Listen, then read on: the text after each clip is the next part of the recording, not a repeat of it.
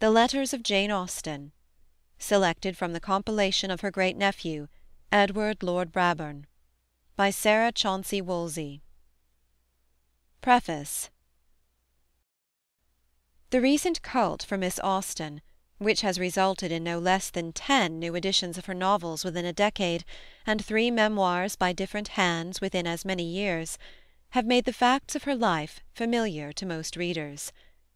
It was a short life, and an uneventful one as viewed from the standpoint of our modern times, when steam and electricity have linked together the ends of the earth, and the very air seems teeming with news, agitations, discussions. We have barely time to recover our breath between post and post, and the morning paper with its statements of disaster, and its hints of still greater evils to be, is scarcely outlived, when lo! in comes the evening issue, contradicting the news of the morning to be sure, but full of omens and auguries of its own to strew our pillows with the seed of wakefulness. To us publications come hot and hot from the press. Telegraphic wires, like the intricate and incalculable zigzags of the lightning, ramify above our heads. And who can tell at what moment their darts may strike? In Miss Austen's day, the tranquil, drowsy, decorous English day of a century since, all was different. News travelled then from hand to hand, carried in creaking post-wagons, or in cases of extreme urgency by men on horseback. When a gentleman journeying in his own chaise took three days in going from Exeter to London, a distance now covered in three hours of railroad, there was little chance of frequent surprises. Love, sorrow, and death were in the world then as now, and worked their will upon the sons of men; but people did not expect happenings every day, or even every year. No doubt they lived the longer for this exemption from excitement, and kept their nerves in a state of wholesome repair, but it goes without saying that the events of which they knew so little did not stir them deeply. Miss Austen's life coincided with two of the most momentous epochs of history the American struggle for independence, and the French Revolution. But there is scarcely an allusion to either in her letters. She was interested in the fleet and its victories because two of her brothers were in the navy, and had promotion and prize money to look forward to.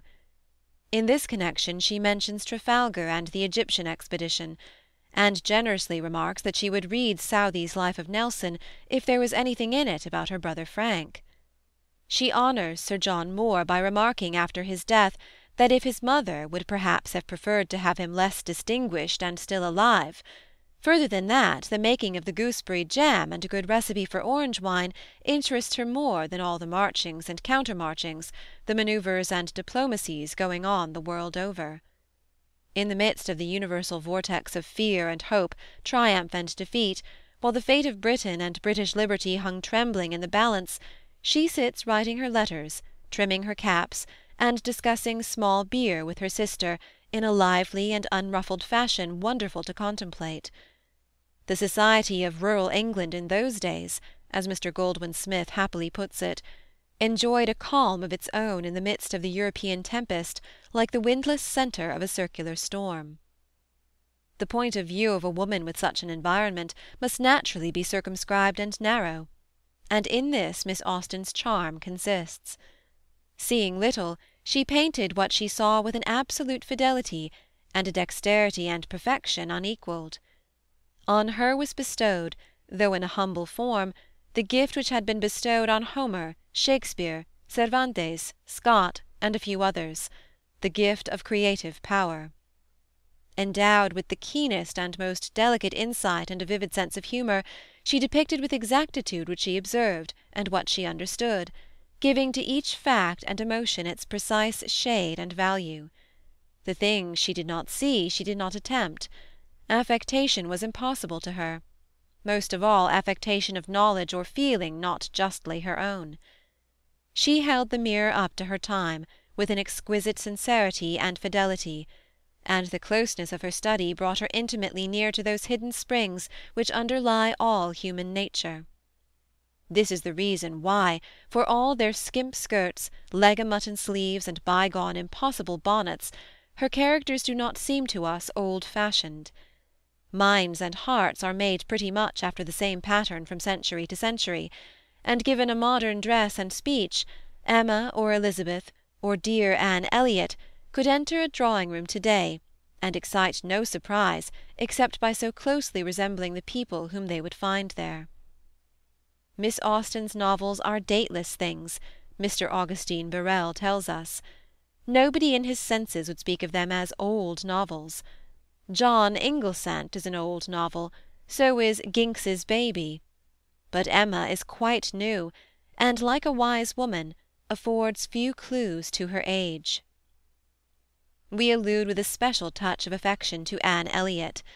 Persuasion, which was written during the last two years of Miss Austen's life, when the refining touch of eternity was already upon her, has always seemed to us the most perfect of her novels, and Anne, with her exquisite breeding and unselfish straightforwardness, just touched with the tender reserve of memory and regret, one of her best portraitures. But this is a matter of individual taste. Doubtless Elizabeth Bennet is better fun, as the modern girl would say. Miss Austen herself preferred her. She had a droll and pretty way of talking about her characters, which showed how real they were to her own mind, and made them equally real to other people. In 1813 she had the good luck to light upon a portrait of Jane Bennet at an exhibition. "I was very well pleased, pray tell Fanny, with a small portrait of Mrs. Bingley, excessively like her. I went in hopes of seeing one of her sister, but there was no Mrs. Darcy. Perhaps I may find her in the great exhibition, which we shall go to if we have time. Mrs. Bingley's is exactly like herself, size, shaped face, features, and sweetness; there never was a greater likeness. She is dressed in a white gown with green ornaments, which convinces me of what I had always supposed, that green was a favourite colour with her. I dare say Mrs. D. will be in yellow. And later. We have been both to the exhibition and Sir J. Reynolds's, and I am disappointed, for there was nothing like Mrs. D. at either. I can only imagine that Mr. D. prizes any picture of her too much to like it should it be exposed to the public eye. I can imagine he would have that sort of feeling, that mixture of love, pride, and delicacy. The letters included in this series comprise about three-quarters of the collection in two volumes published in 1884 by her great-nephew, Lord Brabourne. The lightness, almost friskiness of their tone cannot fail to strike the reader. Modern letters written by women are filled more or less with hints and queries. Questionings as to the why and the wherefore occur; allusions to the various fads of the day, literary or artistic Ibsen, Tolstoy, Browning, esoteric Buddhism, Wagner's music, the mind cure, social science, causes and reforms. But Cowper and Crabbe were the poetical sensations in Miss Austen's time, Scott and Byron its phenomenal novelties. It took months to get most books printed, and years to persuade anybody to read them. Furthermore, the letters, in all probability, are carefully chosen to reveal only the more superficial side of their writer. There are wide gaps of omission, covering important events such as Mr. Austen's death, the long illness through which Jane nursed her brother Henry, and the anxieties and worries which his failure in business caused to the whole family. What is vouchsafed us is a glimpse of the girlish and untroubled moments of Miss Austen's life, and the glimpse is a sweet and friendly one. We are glad to have it, in spite of our suspicion that another and even more interesting part of her personality is withheld from us.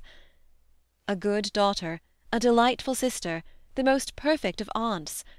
What better record could there be of a single woman?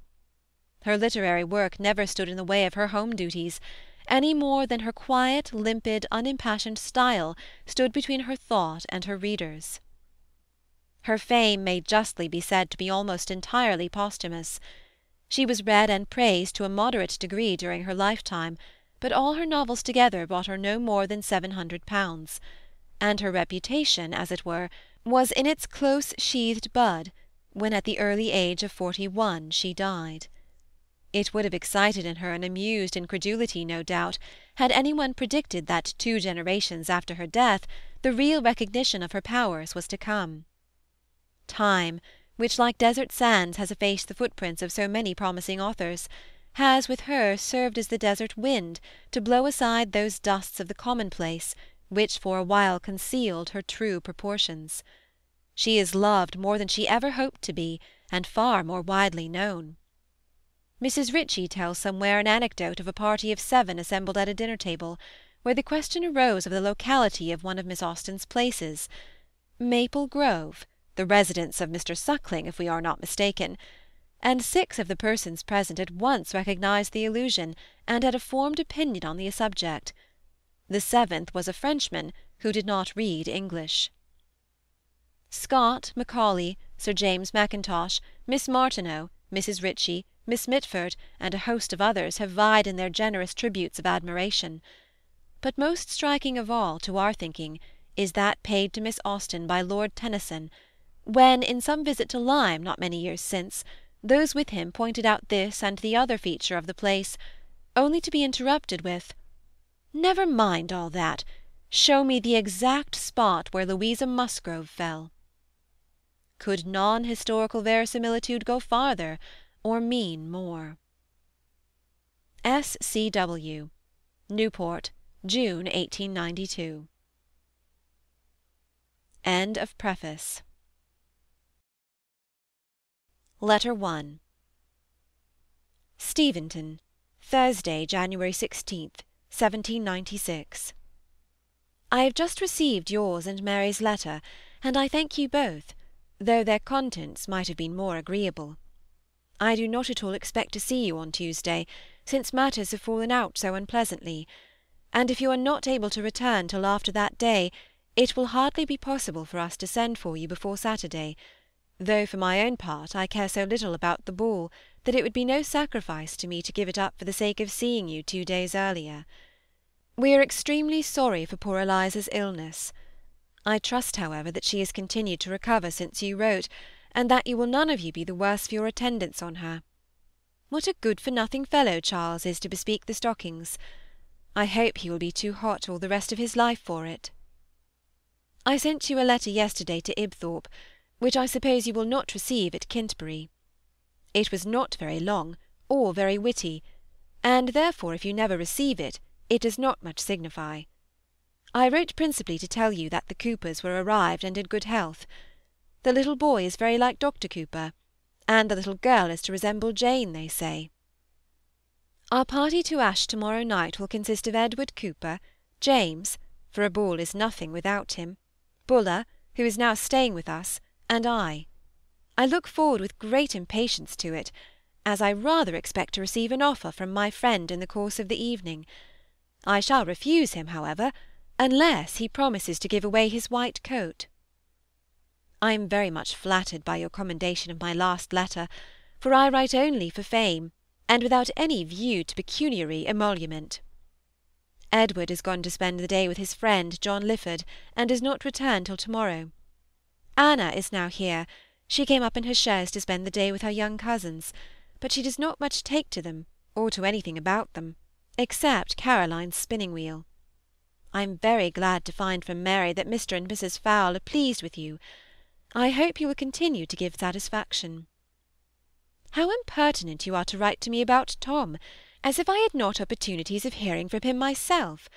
The last letter that I received from him was dated on Friday, the 8th, and he told me that if the wind should be favourable on Sunday, which it proved to be, they were to sail from Falmouth on that day. By this time, therefore, they are at Barbadoes, I suppose. The Rivers are still at Manydown, and are to be at Ashe to-morrow. I intended to call on the Miss Biggs yesterday, had the weather been tolerable.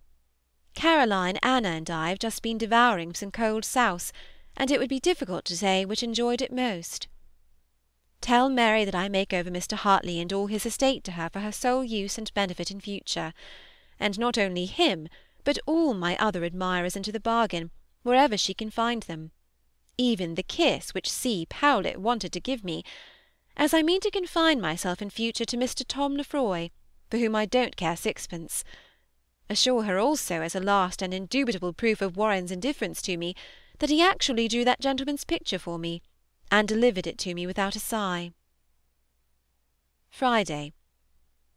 At length the day is come on which I am to flirt my last with Tom Lefroy, and when you receive this it will be over. My tears flow as I write at the melancholy idea. William Shute called here yesterday.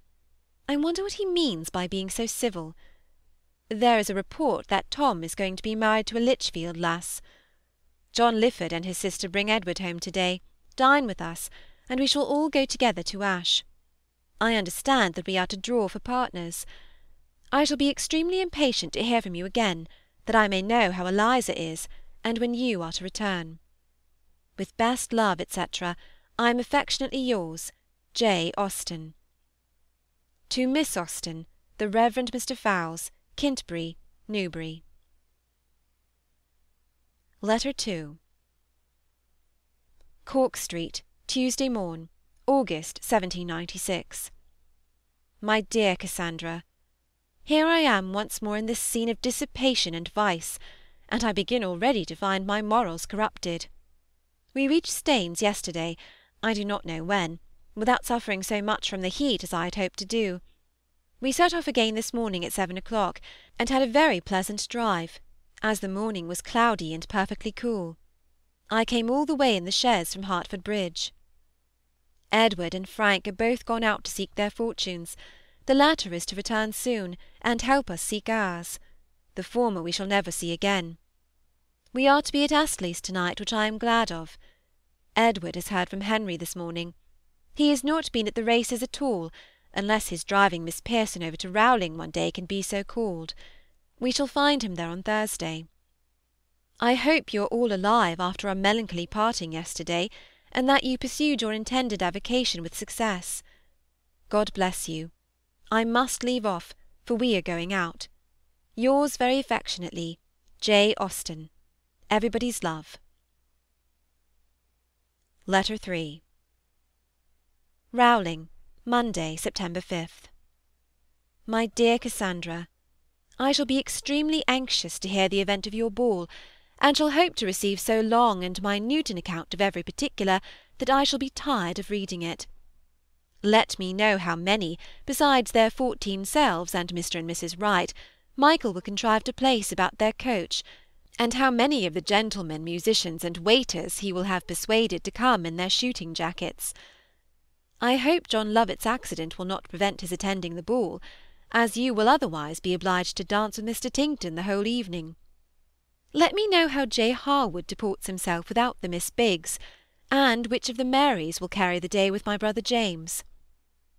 We were at a ball on Saturday, I assure you. We dined at Goodnestone, and in the evening danced two country dances and the boulangerie. I opened the ball with Edward Bridges. The other couples were Lewis Cage and Harriet, Frank and Louisa, Fanny and George. Elizabeth played one country dance, Lady Bridges the other, which she made Henry dance with her, and Miss Finch played the boulangerie.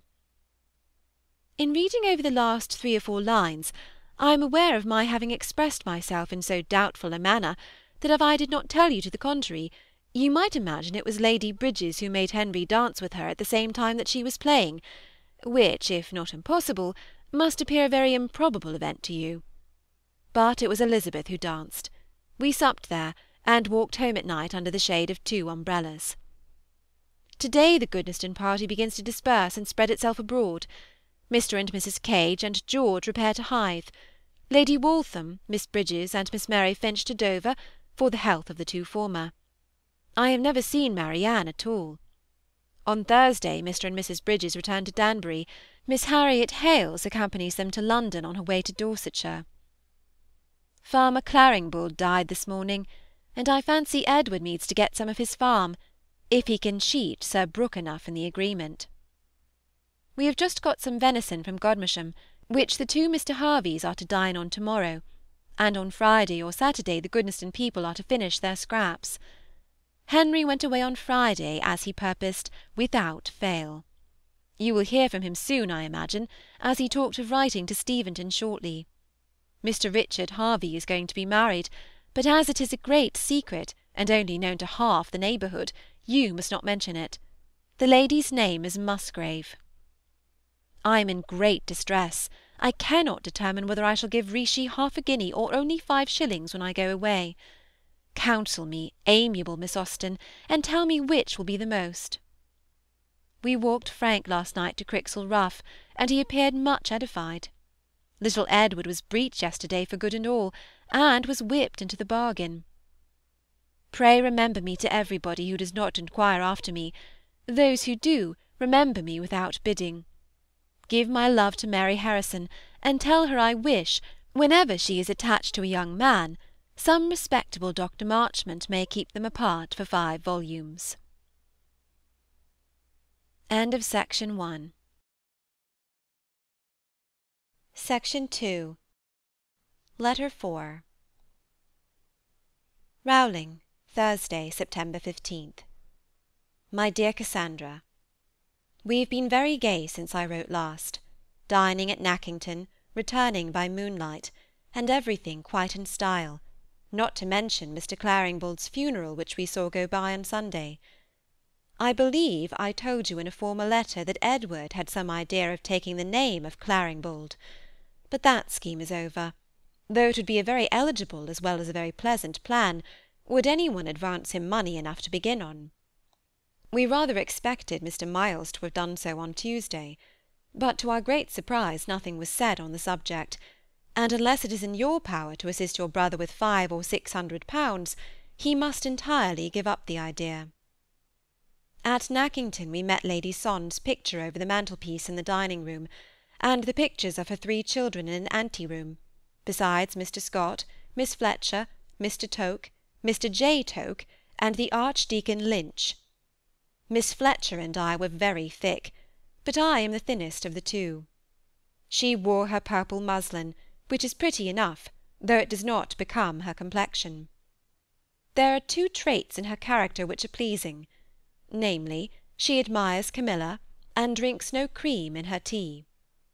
If you should ever see Lucy, you may tell her that I scolded Miss Fletcher for her negligence in writing, as she desired me to do, but without being able to bring her to any proper sense of shame.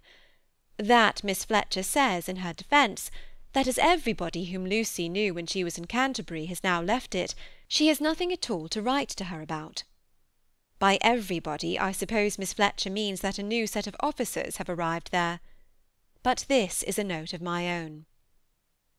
Mrs. Miles, Mr. John Toke, and in short everybody of any sensibility inquired in tender strains after you, and I took an opportunity of assuring Mr. J. T. that neither he nor his father need longer keep themselves single for you. We went in our two carriages to Nackington, but how divided I shall leave to you to surmise merely observing that as Elizabeth and I were without either hat or bonnet, it would not have been very convenient for us to go in the chaise. We went by Bifrons, and I contemplated with a melancholy pleasure the abode of him on whom I once fondly doted. We dined to-day at Goodnestone, to meet my aunt Fielding from Margate, and a Mr. Clayton, her professed admirer; at least so I imagine. Lady Bridges has received very good accounts of Marianne, who was already certainly the better for her bathing. So his Royal Highness Sir Thomas Williams has at length sailed, the papers say, on a cruise. But I hope they are gone to Cork, or I shall have written in vain. Give my love to Jane, as she arrived at Steventon yesterday, I dare say. I sent a message to Mr. Digweed from Edward, in a letter to Mary Lloyd, which he ought to receive to-day but as I know that the Harwoods are not very exact as to their letters, I may as well repeat it to you. Mr. Digweed is to be informed that illness has prevented Seward's coming over to look at the repairs intended at the farm, but that he will come as soon as he can. Mr. Digweed may also be informed, if you think proper, that Mr. and Mrs. Miles are to dine here to-morrow, and that Mrs. Joan Knatchbull is to be asked to meet them. Mr. Richard Harvey's match is put off till he has got a better Christian name, of which he has great hopes. Mr. Children's two sons are both going to be married, John and George. They are to have one wife between them, a Miss Holwell, who belongs to the Black Hole at Calcutta. I depend on hearing from James very soon; he promised me an account of the ball, and by this time he must have collected his ideas enough after the fatigue of dancing to give me one. Edward and Fly went out yesterday very early, in a couple of shooting jackets, and came home like a couple of bad shots, for they killed nothing at all. They are out again to-day, and are not yet returned. Delightful sport! They are just come home, Edward with his two brace, Frank with his two and a half. What amiable young men! Friday. Your letter and one from Henry are just come, and the contents of both accord with my scheme more than I had dared expect. In one particular I could wish it otherwise, for Henry is very indifferent indeed. You must not expect us quite so early, however, as Wednesday the 20th. On that day se'nnight, according to our present plan, we may be with you. Frank had never any idea of going away before Monday the 26th. I shall write to Miss Mason immediately, and press her returning with us, which Henry thinks very likely, and particularly eligible. Buy Mary Harrison's gown by all means. You shall have mine for ever so much money. Though if I am tolerably rich when I get home, I shall like it very much myself. As to the mode of our travelling to town, I want to go in a stage coach, but Frank will not let me. As you are likely to have the Williams and Lloyds with you next week, you would hardly find room for us then. If any one wants anything in town, they must send their commissions to Frank, as I shall merely pass through it. The tallow chandler is Penlington, at the Crown and Beehive, Charles Street, Covent Garden. Letter 5 Rowling, Sunday, September 18th. My dear Cassandra, This morning has been spent in doubt and deliberation, in forming plans and removing difficulties, for it ushered in the day with an event which I had not intended should take place so soon by a week. Frank has received his appointment on board the Captain John Gore, commanded by the Triton, and will therefore be obliged to be in town on Wednesday. And though I have every disposition in the world to accompany him on that day, I cannot go, on the uncertainty of the Pearsons being at home, as I should not have a place to go to in case they were from home. I wrote to Miss P. on Friday, and hoped to receive an answer from her this morning, which would have rendered everything smooth and easy, and would have enabled us to leave this place to-morrow, as Frank, on first receiving his appointment, intended to do. He remains till Wednesday merely to accommodate me. I have written to her again to-day, and desired her to answer it by return of post. On Tuesday, therefore, I shall positively know whether they can receive me on Wednesday. If they cannot, Edward has been so good as to promise to take me to Greenwich on the Monday following, which was the day before fixed on, if that suits them better. If I have no answer at all on Tuesday, I must suppose Mary is not at home, and must wait till I do hear, as after having invited her to go to Steventon with me, it will not quite do to go home and say no more about it. My father will be so good as to fetch home his prodigal daughter from town, I hope, unless he wishes me to walk the hospitals, enter at the Temple, or mount guard at St James's. It will hardly be in Frank's power to take me home; nay, it certainly will not. I shall write again as soon as I get to Greenwich. What dreadful hot weather we have!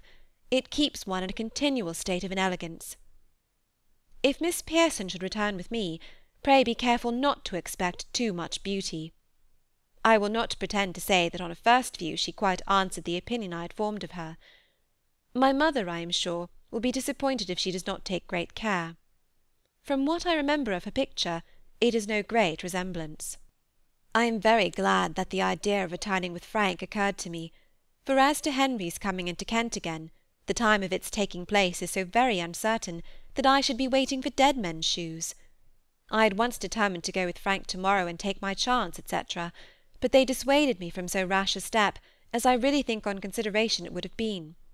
For if the Pearsons were not at home, I should inevitably fall a sacrifice to the arts of some fat woman who would make me drunk with small beer. Mary is brought to bed of a boy, both doing very well. I shall leave you to guess what Mary I mean. Adieu, with best love to all your agreeable inmates. Don't let the Lloyds go on any account before I return, unless Miss P. is of the party. How ill I have written! I begin to hate myself. Yours ever, J. Austen. The Triton is a new 32 frigate, just launched at Deptford. Frank is much pleased with the prospect of having Captain Gore under his command. End of section 2 Section 3 Letter 6 Bull and George, Dartford, Wednesday, October 24th, 1798. My dear Cassandra, You have already heard from Daniel, I conclude, in what excellent time we reached and quitted Sittingbourne, and how very well my mother bore her journey thither. I am now able to send you a continuation of the same good account of her. She was very little fatigued on her arrival at this place, has been refreshed by a comfortable dinner, and now seems quite stout. It wanted five minutes of twelve when we left Sittingbourne, from whence we had a famous pair of horses, which took us to Rochester in an hour and a quarter. The post-boy seemed determined to show my mother that Kentish drivers were not always tedious, and really drove as fast as Cax. Our next stage was not quite so expeditiously performed. The road was heavy, and our horses very indifferent. However, we were in such good time, and my mother bore her journey so well, that expedition was of little importance to us; and as it was, we were very little more than two hours and a half coming hither, and it was scarcely past four when we stopped at the inn. My mother took some of her bitters at Ospringe, and some more at Rochester, and she ate some bread several times. We have got apartments up two pair of stairs, as we could not be otherwise accommodated with a sitting-room and bed-chambers on the same floor which we wished to be. We have one double-bedded and one single-bedded room. In the former my mother and I are to sleep. I shall leave you to guess who is to occupy the other. We sat down to dinner a little after five, and had some beefsteaks and a boiled fowl, but no oyster sauce. I should have begun my letter soon after our arrival, but for a little adventure which prevented me. After we had been here a quarter of an hour, it was discovered that my writing and dressing boxes had been by accident put into a chaise which was just packing off as we came in, and were driven away toward Gravesend in their way to the West Indies. No part of my property could have been such a prize before, for in my writing-box was all my worldly wealth, seven pounds, and my dear Harry's deputation. Mr. Notley immediately dispatched a man and horse after the chaise, and in half an hour's time I had the pleasure of being as rich as ever. They were got about two or three miles off. My day's journey has been pleasanter in every respect than I expected. I have been very little crowded, and by no means unhappy. Your watchfulness with regard to the weather on our accounts was very kind, and very effectual. We had one heavy shower on leaving Sittingbourne, but afterwards the clouds cleared away, and we had a very bright crystal afternoon. My father is now reading the Midnight Bell, which he has got from the library, and my mother sitting by the fire. Our route to-morrow is not determined. We have none of us much inclination for London, and if Mr. Notley will give us leave, I think we shall go to Staines through Croydon and Kingston, which will be much pleasanter than any other way, but he is decidedly for Clapham and Battersea. God bless you all. Yours affectionately, J. A. I flatter myself that Itty Dordy will not forget me at least under a week. Kiss him for me. Letter 7 Steventon, Saturday, October 27th. My dear Cassandra, Your letter was a most agreeable surprise to me to-day, and I have taken a long sheet of paper to show my gratitude. We arrived here yesterday between four and five, but I cannot send you quite so triumphant an account of our last day's journey as of the first and second. Soon after I had finished my letter from Staines, my mother began to suffer from the exercise or fatigue of travelling, and she was a good deal indisposed. She had not a very good night at Staines, but bore her journey better than I had expected, and at Basingstoke, where we stopped more than half an hour, received much comfort from a mess of broth, and the sight of Mr. Lyford, who recommended her to take twelve drops of laudanum when she went to bed as a composer, which she accordingly did. James called on us just as we were going to tea, and my mother was well enough to talk very cheerfully to him before she went to bed. James seems to have taken to his old trick of coming to Steventon in spite of Mary's reproaches, for he was here before breakfast, and is now paying us a second visit. They were to have dined here to-day, but the weather is too bad. I have had the pleasure of hearing that Martha is with them. James fetched her from Ibthorp on Thursday, and she will stay with them till she removes to Kintbury. We met with no adventures at all in our journey yesterday, except that our trunk had once nearly slipped off, and we were obliged to stop at Hartley to have our wheels greased. Whilst my mother and Mr. Lyford were together, I went to Mrs. Rider's, and bought what I intended to buy, but not in much perfection. There were no narrow braces for children, and scarcely any knotting silk; but Miss Wood, as usual, is going to town very soon, and will lay in a fresh stock. I gave two shillings threepence a yard for my flannel, and I fancy it is not very good, but it is so disgraceful and contemptible an article in itself that its being comparatively good or bad is of little importance. I bought some Japan ink likewise, and next week shall begin my operations on my hat, on which you know my principal hopes of happiness depend. I am very grand indeed. I had the dignity of dropping out my mother's laudanum last night. I carry about the keys of the wine and closet, and twice since I began this letter have had orders to give into the kitchen. Our dinner was very good yesterday, and the chicken boiled perfectly tender.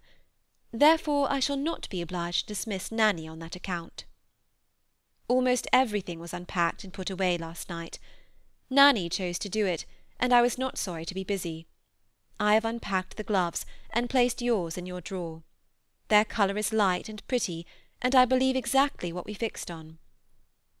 Your letter was chaperoned here by one from Mrs. Cook, in which she says that Battleridge is not to come out before January, and she is so little satisfied with Cawthorn's dilatoriness that she never means to employ him again. Mrs. Hall, of Sherborne, was brought to bed yesterday of a dead child, some weeks before she expected, owing to a fright. I suppose she happened unawares to look at her husband. There has been a great deal of rain here for this last fortnight, much more than in Kent, and indeed we found the roads all the way from Staines most disgracefully dirty. Steventon Lane has its full share of it, and I don't know when I shall be able to get to Deane. I hear that Martha is in better looks and spirits than she has enjoyed for a long time, and I flatter myself she will now be able to jest openly about Mr. W. The spectacles which Molly found are my mother's, the scissors my father's. We are very glad to hear such a good account of your patients, little and great. My dear Itty Dordy's remembrance of me is very pleasing to me, foolishly pleasing, because I know it will be over so soon. My attachment to him will be more durable.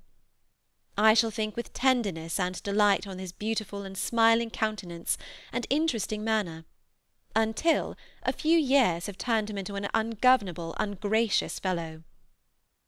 The books from Winton are all unpacked and put away. The binding has compressed them most conveniently, and there is now very good room in the bookcase for all that we wish to have there. I believe the servants were very glad to see us. Nanny was, I'm sure. She confesses that it was very dull, and yet she had her child with her till last Sunday. I understand that there are some grapes left, but I believe not many. They must be gathered as soon as possible, or the rain will entirely rot them. I am quite angry with myself for not writing closer. Why is my alphabet so much more sprawly than yours?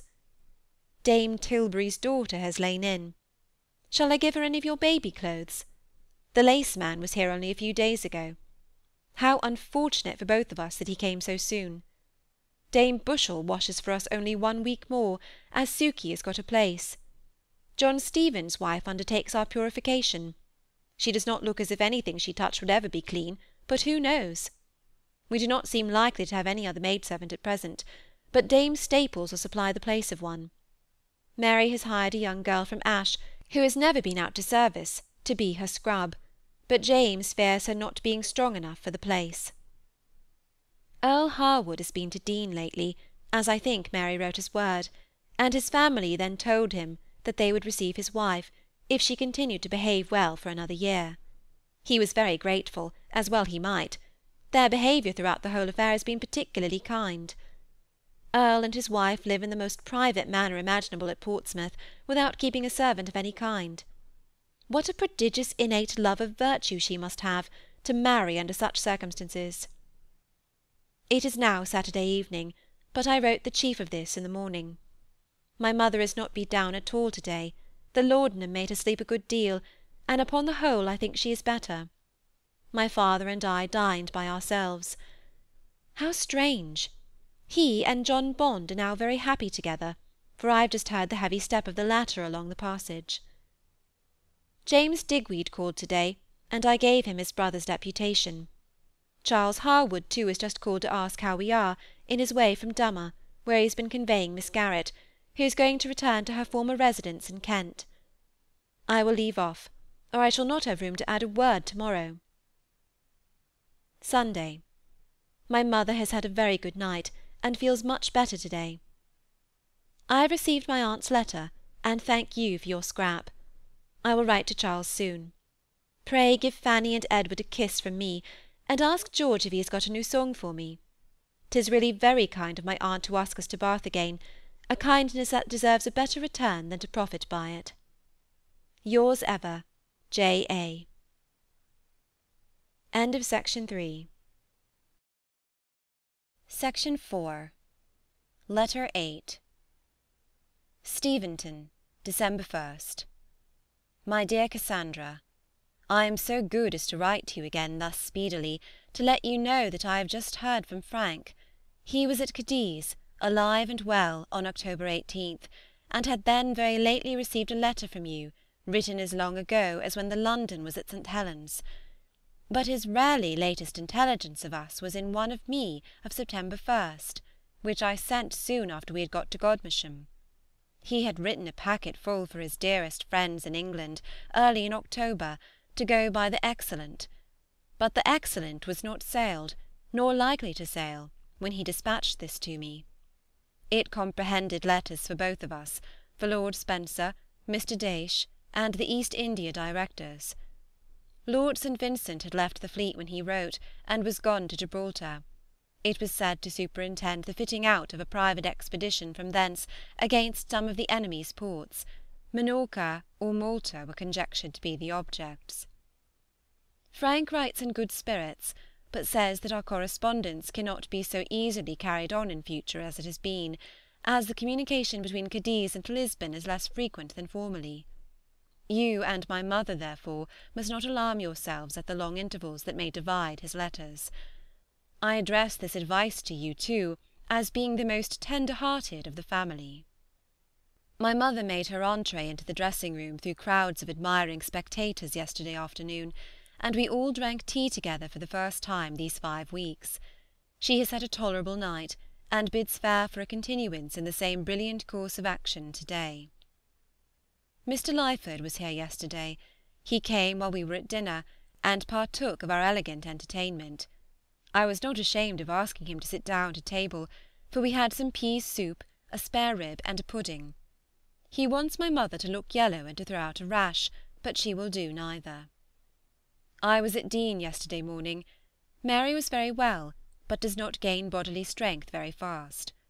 When I saw her so stout on the third and sixth days, I expected to have seen her as well as ever by the end of a fortnight. James went to Ibthorp yesterday to see his mother and child. Letty is with Mary at present, of course exceedingly happy, and in raptures with the child. Mary does not manage matters in such a way as to make me want to lay in myself. She is not tidy enough in her appearance, she has no dressing gown to sit up in, her curtains are all too thin, and things are not in that comfort and style about her which are necessary to make such a situation an enviable one. Elizabeth was really a pretty object with her nice clean cap put on so tidily, and her dress so uniformly white and orderly. We live entirely in the dressing-room now, which I like very much. I always feel so much more elegant in it than in the parlour. No news from Kintbury yet. Eliza sports with our impatience. She was very well last Thursday. Who is Miss Maria Montresor going to marry, and what is to become of Miss Mulcaster? I find great comfort in my stuff gown, but I hope you do not wear yours too often.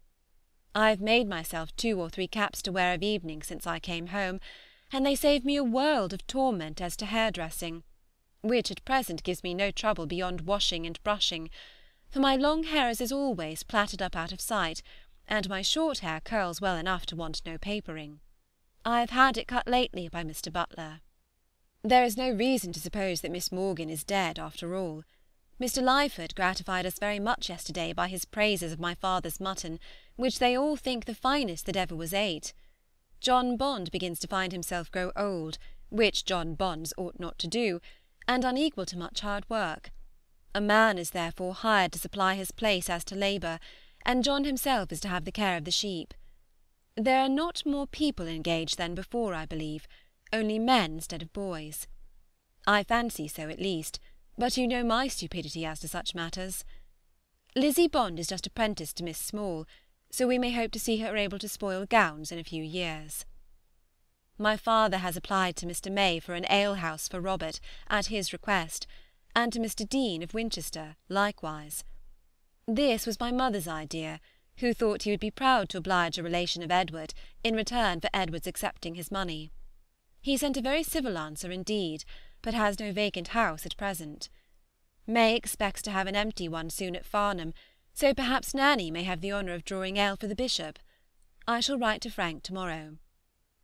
Charles Powlett gave a dance on Thursday, to the great disturbance of all his neighbours. Of course, who you know, take a most lively interest in the state of his finances, and live in hopes of his being soon ruined. We are very much disposed to like our new maid. She knows nothing of a dairy, to be sure, which in our family is rather against her, but she is to be taught it all. In short, we have felt the inconvenience of being without a maid so long, that we are determined to like her, and she will find it a hard matter to displease us. As yet she seems to cook very well, is uncommonly stout, and says she can work well at her needle. Sunday. My father is glad to hear so good an account of Edward's pigs, and desires he may be told, as encouragement to his taste for them, that Lord Bolton is particularly curious in his pigs, has had pigsties of a most elegant construction built for them, and visits them every morning as soon as he rises. Affectionately yours, J. A. Letter 9 Steventon, Tuesday, December 18th. My dear Cassandra, Your letter came quite as soon as I expected, and so your letters will always do, because I have made it a rule not to expect them till they come, in which I think I consult the ease of us both. It is a great satisfaction to us to hear that your business is in a way to be settled, and so settle as to give you as little inconvenience as possible. You are very welcome to my father's name, and to his services, if they are ever required in it. I shall keep my ten pounds, too, to wrap myself up in next winter. I took the liberty a few days ago of asking your black velvet bonnet to lend me its caul, which it very readily did, and by which I have been enabled to give a considerable improvement of dignity to cap, which was before too niggety to please me. I shall wear it on Thursday, but I hope you will not be offended with me for following your advice as to its ornaments only in part. I still venture to retain the narrow silver round it, put twice round without any bow, and instead of the black military feather, shall put in the coquelicot one as being smarter. And besides, coquelicot is to be all the fashion this winter. After the ball I shall probably make it entirely black. I am sorry that our dear Charles begins to feel the dignity of ill usage. My father will write to Admiral Gambier. He must have already received so much satisfaction from his acquaintance and patronage of Frank that he will be delighted, I dare say, to have another of the family introduced to him. I think it would be very right in Charles to address Sir Thomas on the occasion, though I cannot approve of your scheme of writing to him, which you communicated to me a few nights ago, to request him to come home and convey you to Steventon. To do you justice, however, you had some doubts of the propriety of such a measure yourself. I am very much obliged to my dear little George for his message, for his love at least. His duty, I suppose, is only in consequence of some hint of my favourable intentions toward him from his father or mother. I am sincerely rejoiced, however, that I ever was born, since it has been the means of procuring him a dish of tea. Give my best love to him. Wednesday. I have changed my mind, and changed the trimmings of my cap this morning. They are now such as you suggested. I felt as if I should not prosper if I strayed from your directions, and I think it makes me look more like Lady Coyningham now than it ever did before, which is all that one lives for now. I believe I shall make my new gown like my robe, but the back of the latter is all in a piece with the tail, and will seven yards enable me to copy it in that respect? I have just heard from Martha and Frank. His letter was written on November 12. All well, and nothing particular. J. A. Letter 10 Steventon, Monday night, December 24. My dear Cassandra, I have got some pleasant news for you, which I am eager to communicate, and therefore begin my letter sooner, though I shall not send it sooner than usual. Admiral Gambier, in reply to my father's application, writes as follows: As it is usual to keep young officers in small vessels, it being most proper on account of their inexperience, and it being also a situation where they are more in the way of learning their duty, your son has been continued in the Scorpion. But I have mentioned to the Board of Admiralty his wish to be in a frigate, and when a proper opportunity offers, and it is judged that he has taken his turn in a small ship, I hope he will be removed. With regard to your son now in the London, I am glad I can give you the assurance that his promotion is likely to take place very soon, as Lord Spencer has been so good as to say he would include him in an arrangement that he proposes making in short time relative to some promotions in that quarter. There, I may now finish my letter and go and hang myself, for I am sure I can neither write nor do anything which will not appear insipid to you after this. Now I really think he will soon be made, and only wish we could communicate our foreknowledge of the event to him whom it principally concerns. My father has written to Daysh to desire that he will inform us, if he can, when the commission is sent. Your chief wish is now ready to be accomplished, and could Lord Spencer give happiness to Martha at the same time, what a joyful heart he would make of yours. I have sent the same extract of the sweets of Gambier to Charles, who, poor fellow, though he sinks into nothing but a humble attendant on the hero of the piece, will, I hope, be contented with the prospect held out to him. By what the Admiral says, it appears as if he had been designedly kept in the Scorpion. But I will not torment myself with conjectures and suppositions. Facts shall satisfy me. Frank had not heard from any of us for ten weeks when he wrote to me on November 12, in consequence of Lord St. Vincent being removed to Gibraltar. When his commission is sent, however, it will not be so long on its road as our letters, because all the Government dispatches are forwarded by land to his Lordship from Lisbon with great regularity. I returned from Manydown this morning, and found my mother certainly in no respect worse than when I left her. She does not like the cold weather, but that we cannot help. I spend my time very quietly and very pleasantly with Catherine. Miss Blackford is agreeable enough. I do not want people to be very agreeable, as it saves me the trouble of liking them a great deal. I found only Catherine and her when I got to Manydown on Thursday. We dined together, and went together to Worting to seek the protection of Mrs. Clarke, with whom were Lady Mildmay, her eldest son, and Mr. and Mrs. Hall. Our ball was very thin, but by no means unpleasant. There were thirty-one people, and only eleven ladies out of the number, and but five single women in the room. Of the gentlemen present you may have some idea from the list of my partners. Mr. Wood, G. Lefroy, Rice, a Mr. Butcher, belonging to the Temples, a sailor and not of the 11th Light Dragoons, Mr. Temple, not the horrid one of all, and Mr. William Ord, cousin to the Kingsclere man, Mr. John Harwood, and Mr. Calland, who appeared as usual with his hat in his hand, and stood every now and then behind Catherine and me to be talked to and abused for not dancing. We teased him, however, into it at last. I was very glad to see him again after so long a separation, and he was altogether rather the genius and flirt of the evening. He inquired after you. There were twenty dances, and I danced them all, and without any fatigue. I was glad to find myself capable of dancing so much, and with so much satisfaction as I did.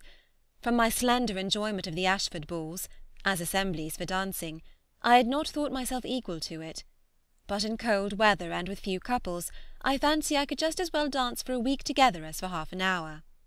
My black cap was openly admired by Mrs. Lefroy, and secretly, I imagine, by everybody else in the room.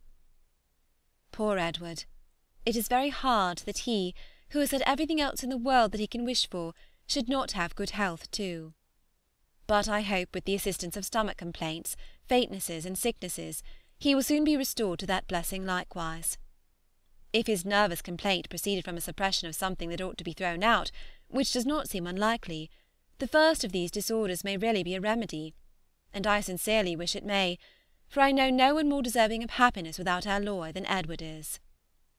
The Lords of the Admiralty will have enough of our applications at present, for I hear from Charles that he has written to Lord Spencer himself to be removed. I am afraid his Serene Highness will be in a passion, and order some of our heads to be cut off. You deserve a longer letter than this, but it is my unhappy fate seldom to treat people so well as they deserve. God bless you. Yours affectionately, Jane Austen. Wednesday. The snow came to nothing yesterday, so I did go to Deane, and returned home at nine o'clock at night in that little carriage, and without being very cold. End of section 4. Section 5. Letter 11. Steventon, Friday, December 28th. My dear Cassandra, Frank is made. He was yesterday raised to the rank of commander, and appointed to the Petrel sloop now at Gibraltar. A letter from Daysh has just announced this, and as it is confirmed by a very friendly one from Mr. Mathew to the same effect, transcribing one from Admiral Gambier to the General, we have no reason to suspect the truth of it. As soon as you have cried a little for joy, you may go on and learn further that the India House have taken Captain Austen's petition into consideration this comes from Daysh and likewise that Lieutenant Charles John Austen is removed to the Tamar frigate this comes from the Admiral. We cannot find out where the Tamar is, but I hope we shall now see Charles here at all events. This letter is to be dedicated entirely to good news. If you will send my father an account of your washing and letter expenses, etc., he will send you a draft for the amount of it, as well as for your next quarter, and for Edward's rent.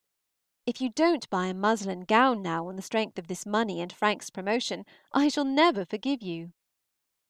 Mrs. Lefroy has just sent me word that Lady Dorchester meant to invite me to her ball on January 8th, which, though an humble blessing compared with what the last page records, I do not consider as any calamity. I cannot write any more now, but I have written enough to make you very happy, and therefore may safely conclude. Yours affectionately, JANE. Letter 12. Steventon, Tuesday, January 8, 1799.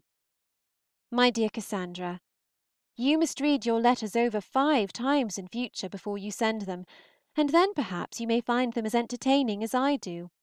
I laughed at several parts of the one which I am now answering. Charles is not come yet, but he must come this morning, or he shall never know what I will do to him. The ball at Kempshott is this evening, and I have got him an invitation, though I have not been so considerate as to get him a partner. But the cases are different between him and Eliza Bailey, for he is not in a dying way, and may therefore be equal to getting a partner for himself. I believe I told you that Monday was to be the ball night, for which and for all other errors into which I may ever have led you, I humbly ask your pardon. Elizabeth is very cruel about my writing music, and as a punishment for her I should insist upon always writing out all hers for her in future, if I were not punishing myself at the same time.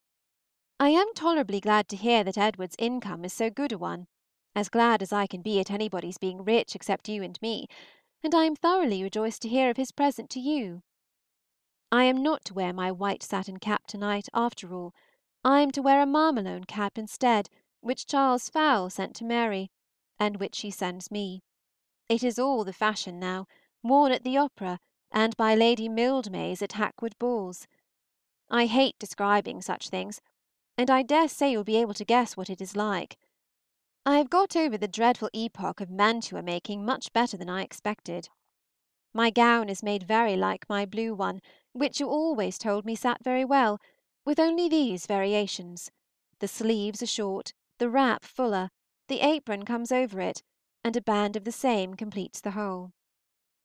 I assure you that I dread the idea of going to Brighton as much as you do, but I am not without hopes that something may happen to prevent it. F. has lost his election at B., and perhaps they may not be able to see company for some time. They talk of going to Bath too in the spring, and perhaps they may be overturned in their way down, and all laid up for the summer. Wednesday. I have had a cold and weakness in one of my eyes for some days, which makes writing neither very pleasant nor very profitable, and which will probably prevent my finishing this letter myself. My mother has undertaken to do it for me, and I shall leave the Kempshott ball for her. You express so little anxiety about my being murdered under Ash Park Copse by Mrs. Hulbert's servant that I have a great mind not to tell you whether I was or not, and shall only say that I did not return home that night or the next, as Martha kindly made room for me in her bed, which was the shut up one in the new nursery. Nurse and the child slept upon the floor, and there we all were in some confusion and great comfort. The bed did exceedingly well for us, both to lie awake in and talk till two o'clock, and to sleep in the rest of the night. I love Martha better than ever, and I mean to go and see her if I can when she gets home. We all dined at the Harwoods on Thursday, and the party broke up the next morning. This complaint in my eye has been a sad bore to me, for I have not been able to read or work in any comfort since Friday. But one advantage will be derived from it, for I shall be such a proficient in music by the time I have got rid of my cold that I shall be perfectly qualified in that science at least to take Mr. Roope's office at Eastwell next summer, and I am sure of Elizabeth's recommendation, be it only on Harriet's account. Of my talent in drawing I have given specimens in my letters to you, and I have nothing to do but to invent a few hard names for the stars. Mary grows rather more reasonable about her child's beauty, and says that she does not think him really handsome, but I suspect her moderation to be something like that of W. W.'s mamma. Perhaps Mary has told you that they are going to enter into more dinner parties. The Biggs and Mr. Holder dine there to morrow, and I am to meet them. I shall sleep there.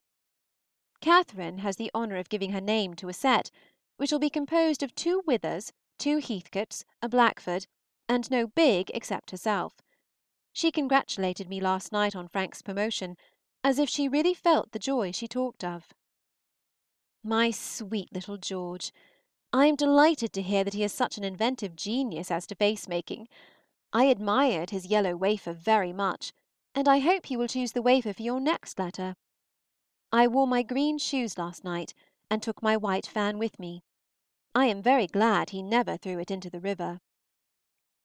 Mrs. Knight giving up the Godmersham estate to Edward was no such prodigious act of generosity after all, it seems, for she has reserved herself an income out of it still. This ought to be known, that her conduct may not be overrated. I rather think Edward shows the most magnanimity of the two, in accepting her resignation with such encumbrances. The more I write the better my eye gets, so I shall at least keep on till it is quite well, before I give up my pen to my mother. Mrs. Bramston's little movable apartment was tolerably filled last night, by herself, Mrs. H. Blackstone, her two daughters, and me. I do not like the Miss Blackstones; indeed, I was always determined not to like them, so there is the less merit in it. Mrs. Bramston was very civil, kind, and noisy. I spent a very pleasant evening, chiefly among the Manydown party. There is the same kind of supper as last year, and the same want of chairs. There were more dancers than the room could conveniently hold, which is enough to constitute a good ball at any time. I do not think I was very much in request. People were rather apt not to ask me until they could not help it. One's consequence, you know, varies so much at times without any particular reason. There was one gentleman, an officer of the Cheshire, a very good-looking young man, who, I was told, wanted very much to be introduced to me but as he did not want it quite enough to take much trouble in effecting it, we never could bring it about. I danced with Mr. John Wood again, twice with a Mr. South, a lad from Winchester, who, I suppose, is as far from being related to the bishop of that diocese as it is possible to be, with G. Lefroy and J. Harwood, who, I think, takes to me rather more than he used to do, one of my gayest actions was sitting down two dances in preference to having Lord Bolton's eldest son for my partner, who danced too ill to be endured. The Miss Charterises were there, and played the parts of the Miss Edens with great spirit. Charles never came. Naughty Charles! I suppose he could not get superseded in time. Mr. Barry has replaced your two sheets of drawing paper with two of superior size and quality, so I do not grudge her having taken them at all now. Mr. Ludlow and Miss Pugh of Andover are lately married, and so is Mrs. Skeet of Basingstoke and Mr. French, chemist, of Reading. I do not wonder at your wanting to read first impressions again, so seldom as you have gone through it, and that so long ago. I am much obliged to you for meaning to leave my old petticoat behind you. I have long secretly wished it might be done, but had not courage to make the request. Pray mention the name of Maria Montresor's lover when you write next. My mother wants to know it, and I have not courage to look back into your letters to find it out. I shall not be able to send this till to morrow, and you will be disappointed on Friday. I am very sorry for it, but I cannot help it. The partnership between Jeffreys, Toomer, and Legg is dissolved; the two latter are melted away into nothing, and it is to be hoped that Jeffreys will soon break, for the sake of a few heroines whose money he may have. I wish you joy of your birthday twenty times over. I shall be able to send this to the post to day, which exalts me to the utmost pinnacle of human felicity, and makes me bask in the sunshine of prosperity, or gives me any other sensation of pleasure in studied language which you may prefer. Do not be angry with me for not filling my sheet, and believe me yours affectionately, J. A. End of Section 5 Section 6 Letter 13 STEVENTON, Monday (January 21). MY DEAR CASSANDRA, I will endeavor to make this letter more worthy your acceptance than my last, which was so shabby a one that I think Mr. Marshall could never charge you with the postage.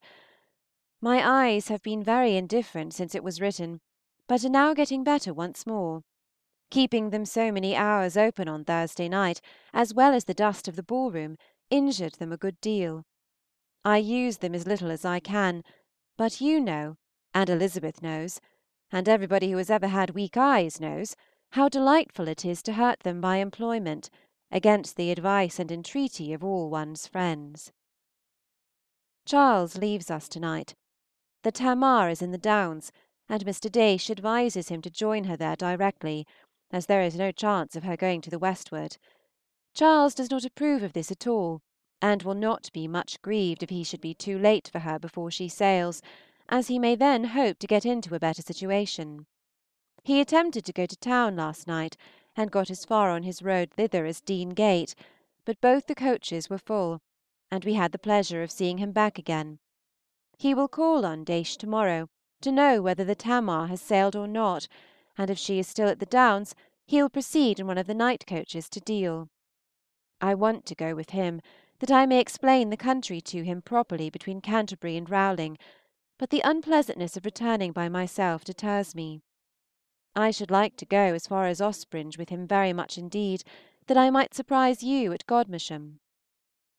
Martha writes me word that Charles was very much admired at Kintbury, and Mrs. Lefroy never saw any one so much improved in her life, and thinks him handsomer than Henry.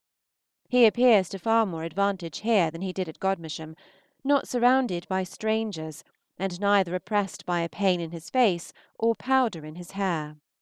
James christened Elizabeth Caroline on Saturday morning, and then came home. Mary, Anna, and Edward have left us of course. Before the second went I took down her answer to her cousin Fanny.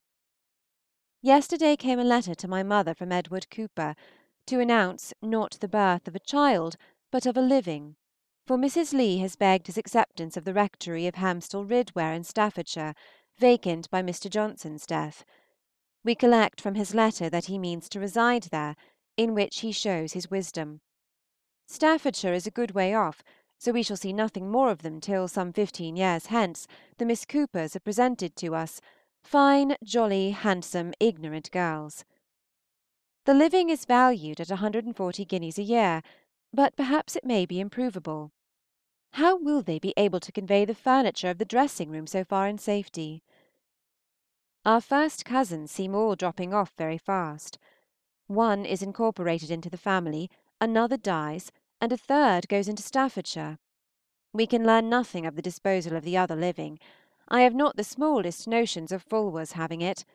Lord Craven has probably other connections and more intimate ones in that line than he now has with the Kintbury family.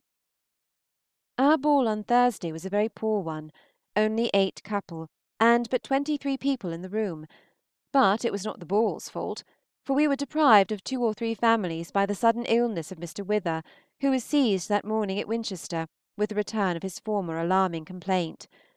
An express was sent off from thence to the family. Catherine and Miss Blackford were dining with Mrs. Russell.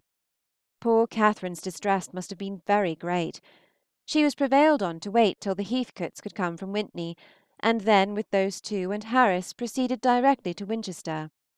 In such a disorder his danger, I suppose, must always be great; but from this attack he is now rapidly recovering, and will be well enough to return to Manydown, I fancy, in a few days. It was a fine thing for conversation at the ball but it deprived us not only of the Biggs, but of Mrs. Russell too, and of the Boltons and John Harwood, who were dining there likewise, and of Mr. Lane, who kept away as related to the family. Poor man! I mean Mr. Wither. His life is so useful, his character so respectable and worthy, that I really believe there was a good deal of sincerity in the general concern expressed on his account. Our ball was chiefly made up of Jervoises and Terrys, the former of whom were apt to be vulgar, the latter to be noisy. I had an odd set of partners, Mr. Jenkins, Mr. Street, Colonel Jervoise, James Digweed, J. Lyford, and Mr. Briggs, a friend of the latter. I had a very pleasant evening, however, though you will probably find out that there was no particular reason for it but I do not think it worth while to wait for enjoyment until there is some real opportunity for it. Mary behaved very well, and was not at all fidgety. For the history of her adventures at the ball I refer you to Anna's letter. When you come home you will have some shirts to make up for Charles. Mrs. Davies frightened him into buying a piece of Irish when we were in Basingstoke. Mr. Daysh supposes that Captain Austen's commission has reached him by this time. Tuesday. Your letter has pleased and amused me very much. Your essay on happy fortnights is highly ingenious, and the Talibot skin made me laugh a good deal. Whenever I fall into misfortune, how many jokes it ought to furnish to my acquaintance in general, or I shall die dreadfully in their debt for entertainment. It began to occur to me before you mentioned it that I had been somewhat silent as to my mother's health for some time, but I thought you could have no difficulty in divining its exact state you who have guessed so much stranger things. She is tolerably well, better upon the whole than she was some weeks ago. She would tell you herself that she has a very dreadful cold in her head at present, but I have not much compassion for colds in the head without fever or sore throat. Our own particular little brother got a place in the coach last night, and is now, I suppose, in town. I have no objection at all to your buying our gowns there, as your imagination has pictured to you exactly such a one as is necessary to make me happy. You quite abash me by your progress in knotting, for I am still without silk. You must get me some in town or in Canterbury; it should be finer than yours. I thought Edward would not approve of Charles being a crop, and rather wished you to conceal it from him at present, lest it might fall on his spirits and retard his recovery. My father furnishes him with a pig from Cheesedown, it is already killed and cut up, but it is not to weigh more than nine stone; the season is too far advanced to get him a larger one. My mother means to pay herself for the salt and the trouble of ordering it to be cured by the spareribs, the souse, and the lard. We have had one dead lamb. I congratulate you on Mr. E. Hatton's good fortune. I suppose the marriage will now follow out of hand. Give my compliments to Miss Finch. What time in March may we expect your return in? I begin to be very tired of answering people's questions on that subject, and independent of that, I shall be very glad to see you at home again; and then if we can get Martha and Shirk, who will be so happy as we? I think of going to Ibthorp in about a fortnight. My eyes are pretty well, I thank you, if you please. Wednesday, the 23rd. I wish my dear Fanny many returns of this day and that she may on every return enjoy as much pleasure as she is now receiving from her dolls' beds. I have just heard from Charles, who is by this time at Deal. He is to be second lieutenant, which pleases him very well. The Endymion is come into the Downs, which pleases him likewise. He expects to be ordered to Sheerness shortly, as the "Tamar" has never been refitted. My father and mother made the same match for you last night, and are very much pleased with it. He is a beauty of my mother's. Yours affectionately, JANE. Letter XIV. 13 QUEEN Square, Friday (May 17). MY DEAREST CASSANDRA, Our journey yesterday went off exceedingly well; nothing occurred to alarm or delay us. We found the roads in excellent order, had very good horses all the way, and reached Devizes with ease by four o'clock. I suppose John has told you in what manner we were divided when we left Andover, and no alteration was afterwards made. At Devizes we had comfortable rooms and a good dinner, to which we sat down about five; amongst other things we had asparagus and a lobster, which made me wish for you, and some cheesecakes, on which the children made so delightful a supper as to endear the town of Devizes to them for a long time. Well, here we are at Bath. We got here about one o'clock, and have been arrived just long enough to go over the house, fix on our rooms, and be very well pleased with the whole of it. Poor Elizabeth has had a dismal ride of it from Devizes, for it has rained almost all the way, and our first view of Bath has been just as gloomy as it was last November twelvemonth. I have got so many things to say, so many things equally important, that I know not on which to decide at present, and shall therefore go and eat with the children. We stopped in Paragon as we came along, but as it was too wet and dirty for us to get out, we could only see Frank, who told us that his master was very indifferent, but had had a better night last night than usual. In Paragon we met Mrs. Foley and Mrs. Dowdeswell, with her yellow shawl airing out, and at the bottom of the Kingsdown Hill we met a gentleman in a buggy, who, on minute examination, turned out to be Dr. Hall, and Dr. Hall in such very deep mourning that either his mother, his wife, or himself must be dead. These are all of our acquaintance who have yet met our eyes. I have some hopes of being plagued about my trunk. I had a few more hours ago, for it was too heavy to go by the coach which brought Thomas and Rebecca from Devizes. There was reason to suppose that it might be too heavy likewise for any other coach, and for a long time we could hear of no wagon to convey it. At last, however, we unluckily discovered that one was just on the point of setting out for this place, but at any rate the trunk cannot be here till to morrow. So far we are safe, and who knows what may not happen to procure a further delay? I put Mary's letter into the post office at Andover with my own hand. We are exceedingly pleased with the house.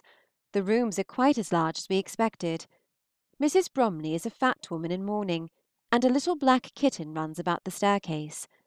Elizabeth has the apartment within the drawing room; she wanted my mother to have it, but as there is no bed in the inner one, and the stairs are so much easier of ascent, or my mother so much stronger than in Paragon as not to regard the double flight, it is settled for us to be above, where we have two very nice sized rooms, with dirty quilts and everything comfortable. I have the outward and larger apartment, as I ought to have, which is quite as large as our bedroom at home, and my mother's is not materially less.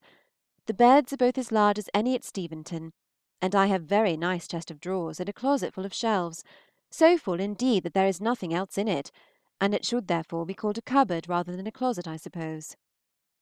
Tell Mary that there were some carpenters at work in the inn at Devizes this morning, but as I could not be sure of their being Mrs. W. Fowle's relations, I did not make myself known to them.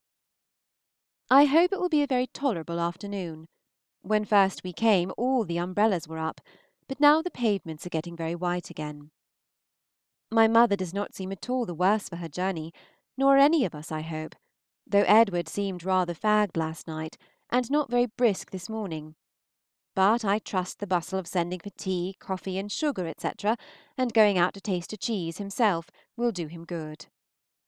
There was a very long list of arrivals here in the newspaper yesterday, so that we need not immediately dread absolute solitude and there is a public breakfast in Sydney Gardens every morning, so that we shall not be wholly starved. Elizabeth has had just a very good account of the three little boys. I hope you are very busy and very comfortable. I find no difficulty in closing my eyes. I like our situation very much; it is far more cheerful than Paragon, and the prospect from the drawing room window, at which I now write, is rather picturesque, as it commands a prospective view of the left side of Brock Street, broken by three Lombardy poplars in the garden of the last house in Queen's Parade. I am rather impatient to know the fate of my best gown, but I suppose it will be some days before Frances can get through the trunk. In the meantime I am, with many thanks for your trouble in making it, as well as marking my silk stockings. Yours very affectionately, JANE. A great deal of love from everybody. End of Section 6 Section 7 Letter 15 13 Queen Square, Sunday, June 2. My dear Cassandra, I am obliged to you for two letters, one from yourself and the other from Mary, for of the latter I knew nothing till on the receipt of yours yesterday, when the pigeon basket was examined and I received my due. As I have written to her since the time which ought to have brought me hers, I suppose she will consider herself, as I choose to consider her, still in my debt. I will lay out all the little judgment I have in endeavoring to get such stockings for Anna as she will approve, but I do not know that I shall execute Martha's commission at all, for I am not fond of ordering shoes, and at any rate they shall all have flat heels. What must I tell you of Edward? Truth or falsehood? I will try the former, and you may choose for yourself another time. He was better yesterday than he had been for two or three days before, about as well as while he was at Steventon. He drinks at the Hetling pump, is to bathe to morrow, and try electricity on Tuesday. He proposed the latter himself to Dr. Fellowes, who made no objection to it, but I fancy we are all unanimous in expecting no advantage from it. At present I have no great notion of our staying here beyond the month. I heard from Charles last week; they were to sail on Wednesday. My mother seems remarkably well. My uncle overwalked himself at first, and can now only travel in a chair, but is otherwise very well. My cloak is come home. I like it very much, and can now exclaim with delight, like J. Bond at Hay Harvest, "This is what I have been looking for all these three years." I saw some gauzes in a shop in Bath Street yesterday at only four shillings a yard, but they were not so good or so pretty as mine. Flowers are very much worn, and fruit is still more the thing. Elizabeth has a bunch of strawberries, and I have seen grapes, cherries, plums, and apricots. There are likewise almonds and raisins, French plums, and tamarinds at the grocer's, but I have never seen any of them in hats. A plum or greengage would cost three shillings, cherries and grapes about five, I believe, but this is at some of the dearest shops. My aunt has told me of a very cheap one, near Walcot Church, to which I shall go in quest of something for you. I have never seen an old woman at the Pump Room. Elizabeth has given me a hat, and it is not only a pretty hat, but a pretty style of hat too. It is something like Eliza's, only instead of being all straw, half of it is narrow purple ribbon. I flatter myself, however, that you can understand very little of it from this description. Heaven forbid that I should ever offer such encouragement to explanations as to give a clear one on any occasion myself. But I must write no more of this. I spent Friday evening with the Mapletons, and was obliged to submit to being pleased in spite of my inclination. We took a very charming walk from six to eight up Beacon Hill, and across some fields, to the village of Charlecombe, which is sweetly situated in the little green valley, as a village with such a name ought to be. Marianne is sensible and intelligent, and even Jane, considering how fair she is, is not unpleasant. We had a Miss North and a Mr. Gould of our party; the latter walked home with me after tea. He is a very young man, just entered Oxford, wears spectacles, and has heard that "Evelina" was written by Dr. Johnson. I am afraid I cannot undertake to carry Martha's shoes home, for, though we had plenty of room in our trunks when we came, we shall have many more things to take back, and I must allow besides for my packing. There is to be a grand gala on Tuesday evening in Sydney Gardens, a concert, with illuminations and fireworks. To the latter Elizabeth and I look forward with pleasure, and even the concert will have more than its usual charm for me, as the gardens are large enough for me to get pretty well beyond the reach of its sound.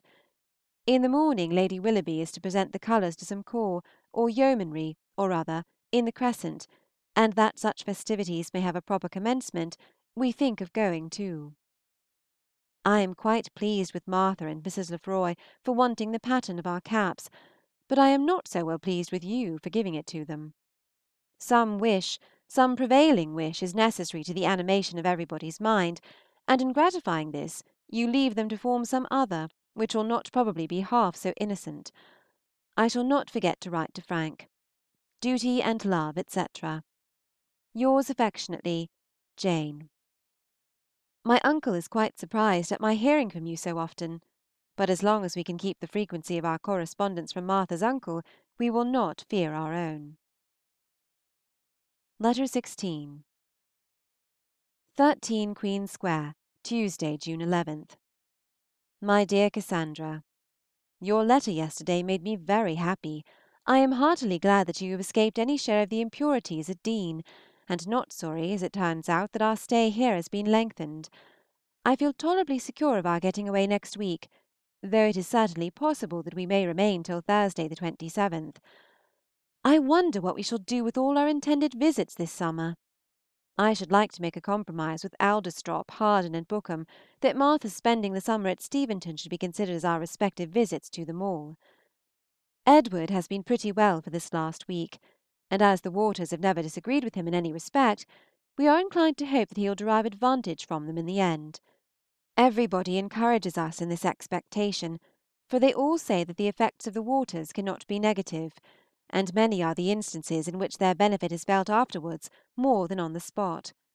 He is more comfortable here than I thought he would be, and so is Elizabeth, though they will both, I believe, be very glad to get away, the latter especially, which one can't wonder at somehow.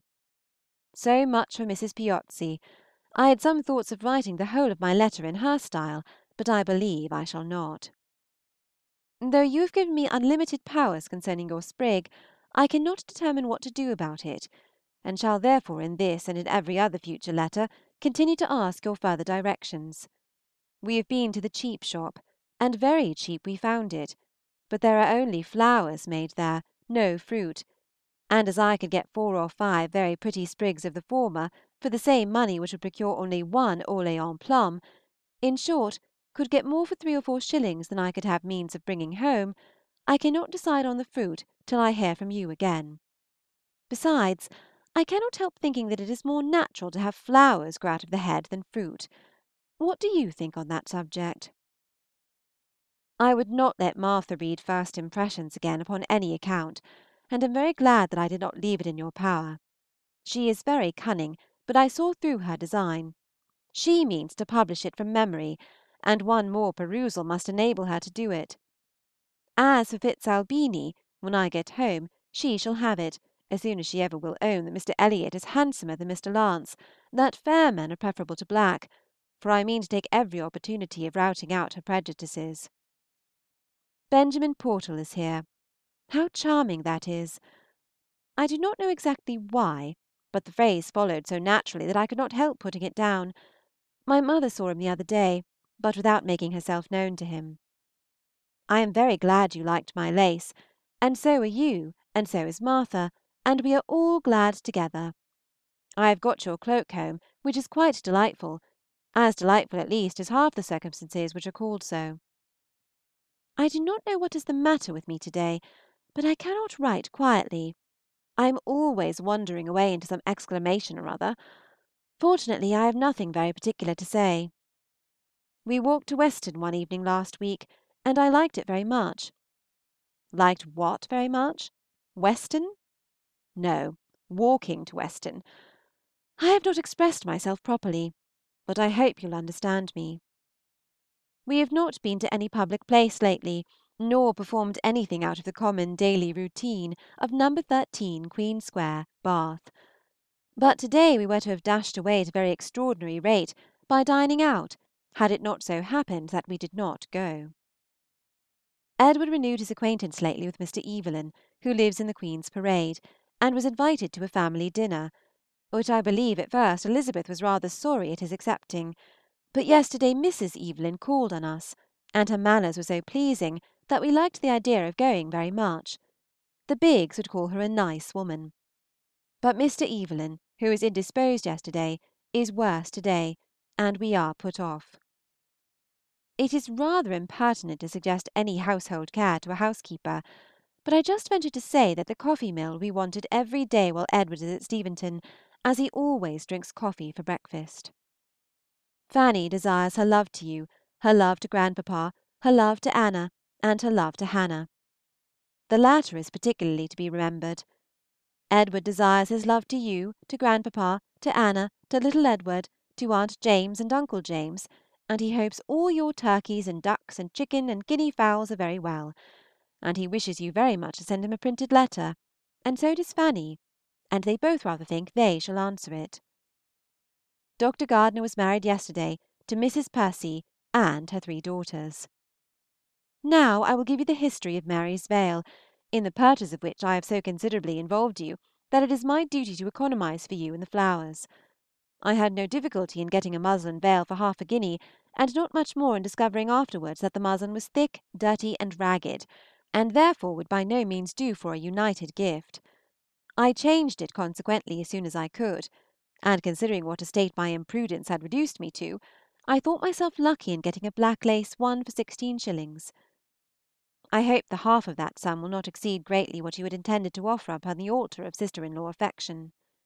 Yours affectionately, JANE. They do not seem to trouble you much from Manydown. I have long wanted to quarrel with them, and I believe I shall take this opportunity. There is no denying that they are very capricious, for they like to enjoy their elder sister's company when they can. End of Section 7.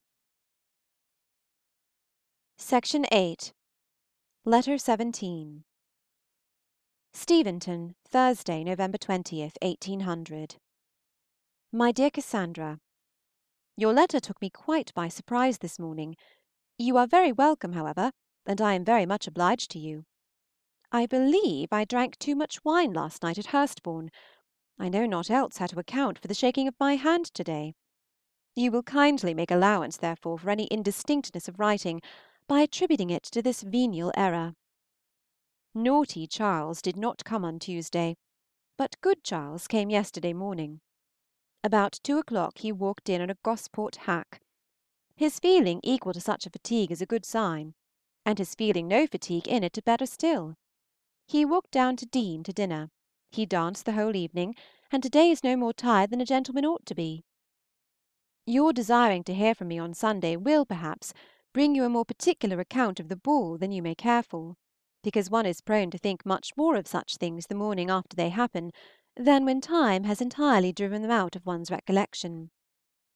It was a pleasant evening; Charles found it remarkably so, but I cannot tell why, unless the absence of Miss Terry, towards whom his conscience reproaches him with being now perfectly indifferent, was a relief to him. There were only twelve dances, of which I danced nine and was merely prevented from dancing the rest by the want of a partner. We began at ten, supped at one, and were at Deane before five. There were but fifty people in the room, very few families indeed from our side of the county, and not many more from the other. My partners were the two St. Johns, Hooper, Holder, and a very prodigious Mr. Mathew, with whom I called the last, and whom I liked the best of my little stock. There were very few beauties, and such as there were were not very handsome. Miss Iremonger did not look well, and Mrs. Blount was the only one much admired. She appeared exactly as she did in September, with the same broad face, diamond bandeau, white shoes, pink husband, and fat neck. The two Miss Coxes were there. I traced in one the remains of the vulgar broad-featured girl who danced at Enham eight years ago. The other is refined into a nice composed-looking girl, like Catherine Bigg. I looked at Sir Thomas Champneys and thought of poor Rosalie; I looked at his daughter and thought her a queer animal with a white neck. Mrs. Warren I was constrained to think a very fine young woman, which I much regret. She danced away with great activity. Her husband is ugly enough, uglier even than his cousin John, but he does not look so very old. The Miss Maitlands are both prettyish, very like Anne, with brown skins, large dark eyes, and a good deal of nose. The General has got the gout, and Mrs. Maitland the jaundice. Mr. Barry, Susan, and Sally, all in black but without any statues, made their appearance, and I was as civil to them as circumstances would allow me. Mary said that I looked very well last night. I wore my aunt's gown and handkerchief, and my hair was at least tidy, which was all my ambition. I will now have done with the ball, and I will, moreover, go and dress for dinner. Farewell. Charles sends you his best love, and Edward his worst. If you think the distinction improper, you may take the worst yourself. He will write to you when he gets back to his ship, and in the meantime desires that you will consider me as Your affectionate sister, J. A. Friday. I have determined to go on Thursday, but of course not before the post comes in. Charles is in very good looks indeed. I had the comfort of finding out the other evening who all the fat girls with long noses were that disturbed me at the first H. ball. They all proved to be Miss Atkinsons of N.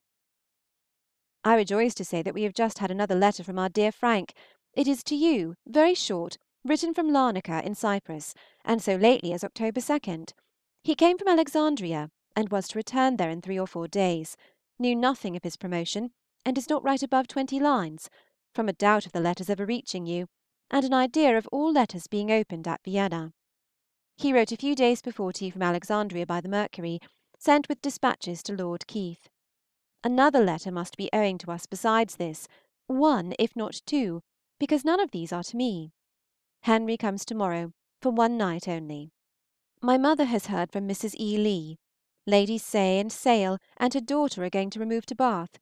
Mrs. Estwick is married again to a Mr. Sloane, a young man under age, without the knowledge of either family. He bears a good character, however.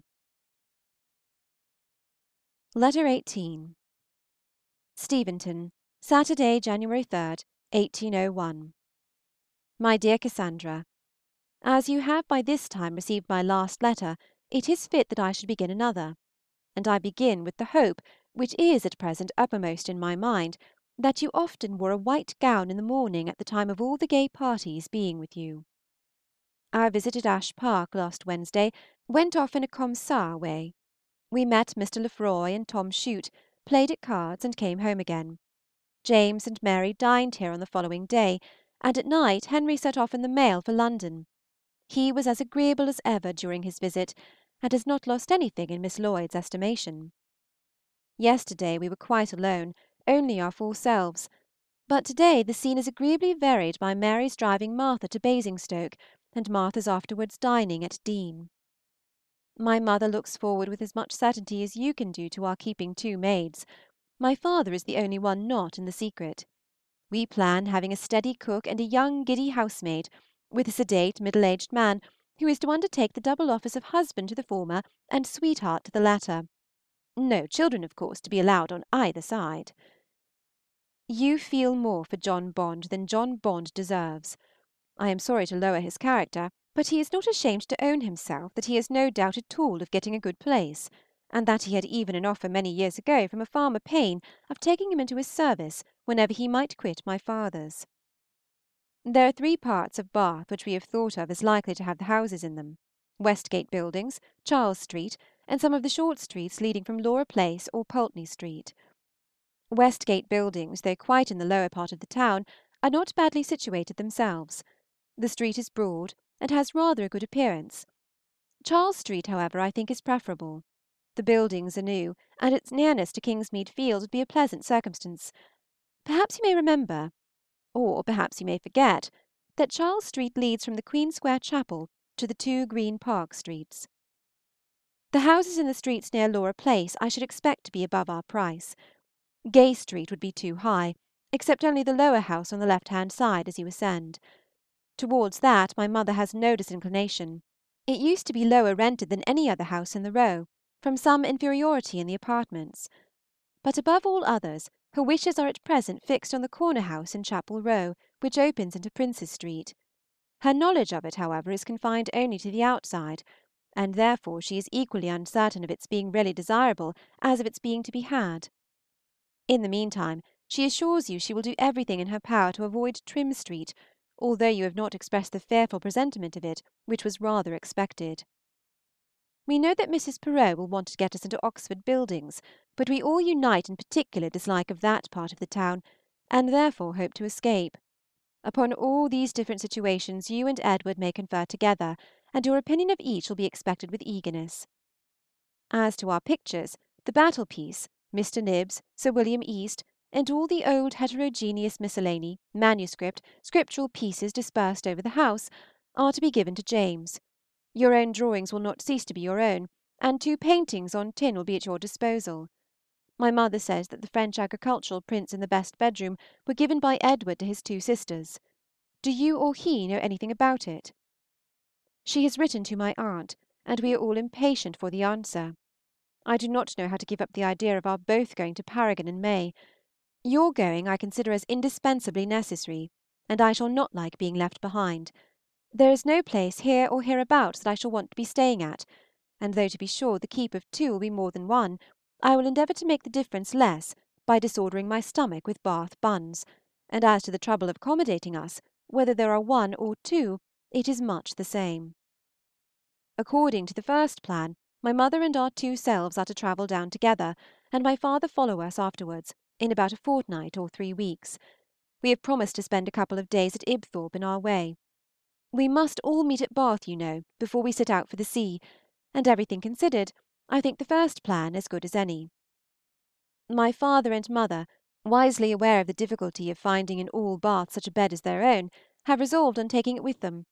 All the beds indeed that we shall want are to be removed, namely, besides theirs, our own two, the best for a spare one, and two for servants; and these necessary articles will probably be the only material ones that it would answer to send down. I do not think it will be worth while to remove any of our chests of drawers; we shall be able to get some of a much more commodious sort, made of deal, and painted to look very neat; and I flatter myself that for little comforts of all kinds our apartment will be one of the most complete things of the sort all over Bath, Bristol included. We have thought at times of removing the sideboard, or a Pembroke table, or some other piece of furniture; but upon the whole it has ended in thinking that the trouble and risk of the removal would be more than the advantage of having them at a place where everything may be purchased. Pray send your opinion. Martha has as good as promised to come to us again in March. Her spirits are better than they were. My mother bargains for having no trouble at all in furnishing our house in Bath, and I am engaged for your willingly undertaking to do it all. I get more and more reconciled to the idea of our removal. We have lived long enough in this neighborhood. The Basingstoke balls are certainly on the decline, there is something very interesting in the bustle of going away, and the prospect of spending future summers by the sea, or in Wales, is very delightful. For a time we shall now possess many of the advantages which I have often thought of with envy in the wives of sailors or soldiers. It must not be generally known, however, that I am not sacrificing a great deal in quitting the country, or I can expect to inspire no tenderness, no interest in those we leave behind. Yours affectionately, J. A. End of Section 8 Section 9 Letter 19 Steventon, Thursday (January 8). My dear Cassandra, The perhaps which concluded my last letter, being only a perhaps, will not occasion your being overpowered with surprise, I dare say, if you should receive this before Tuesday which, unless circumstances are very perverse, will be the case. I received yours with much general philanthropy and still more peculiar goodwill, two days ago, and I suppose I need not tell you that it was very long, being written on a foolscap sheet, and very entertaining, being written by you. Mr. Payne has been dead long enough for Henry to be out of mourning for him before his last visit, though we knew nothing of it till about that time. Why he died, or of what complaint, or to what nobleman he bequeathed his four daughters in marriage, we have not heard. I am glad that the Wildmans are going to give a ball, and I hope you will not fail to benefit both yourself and me by laying out a few kisses in the purchase of a frank. I believe you are right in proposing to delay the cambric muslin, and I submit with a kind of voluntary reluctance. Mr. Peter de Bary has declined Deane curacy; he wishes to be settled near London. A foolish reason! As if Deane were not near London in comparison of Exeter or York! Take the whole world through, and he will find many more places at a greater distance from London than Deane than he will at a less. What does he think of Glencoe or Lake Catherine? I feel rather indignant that any possible objection should be raised against so valuable a piece of preferment, so delightful a situation. That Deane should not be universally allowed to be as near the metropolis as any other country villages. As this is the case, however, as Mr. Peter de Bary has shown himself a Peter in the blackest sense of the word, we are obliged to look elsewhere for an heir, and my father has thought it a necessary compliment to James Digweed to offer the curacy to him, though without considering it as either a desirable or an eligible situation for him. Unless he is in love with Miss Lyford, I think he had better not be settled exactly in this neighborhood; and unless he is very much in love with her indeed, he is not likely to think a salary of 50_l._ equal in value or efficiency to one of 75_l._ Were you indeed to be considered as one of the fixtures of the house but you were never actually erected in it either by Mr. Egerton Brydges or Mrs. Lloyd. You are very kind in planning presents for me to make, and my mother has shown me exactly the same attention; but as I do not choose to have generosity dictated to me, I shall not resolve on giving my cabinet to Anna till the first thought of it has been my own. Sidmouth is now talked of as our summer abode. Get all the information, therefore, about it that you can from Mrs. C. Cage. My father's old ministers are already deserting him to pay their court to his son.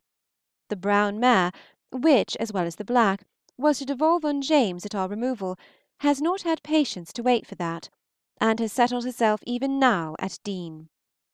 The death of Hugh Capet, which, like that of Mr. Skipsey, though undesired, was not wholly unexpected, being purposely effected, has made the immediate possession of the mare very convenient and everything else, I suppose, will be seized by degrees in the same manner. Martha and I work at the books every day. Yours affectionately, J. A. Letter 20. STEVENTON, Wednesday (January 14). Poor Miss Austen! It appears to me that I have rather oppressed you of late by the frequency of my letters. You had hoped not to hear from me again before Tuesday. But Sunday showed you with what a merciless sister you had to deal. I cannot recall the past, but you shall not hear from me quite so often in future. Your letter to Mary was duly received before she left Deane with Martha yesterday morning, and it gives us great pleasure to know that the Chilham ball was so agreeable, and that you danced four dances with Mr. Kemble. Desirable, however, as the latter circumstance was, I cannot help but wonder at its taking place. Why did you dance four dances with so stupid a man? Why not rather dance two of them with some elegant brother officer, who was struck with your appearance as soon as you entered the room? Martha left you her best love. She will write to you herself in a short time; but trusting to my memory rather than her own, she has nevertheless desired me to ask you to purchase for her two bottles of Steele's lavender water when you are in town, provided you should go to the shop on your own account, otherwise you may be sure that she would not have you recollect the request.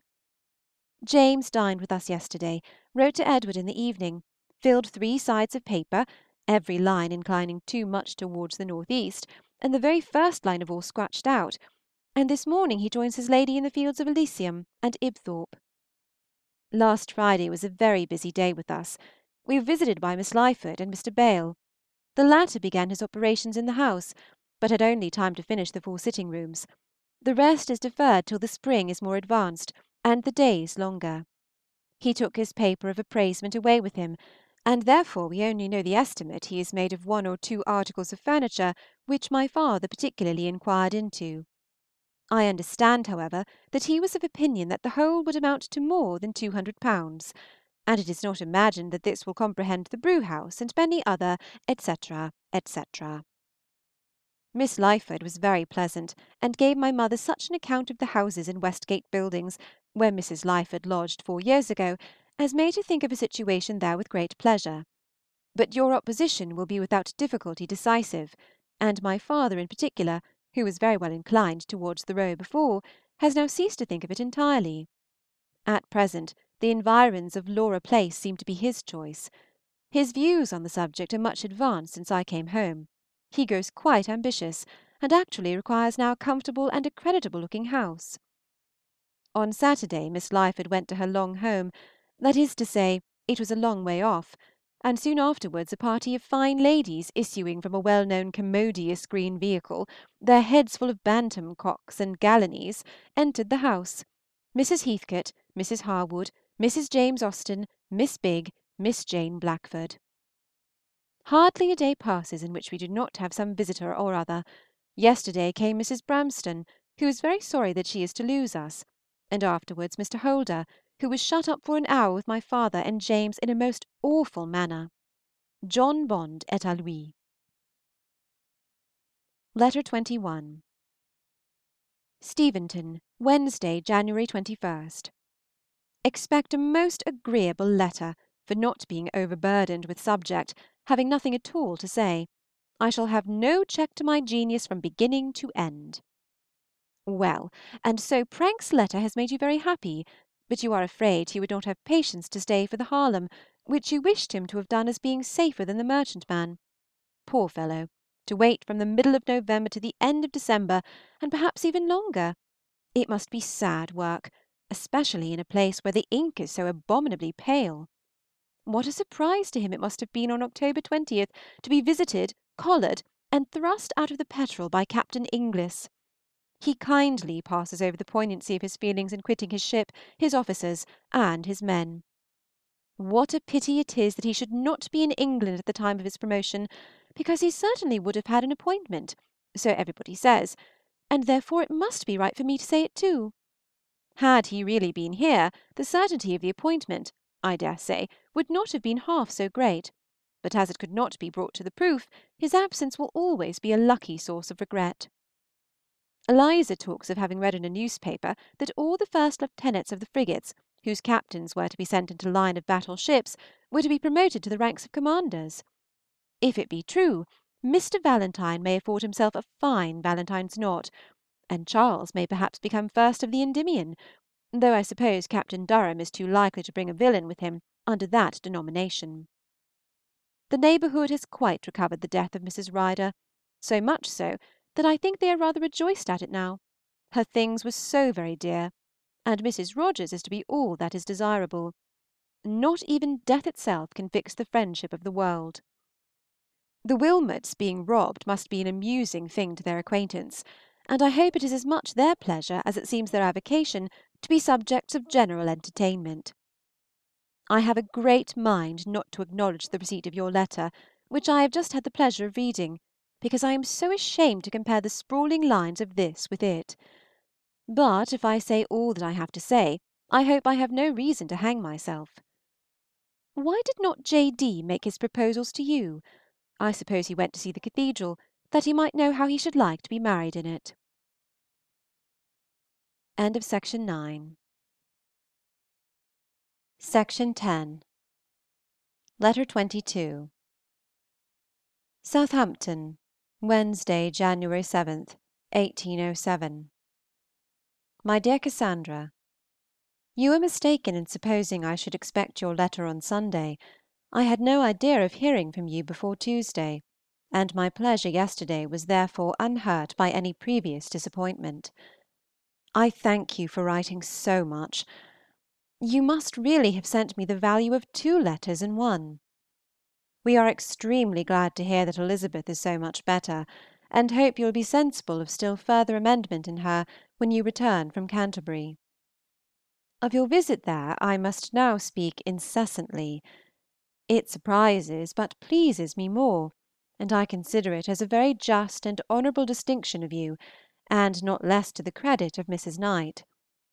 I have no doubt of your spending your time with her most pleasantly in quiet and rational conversation, and am so far from thinking her expectations of you will be deceived, that my only fear is of your being so agreeable and so much to her taste as to make her wish to keep you with her forever. If that should be the case, we must remove to Canterbury. which I should not like so well as Southampton. When you receive this, our guests will be all gone or going, and I shall be left to the comfortable disposal of my time, to ease of mind from the torments of rice puddings and apple dumplings, and probably to regret that I did not take more pains to please them all. Mrs. J. Austen has asked me to return with her to Steventon. I need not give my answer, and she has invited my mother to spend there the time of Mrs. F. A.'s confinement, which she seems half inclined to do. A few days ago I had a letter from Miss Irvine, and as I was in her debt, you will guess it to be a remonstrance, not a very severe one, however. The first page is in her usual retrospective, jealous, inconsistent style, but the remainder is chatty and harmless. She supposes my silence may have proceeded from resentment of her not having written to inquire particularly after my whooping cough, etc. She is a funny one. I have answered her letter, and have endeavored to give something like the truth with as little incivility as I could, by placing my silence to the want of subject in the very quiet way in which we live. Phebe has repented and stays. I have also written to Charles, and I answered Miss Buller's letter by return of post, as I intended to tell you in my last. Two or three things I recollected when it was too late that I might have told you. One is that the Welbys have lost their eldest son by a putrid fever at Eton, and another that Tom Chute is going to settle in Norfolk. You have scarcely ever mentioned Lizzy since your being at Godmersham. I hope it is not because she is altered for the worse. I cannot yet satisfy Fanny as to Mrs. Foote's baby's name, and I must not encourage her to expect a good one, as Captain Foote is a professed adversary to all but the plainest. He likes only Mary, Elizabeth, Anne, etc. Our best chance is of Caroline, which in compliment to a sister seems the only exception. He dined with us on Friday, and I fear will not soon venture again, for the strength of our dinner was a boiled leg of mutton, underdone even for James, and Captain Foote has a particular dislike to underdone mutton but he was so good humored and pleasant that I did not much mind his being starved. He gives us all the most cordial invitation to his house in the country, saying just what the Williams ought to say to make us welcome. Of them we have seen nothing since you left us, and we hear that they are just gone to Bath again, to be out of the way of further alterations at Brooklands. Mrs. F. A. has had a very agreeable letter from Mrs. Dixon, who is delighted with the purse, and desires her not to provide herself with a christening dress, which is exactly what her young correspondent wanted, and she means to defer making any of the caps as long as she can, in hope of having Mrs. D.'s present in time to be serviceable as a pattern. She desires me to tell you that the gowns were cut out before your letter arrived, but that they are long enough for Caroline. The beds, as I believe they are called, have fallen to Frank's share to continue, and of course are cut out to admiration.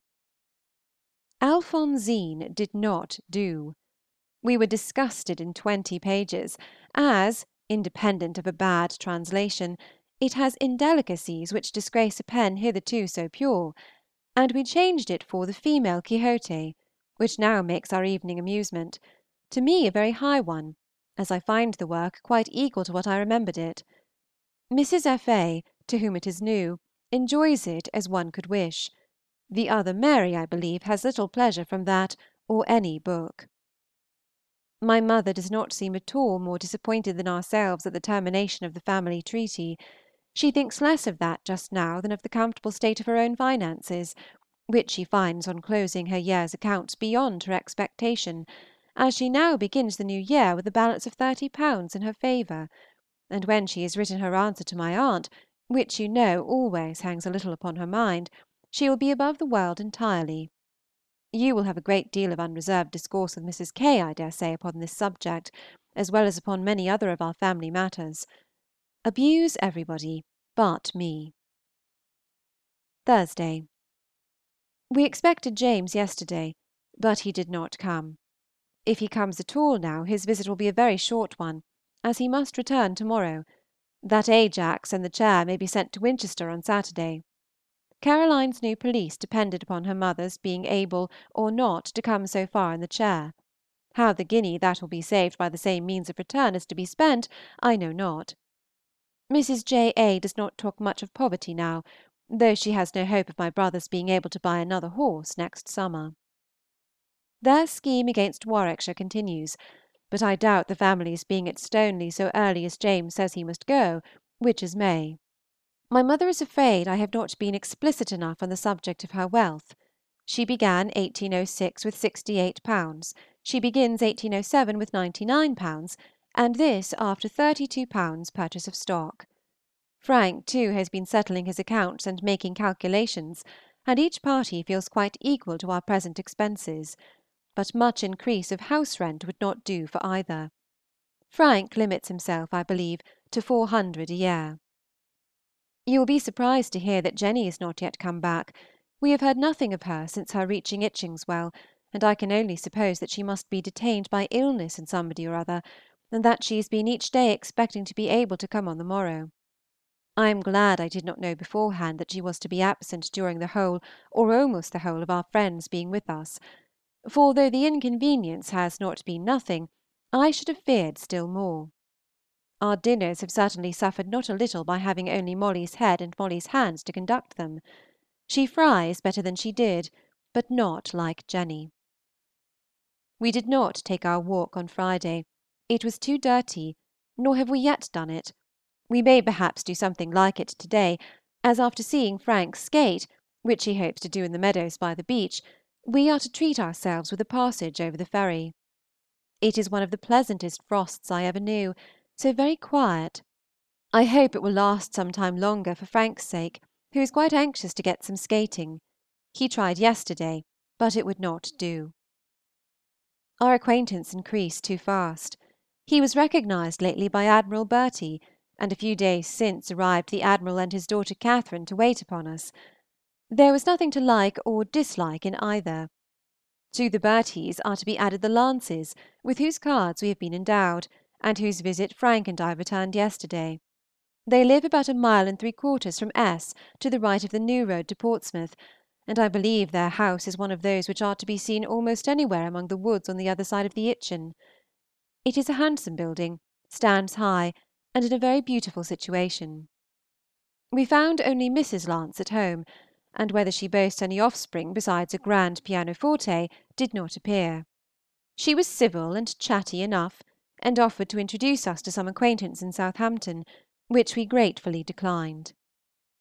I suppose they must be acting by the orders of Mr. Lance of Netherton in this civility, as there seems no other reason for their coming near us. They will not come often, I dare say. They live in a handsome style, and are rich, and she seemed to like to be rich, and we gave her to understand that we were far from being so. She will soon feel, therefore, that we are not worth her acquaintance. You must have heard from Martha by this time. We have had no accounts of Kintbury since her letter to me. Mrs. F. A. has had one fainting fit lately; it came on as usual after eating a hearty dinner, but did not last long. I can recollect nothing more to say. When my letter is gone, I suppose I shall. Yours affectionately, J. A. I have just asked Caroline if I should send her love to her godmamma, to which she answered. Yes. Letter XXIII. SOUTHAMPTON, February 8. Our garden is putting in order by a man who bears a remarkably good character, but has a very fine complexion, and asks something less than the first. The shrubs which border the gravel walk, he says, are only sweetbrier and roses, and the latter of an indifferent sort.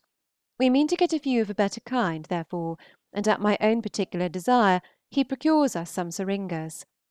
I could not do without a syringa for the sake of Cowper's line. We talk also of a laburnum. The border under the terrace wall is clearing away to receive currants and gooseberry bushes, and a spot is found very proper for raspberries. The alterations and improvements within doors, too, advance very properly, and the offices will be made very convenient indeed. Our dressing table is constructing on the spot, out of a large kitchen table belonging to the house, for doing which we have permission of Mr. Huskett, Lord Lansdowne's painter, domestic painter I should call him, for he lives in the castle. Domestic chaplains have given way to this more necessary office, and I suppose whenever the walls want no touching up, he is employed about my lady's face. The morning was so wet that I was afraid we should not be able to see our little visitor, but Frank, who alone could go to church, called for her after service, and she is now talking away at my side and examining the treasures of my writing desk drawers, very happy, I believe. Not at all shy, of course. Her name is Catherine, and her sister's Caroline. She is something like her brother, and as short for her age, but not so well looking. What has become of all the shyness in the world?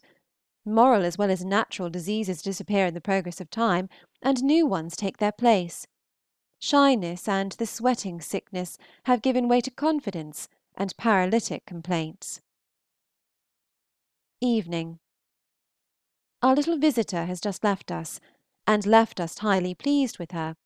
She is a nice, natural, open hearted, affectionate girl, with all the ready civility which one sees in the best children in the present day, so unlike anything that I was myself at her age, and I am often all astonishment and shame. Half her time was spent at Spillikins, which I consider as a very valuable part of our household furniture, and is not the least important benefaction from the family of Knight to that of Austen. But I must tell you a story. Mary has for some time had notice from Mrs. Dixon of the intended arrival of a certain Miss Fowler in this place. Miss F. is an intimate friend of Mrs. D., and a good deal known as such to Mary. On Thursday last she called here while we were out. Mary found, on our return, her card with only her name on it, and she had left word that she would call again. The particularity of this made us talk, and among our other conjectures, Frank said in joke, I dare say she is staying with the Pearsons. The connection of the name struck Mary, and she immediately recollected Miss Fowler's having been very intimate with persons so called, and, upon putting everything together, we have scarcely a doubt of her being actually staying with the only family in the place whom we cannot visit. What a contretemps! in the language of France. What an unluckiness! in that of Madame Duval. The black gentleman has certainly employed one of his menial imps to bring about this complete, though trifling, mischief. Miss F. has never called again, but we are in daily expectation of it. Miss P. has, of course, given her a proper understanding of the business. It is evident that Miss F. did not expect or wish to have the visit returned, and Frank is quite as much on his guard for his wife as we could desire for her sake or our own. We shall rejoice in being so near Winchester when Edward belongs to it, and can never have our spare bed filled more to our satisfaction than by him. Does he leave Eltham at Easter? We are reading at Clarentine, and are surprised to find how foolish it is. I remember liking it much less on a second reading than at the first, and it does not bear a third at all. It is full of unnatural conduct and forced difficulties, without striking merit of any kind. Miss Harrison is going into Devonshire to attend Mrs. Dusautoy, as usual. Miss J. is married to young Mr. G., and is to be very unhappy. He swears, drinks, is cross, jealous, selfish, and brutal. The match makes her family miserable, and has occasioned his being disinherited. The Browns are added to our list of acquaintance. He commands the Sea Fencibles here under Sir Thomas, and was introduced at his own desire by the latter when we saw him last week. As yet the gentlemen only have visited, as Mrs. B. is ill, but she is a nice looking woman, and wears one of the prettiest straw bonnets in the place. Monday. The garret beds are made, and ours will be finished to day. I had hoped it would be finished on Saturday, but neither Mrs. Hall nor Jenny was able to give help enough for that, and I have as yet done very little, and Mary nothing at all. This week we shall do more, and I should like to have all the five beds completed by the end of it. There will then be the window curtains, sofa cover, and a carpet to be altered. I should not be surprised if we were to be visited by James again this week. He gave us reason to expect him soon, and if they go to Eversley, he cannot come next week. There, I flatter myself I have constructed you a smartish letter, considering my want of materials, but like my dear Dr. Johnson, I believe I have dealt more in notions than facts. I hope your cough is gone, and that you are otherwise well, and remain with love, Yours affectionately, J. A. End of Section 10. Section 11. Letter 24. Godmersham, Wednesday, June 15, 1808. My dear Cassandra, Where shall I begin? Which of all my important nothings shall I tell you first?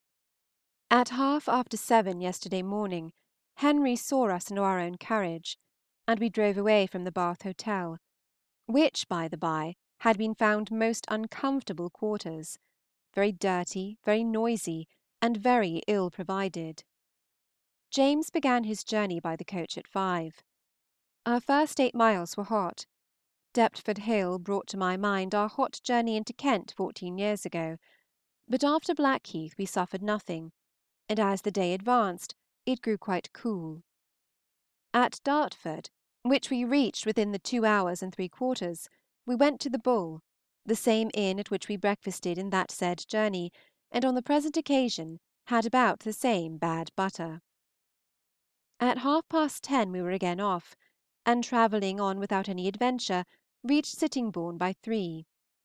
Daniel was watching for us at the door of the George, and I was acknowledged very kindly by Mr. and Mrs. Marshall, to the latter of whom I devoted my conversation, while Mary went out to buy some gloves.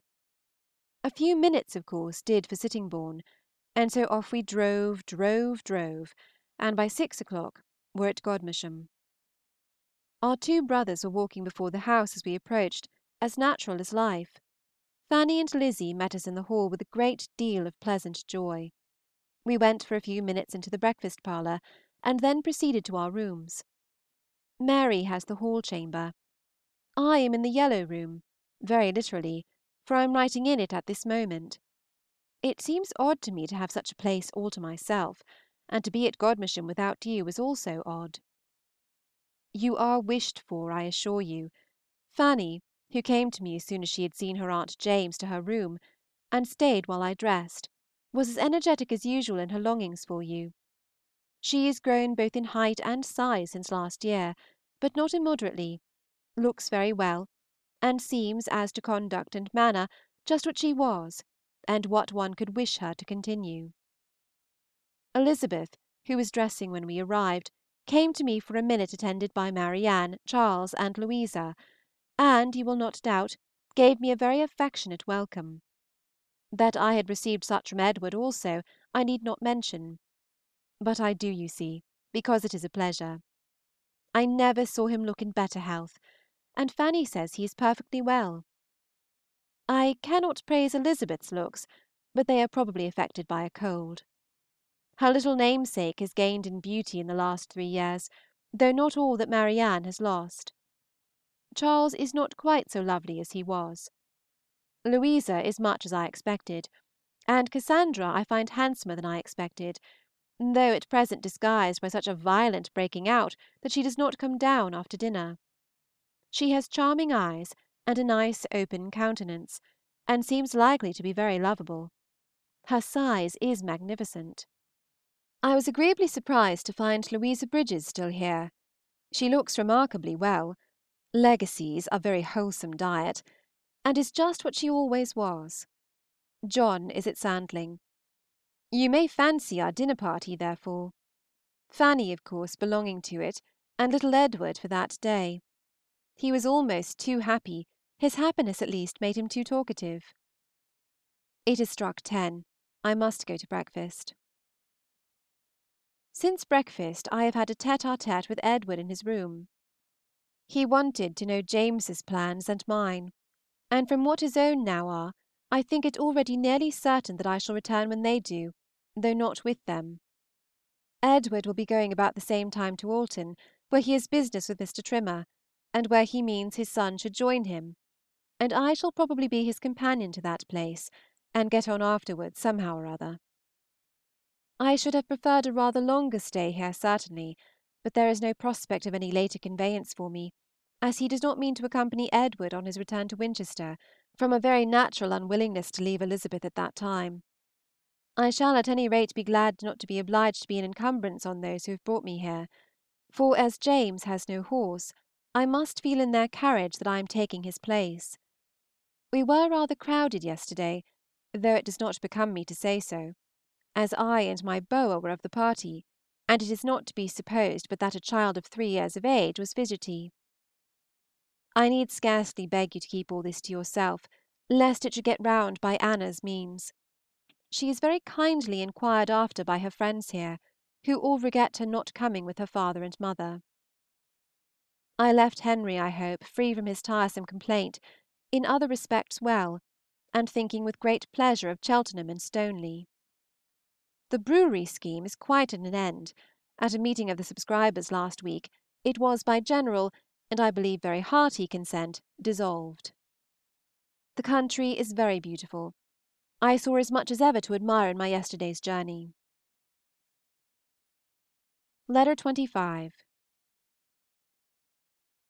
CASTLE SQUARE, October 13.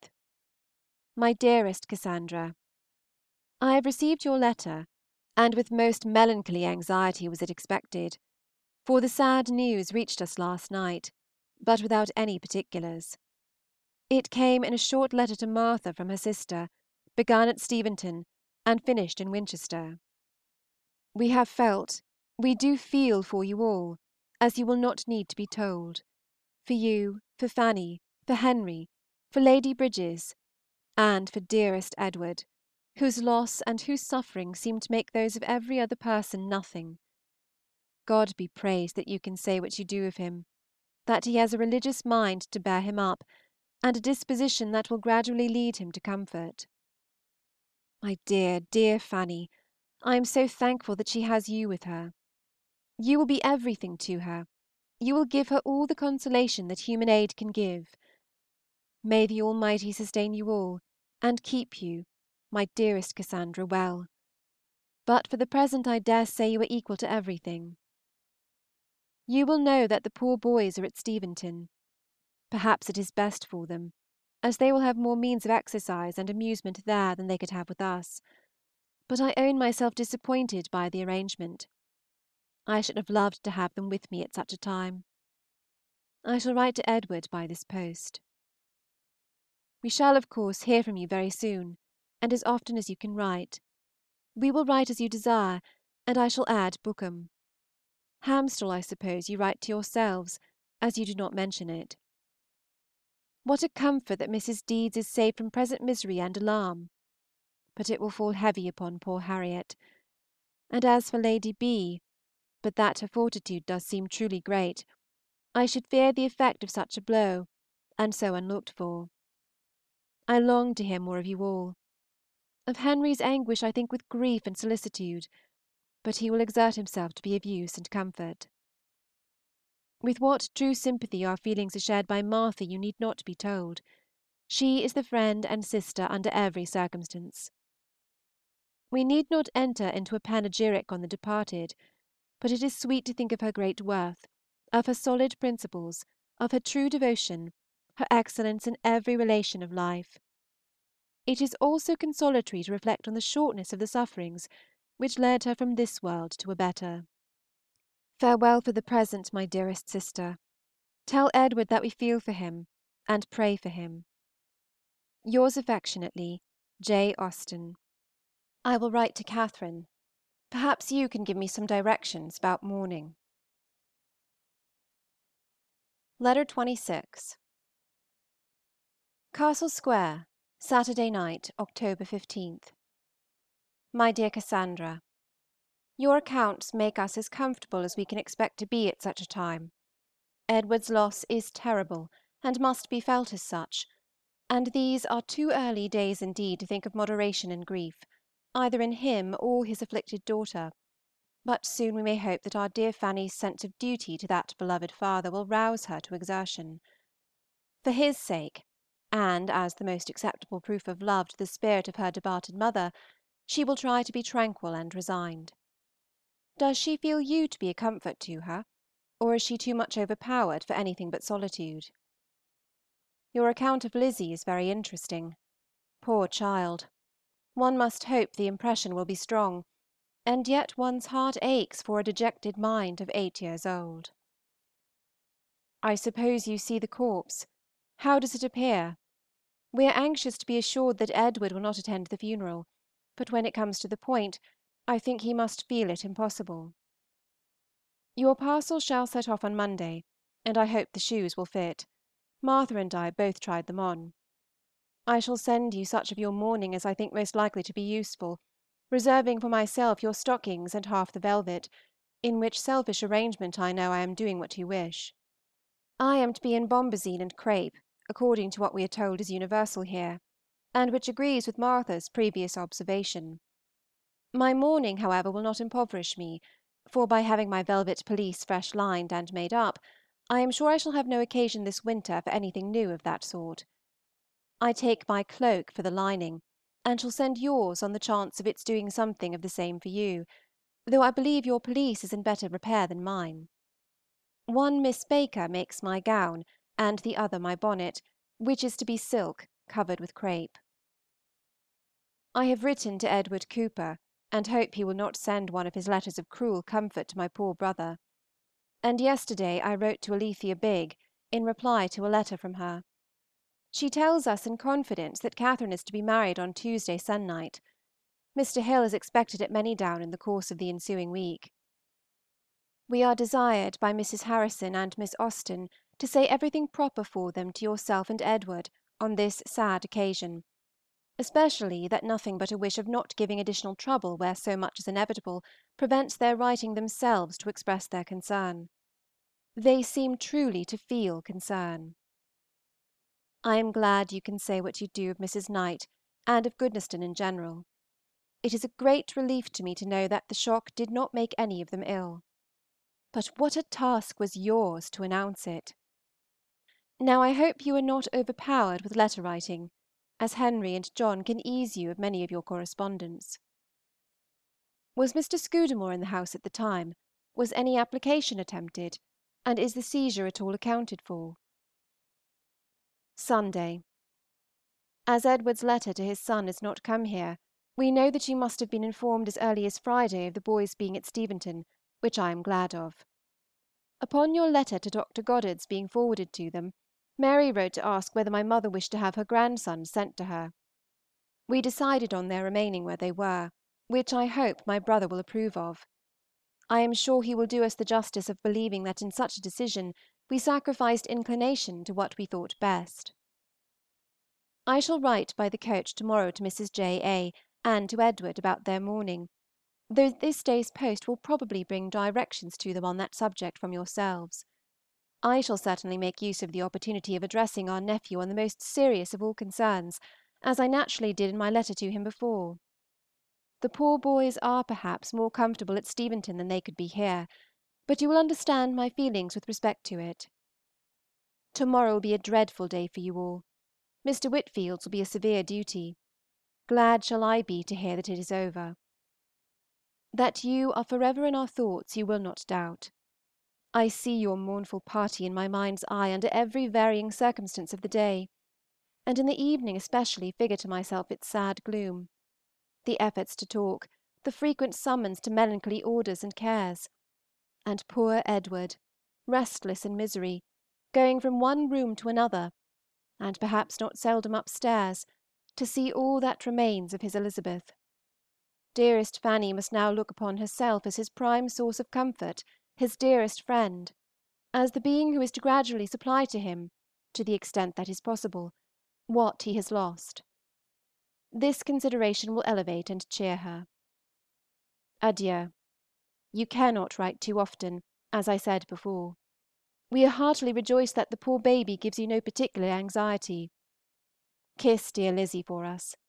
Tell Fanny that I shall write in a day or two to Miss Sharp. My mother is not ill.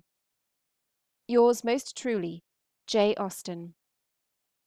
Tell Henry that a hamper of apples is gone to him from Kintbury, and that Mr. Fowle intended writing on Friday, supposing him in London, to beg that the charts, etc., may be consigned to the care of the Palmers.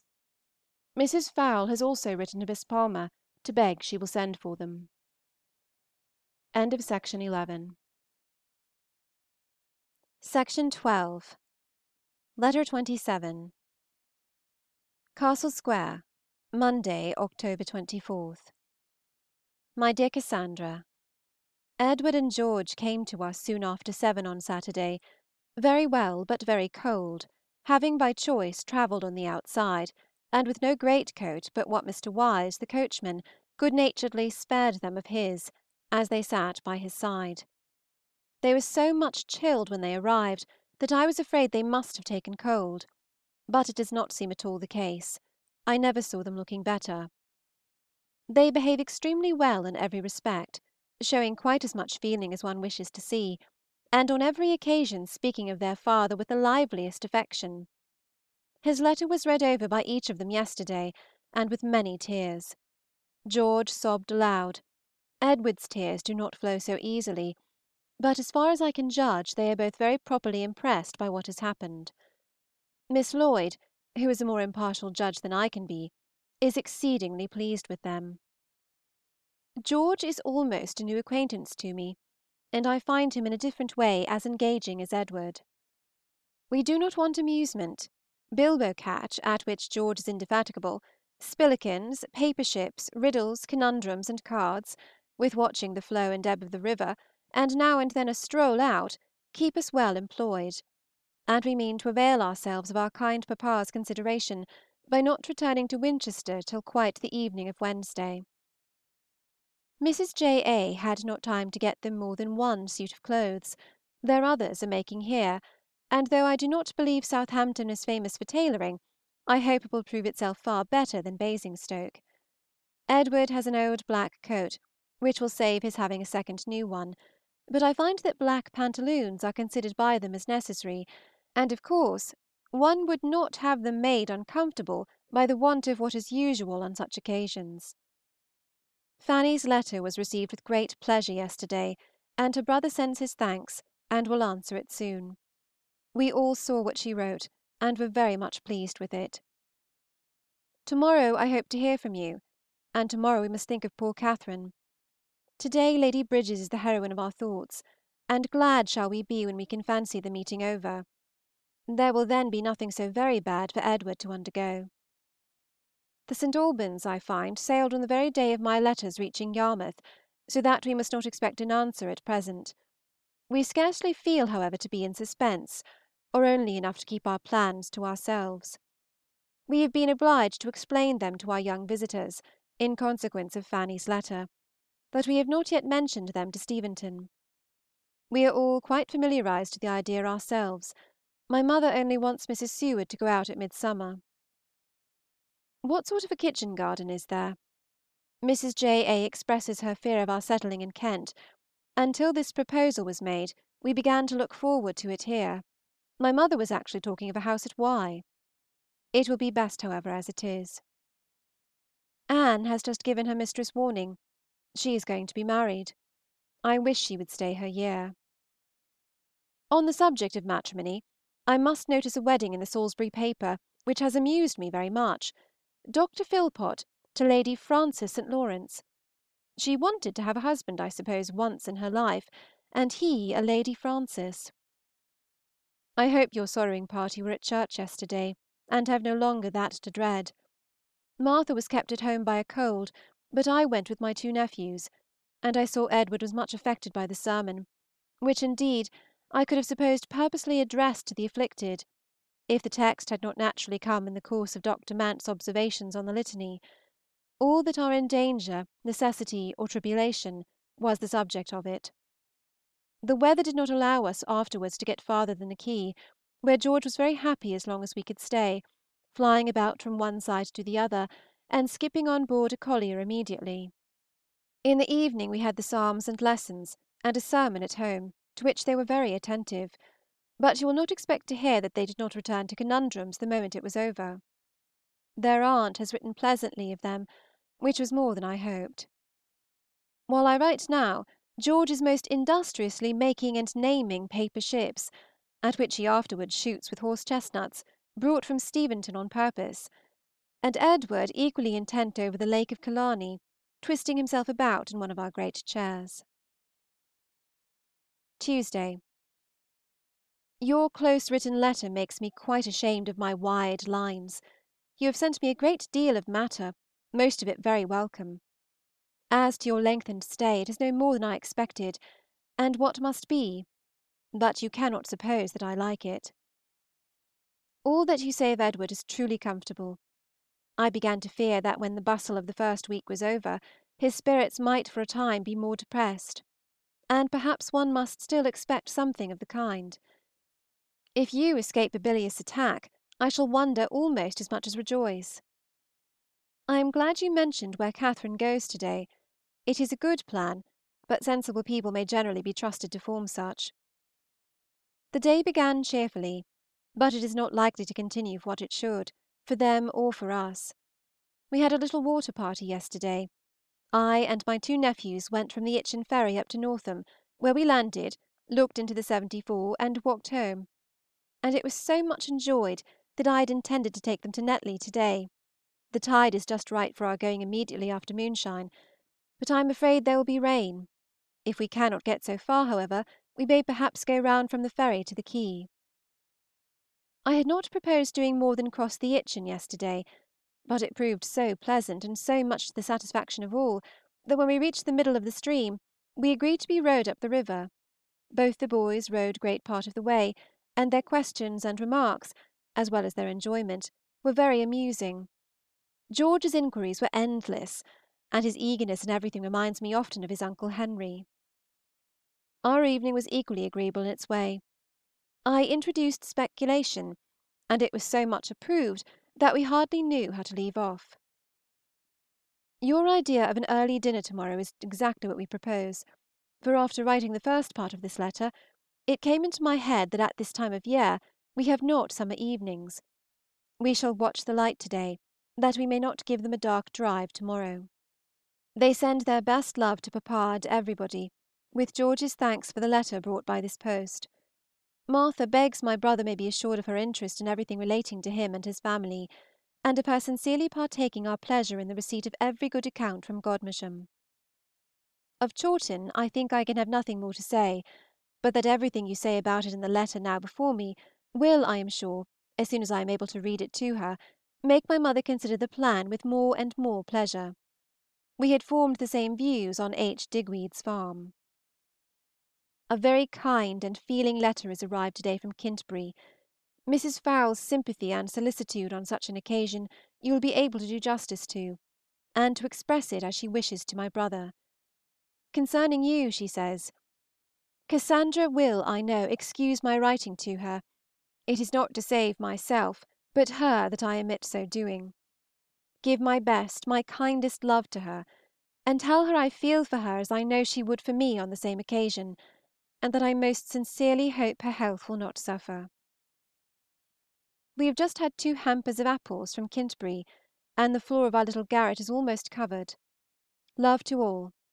Yours very affectionately, J. A. Letter 28. CASTLE SQUARE, Sunday (November 21). Your letter, my dear Cassandra, obliges me to write immediately, that you may have the earliest notice of Frank's intending, if possible, to go to Godmersham exactly at the time now fixed for your visit to Goodnestone. He resolved almost directly on the receipt of your former letter to try for an extension of his leave of absence, that he might be able to go down to you for two days, but charged me not to give you any notice of it, on account of the uncertainty of success. Now, however, I must give it, and now perhaps he may be giving it himself, for I am just in the hateful predicament of being obliged to write what I know will somehow or other be of no use. He meant to ask for five days more, and if they were granted, to go down by Thursday night's mail, and spend Friday and Saturday with you; and he considered his chance of succeeding by no means bad. I hope it will take place as he planned, and that your arrangements with Goodnestone may admit of suitable alteration. Your news of Edward Bridges was quite news, for I have had no letter from Wrotham. I wish him happy with all my heart, and hope his choice may turn out according to his own expectations, and beyond those of his family, and I dare say it will. Marriage is a great improver, and in a similar situation Harriet may be as amiable as Eleanor. As to money, that will come, you may be sure, because they cannot do without it. When you see him again, pray give him our congratulations and best wishes. This match will certainly set John and Lucy going. There are six bedchambers at Chawton. Henry wrote to my mother the other day, and luckily mentioned the number, which is just what we wanted to be assured of. He speaks also of garrets for store places, one of which she immediately planned fitting up for Edward's man servant, and now perhaps it must be for our own, for she is already quite reconciled to our keeping one. The difficulty of doing without one had been thought of before. His name shall be Robert, if you please. Before I can tell you of it, you will have heard that Miss Sawbridge is married. It took place, I believe, on Thursday. Mrs. Fowle has for some time been in on the secret, but the neighborhood in general were quite unsuspicious. Mr. Maxwell was tutor to the young Gregorys, consequently they must be one of the happiest couples in the world, and either of them worthy of envy, for she must be excessively in love, and he mounts from nothing to a comfortable home. Martha has heard him very highly spoken of. They continue for the present at Speen Hill. I have a Southampton match to return for your Kentish one, Captain G. Heathcote and Miss A. Lyell. I have it from Alethea, and like it because I had made it before. Yes, the Stoneleigh business is concluded, but it was not till yesterday that my mother was regularly informed of it, though the news had reached us on Monday evening by way of Steventon. My aunt says as little as may be on the subject by way of information, and nothing at all by way of satisfaction. She reflects on Mr. T. Lee's dilatoriness, and looks about with great diligence and success for inconvenience and evil, among which she ingeniously places the danger of her new housemaid's catching cold on the outside of the coach when she goes down to Bath, for a carriage makes her sick. John Binns has been offered their place, but declines it, as she supposes, because he will not wear a livery.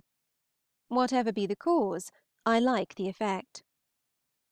In spite of all my mother's long and intimate knowledge of the writer, she was not up to the expectation of such a letter as this; the discontentedness of it shocked and surprised her; but I see nothing in it out of nature, though a sad nature. She does not forget to wish for chambers, you may be sure. No particulars are given, not a word of arrears mentioned, though in her letter to James they were in a general way spoken of. The amount of them is a matter of conjecture and to my mother a most interesting one. She cannot fix any time for their beginning with any satisfaction to herself but Mrs. Lee's death, and Henry's 2,000_l._ neither agrees with that period nor any other. I do not like to own our previous information of what was intended last July, and have therefore only said that if we could see Henry we might hear many particulars, as I had understood that some confidential conversation had passed between him and Mr. T. L. at Stoneleigh. We have been as quiet as usual, since Frank and Mary left us. Mr. Criswick called on Martha that very morning on his way home again from Portsmouth, and we have had no visitor since. We called on the Miss Lyells one day, and heard a good account of Mr. Heathcote's canvass, the success of which, of course, exceeds his expectations. Alethea in her letter hopes for my interest, which I conclude means Edward's, and I take this opportunity, therefore, of requesting that he will bring in Mr. Heathcote. Mr. Lane told us yesterday that Mr. H. had behaved very handsomely, and waited on Mr. Thistlethwaite, to say that if he (Mr. T.) would stand, he (Mr. H.) would not oppose him. But Mr. T. declined it, acknowledging himself still smarting under the payment of late electioneering costs. The Misses Hulberts, we learned from Kintbury, come to Steventon this week, and bring Mary Jane Fowle with them on her way to Mrs. Nune's; she returns at Christmas with her brother. Our brother we may perhaps see in the course of a few days, and we mean to take the opportunity of his help to go one night to the play. Martha ought to see the inside of the theatre once while she lives in Southampton, and I think she will hardly wish to take a second view. The furniture of Bellevue is to be sold to morrow, and we shall take it in our usual walk, if the weather be favorable. How could you have had a wet day on Thursday? With us it was the prince of days, the most delightful we have had for weeks soft, bright, with a brisk wind from the south-west. Everybody was out and talking of spring, and Martha and I did not know how to turn back. On Friday evening we had very blowing weather, from six to nine. I think we never heard it worse, even here. And one night we had so much rain that it forced its way again into the store closet; and though the evil was comparatively slight and the mischief nothing, I had some employment the next day in drying parcels, etc. I have now moved still more out of the way. Martha sends her best love, and thanks you for admitting her to the knowledge of the pros and cons about Harriet Foote; she has an interest in all such matters. I am also to say that she wants to see you. Mary Jane missed her papa and mamma a good deal at first, but now does very well without them.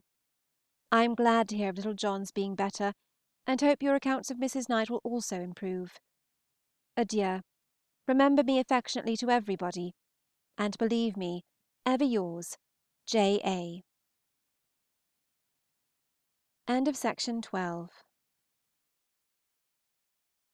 Section 13 Letter 29 CASTLE SQUARE, Friday (December 9). Many thanks, my dear Cassandra, to you and Mr. Deedes for your joint and agreeable composition, which took me by surprise this morning. He has certainly great merit as a writer; he does ample justice to his subject, and without being diffuse is clear and correct; and though I do not mean to compare his epistolary powers with yours, or to give him the same portion of my gratitude, he certainly has a very pleasing way of winding up a whole and speeding truth into the world. But all this, as my dear Mrs. Piozzi says, is flight and fancy and nonsense, for my master has his great casks to mind, and I have my little children. It is you, however, in this instance that have the little children, and I that have the great cask, for we are brewing spruce beer again. But my meaning really is, that I am extremely foolish in writing all this unnecessary stuff when I have so many matters to write about that my paper will hardly hold it all. Little matters they are, to be sure, but highly important. In the first place, Miss Curling is actually at Portsmouth, which I was always in hopes would not happen. I wish her no worse, however, than a long and happy abode there. Here she would probably be dull, and I am sure she would be troublesome. The bracelets are in my possession, and everything I could wish them to be. They came with Martha's pelisse, which likewise gives great satisfaction. Soon after I had closed my last letter to you, we were visited by Mrs. Dickens and her sister in law, Mrs. Bertie, the wife of a lately made admiral.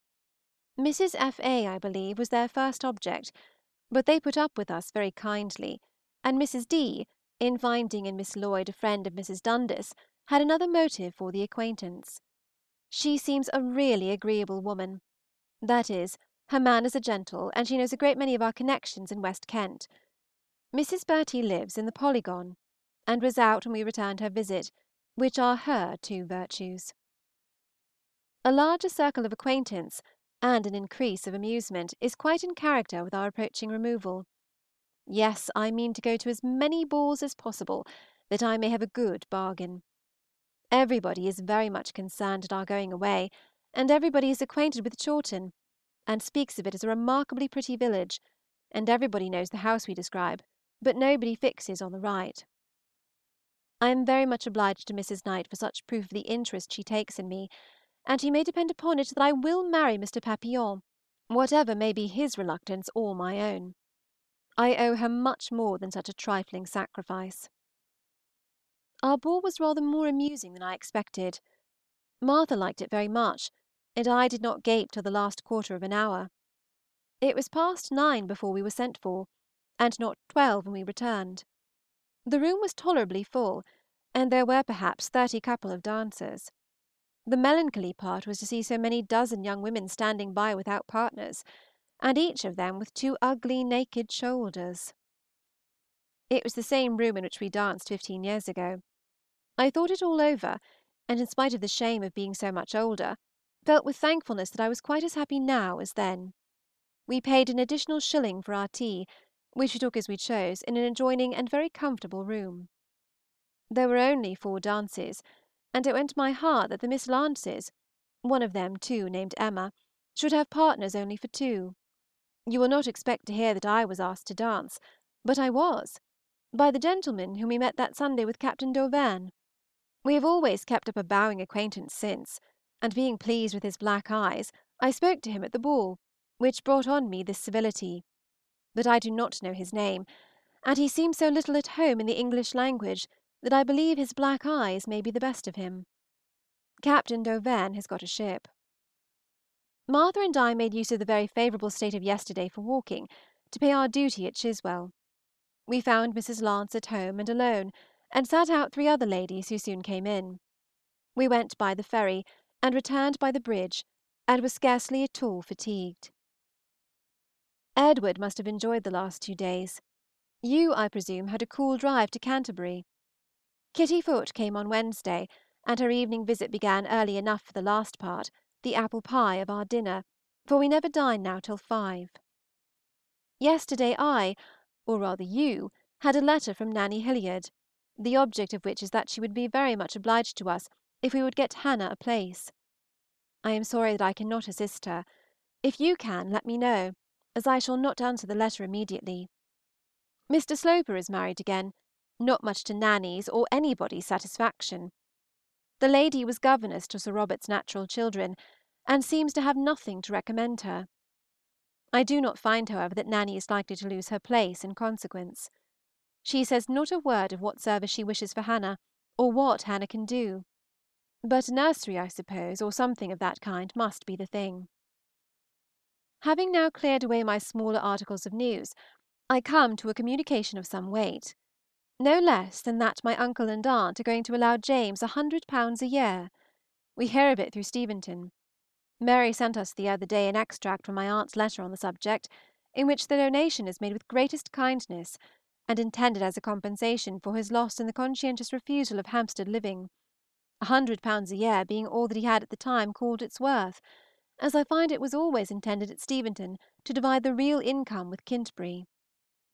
Nothing can be more affectionate than my aunt's language in making the present, and likewise in expressing her hope of their being much more together in future than, to her great regret, they have of late years been. My expectations for my mother do not rise with this event. We will allow a little more time, however, before we fly out. If not prevented by parish business, James comes to us on Monday. The Misses Hulberts and Miss Murden are their guests at present, and likely to continue such till Christmas. Anna comes home on the 19th. The hundred a year begins next Lady day. I am glad you are to have Henry with you again. With him and the boys you cannot but have a cheerful, and at times even a merry Christmas. Martha is so manuscript torn. We want to be settled at Chawton in time for Henry to come to us for some shooting in October, at least, or a little earlier and Edward may visit us after taking his boys back to Winchester. Suppose we name the 4th of September. Will not that do? I have but one thing more to tell you. Mrs. Hill called on my mother yesterday while we were gone to Chiswell, and in the course of the visit asked her whether she knew anything of a clergyman's family of the name of Alford, who had resided in our part of Hampshire. Mrs. Hill had been applied to as likely to give some information of them on account of their probable vicinity to Dr. Hill's living by a lady or for a lady, who had known Mrs. and the two Miss Alfords in Bath, whither they had removed, it seems, from Hampshire, and who now wishes to convey to the Miss Alfords some work or trimming which she has been doing for them; but the mother and daughters have left Bath, and the lady cannot learn where they are gone to. While my mother gave us the account, the probability of its being ourselves occurred to us, and it had previously struck herself; what makes it more likely, and even indispensably to be us, is that she mentioned Mr. Hammond as now having the living or curacy which the father had had. I cannot think who our kind lady can be, but I dare say we shall not like the work. Distribute the affectionate love of a heart not so tired as the right hand belonging to it. Yours ever sincerely, J. A. Letter 30. Castle Square, Tuesday (December 27th. My dear Cassandra, I can now write at leisure and make the most of my subjects, which is lucky, as they are not numerous this week. Our house was cleared by half past eleven on Saturday, and we had the satisfaction of hearing yesterday that the party reached home in safety soon after five.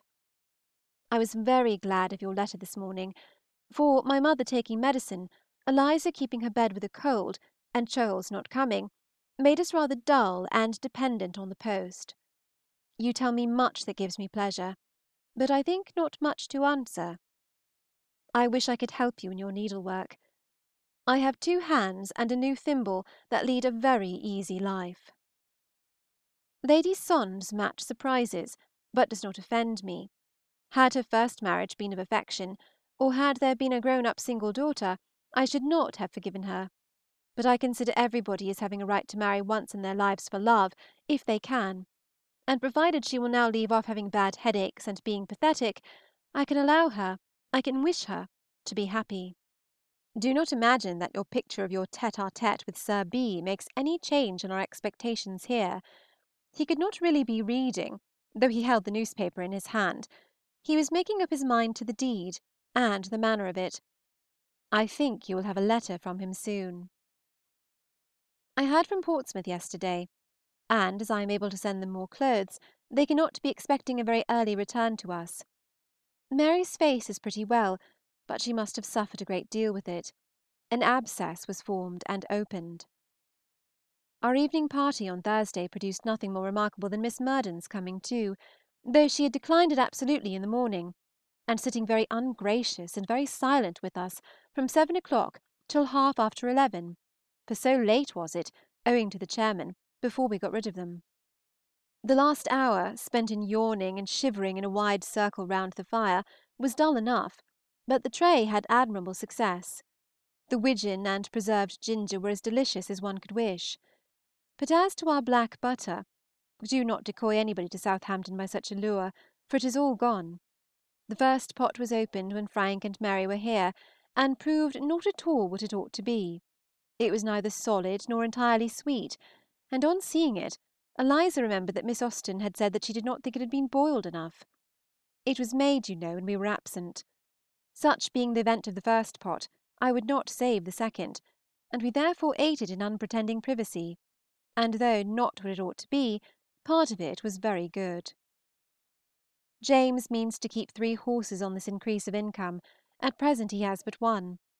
Mary wishes the other two to be fit to carry women, and in the purchase of one Edward will probably be called upon to fulfil his promise to his godson. We have now pretty well ascertained James's income to be 1100_l._ curate paid, which makes us very happy, the ascertainment as well as the income. Mary does not want to talk of the garden. It may well be a disagreeable subject to her, but her husband is persuaded that nothing is wanting to make the first new one good but trenching, which is to be done by his own servants and John Bond, by degrees, not at the expense which trenching the other amounted to. I was happy to hear, chiefly for Anna's sake, that a ball at Manydown was once more in agitation. It is called a child's ball, and given by Mrs. Heathcote to William. Such was its beginning at least, but it will probably swell into something more. Edward was invited during his stay at Manydown, and it is to take place between this and Twelfth day. Mrs. Hulbert has taken Anna a pair of white shoes on the occasion. I forgot in my last to tell you that we hear, by way of Kintbury and the Palmers, that they were all well at Bermuda in the beginning of November. Wednesday. Yesterday must have been a day of sad remembrance at Godmersham. I am glad it is over.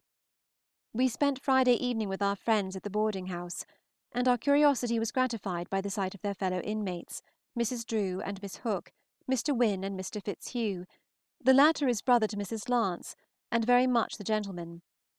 He has lived in that house more than twenty years, and, poor man, is so totally deaf that they say he could not hear a cannon were it fired close to him. Having no cannon at hand to make the experiment, I took it for granted, and talked to him a little with my fingers, which was funny enough. I recommended him to read "Corinna." Miss Hook is a well behaved, genteelish woman. Mrs. Drew well behaved without being at all genteel. Mr. Wynne seems a chatty and rather familiar young man. Miss Murden was quite a different creature this last evening from what she had been before, owing to her having with Martha's help found a situation in the morning, which was very fair for comfort. When she leaves Steventon, she comes to board and lodge with Mrs. Hookey the chemist, for there is no Mr. Hookey. I cannot say that I am in any hurry for the conclusion of her present visit, but I was truly glad to see her comfortable in mind and spirits. At her age, perhaps, one may be as friendless oneself, and in similar circumstances quite as captious. My mother has lately been adding to her possessions in plate, a whole tablespoon and a whole dessert spoon, and six whole teaspoons, which makes our sideboard border on the magnificent. They were mostly the produce of old or useless silver. I have turned the 11s. in the list into 12s., and the card looks all the better; a silver tea ladle is also added, which will at least answer the purpose of making us sometimes think of John Warren. I have laid Lady Sondes' case before Martha, who does not make the least objection to it, and is particularly pleased with the name of Montresor. I do not agree with her there, but I like his rank very much, and always affix the ideas of strong sense and highly elegant manners to a general. I must write to Charles next week.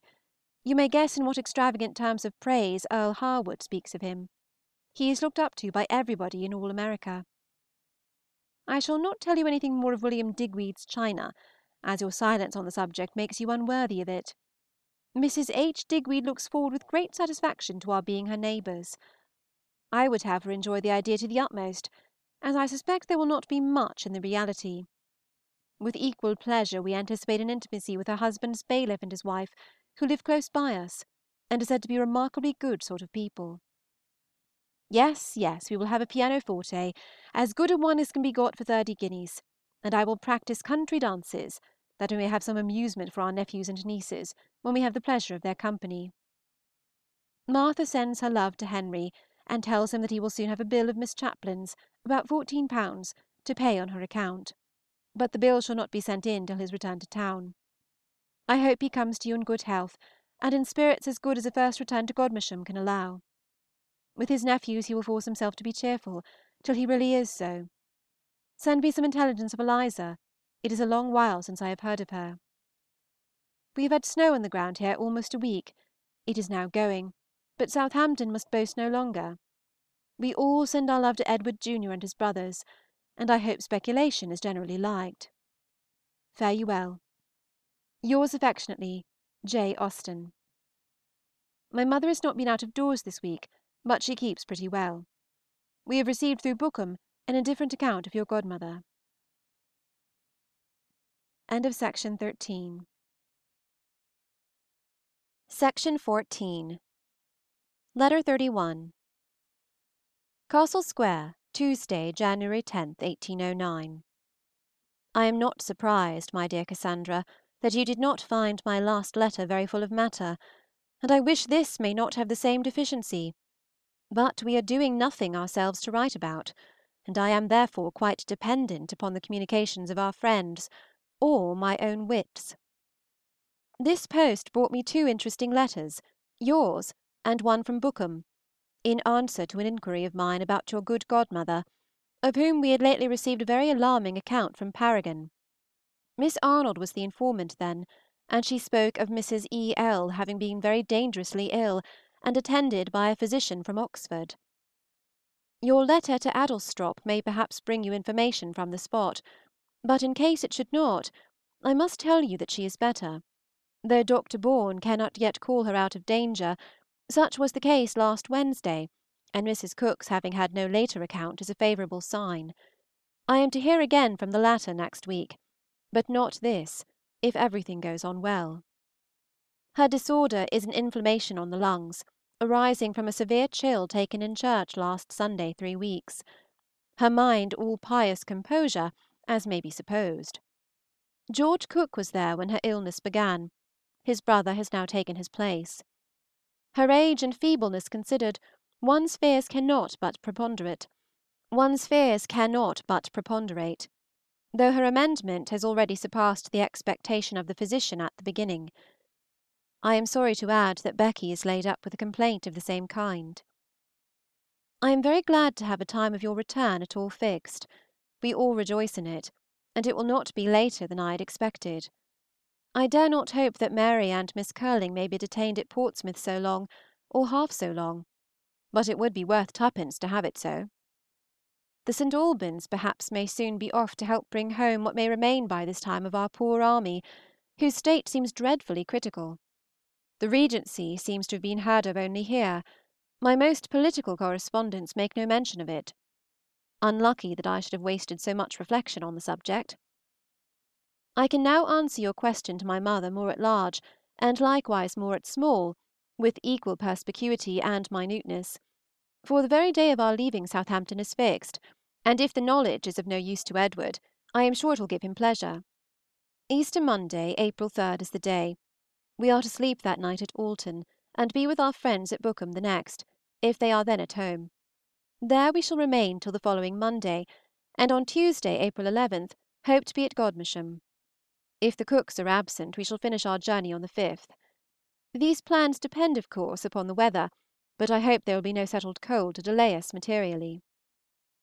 To make you amends for being at Bookham, it is in contemplation to spend a few days at Bayton Lodge in our way out of Kent. The hint of such a visit is most affectionately welcomed by Mrs. Birch in one of her odd pleasant letters lately, in which she speaks of us with the usual distinguished kindness, declaring that she shall not be at all satisfied unless a very handsome present is made us immediately from one quarter. Fanny's not coming with you is no more than we expected, and as we have not the hope of a bed for her, and shall see her so soon afterwards at Godmersham, we cannot wish it otherwise. William will be quite recovered, I trust, by the time you receive this. What a comfort his cross stitch must have been! Pray tell him that I should like to see his work very much. I hope our answers this morning have given satisfaction. We had great pleasure in Uncle Deedes's packet, and pray let Marianne know, in private, that I think she is quite right to work a rug for Uncle John's coffee urn, and that I am sure it must give great pleasure to herself now, and to him when he receives it. The preference of brag over speculation does not greatly surprise me, I believe, because I feel the same myself; but it mortifies me deeply, because speculation was under my patronage, and after all, what is there so delightful in a pair royal of braggers? It is but three nines, or three knaves, or a mixture of them. When one comes to reason upon it, it cannot stand its ground against speculation, of which I hope Edward is now convinced. Give my love to him, if he is.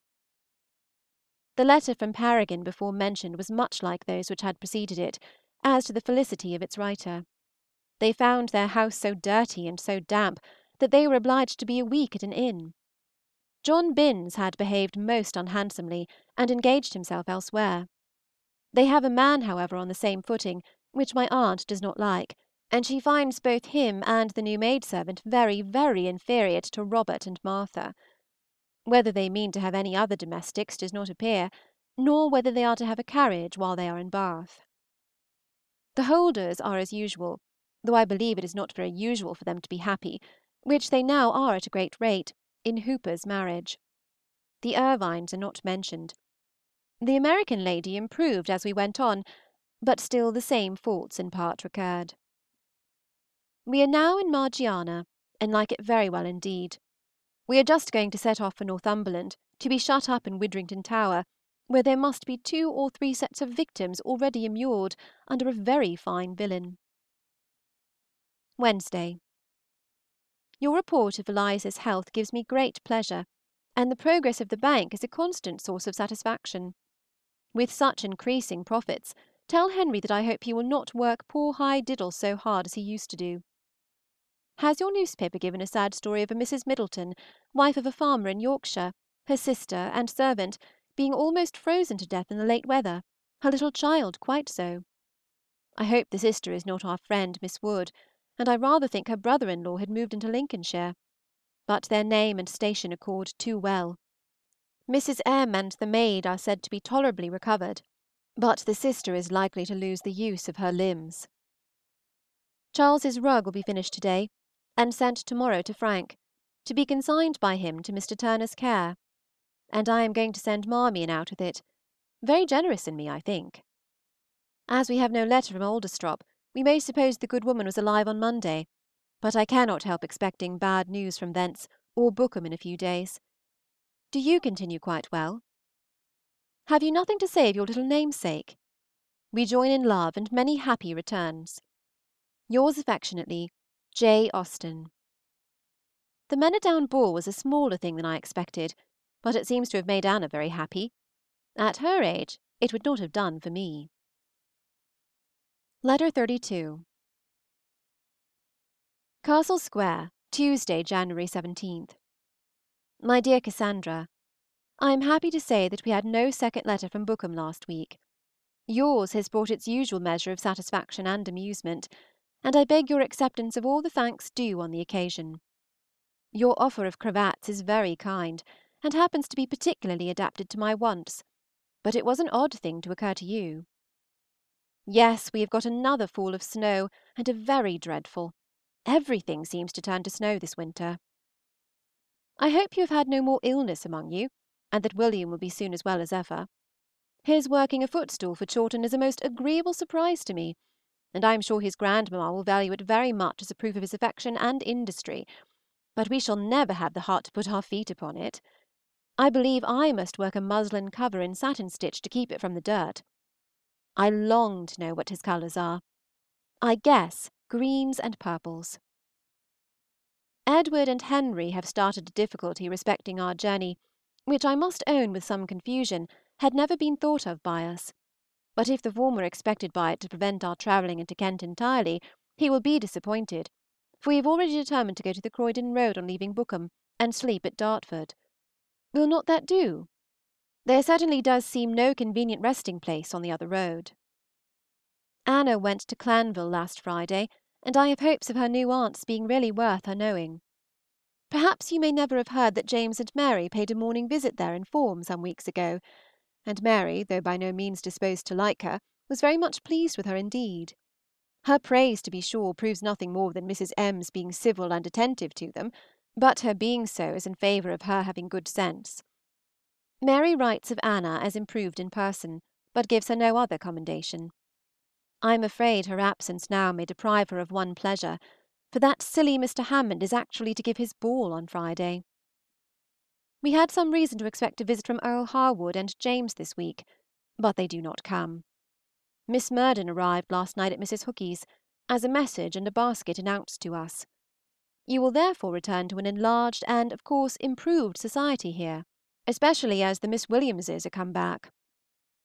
We were agreeably surprised the other day by a visit from your beauty and mine, each in a new cloth mantle and bonnet, and I dare say you will value yourself much on the modest propriety of Miss W.'s taste, hers being purple and Miss Grace's scarlet. I can easily suppose that your six weeks here will be fully occupied, were it only in lengthening the waists of your gowns. I have pretty well arranged my spring and summer plans of that kind, and mean to wear out my spotted muslin before I go. You will exclaim at this, but mine really has signs of feebleness, which with a little care may come to something. Martha and Dr. Mant are as bad as ever.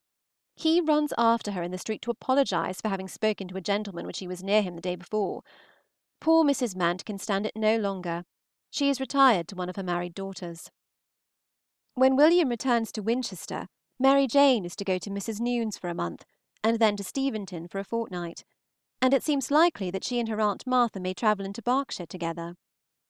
We shall not have a month of Martha after your return, and that month will be a very interrupted and broken one, but we shall enjoy ourselves the more when we can get a quiet half hour together.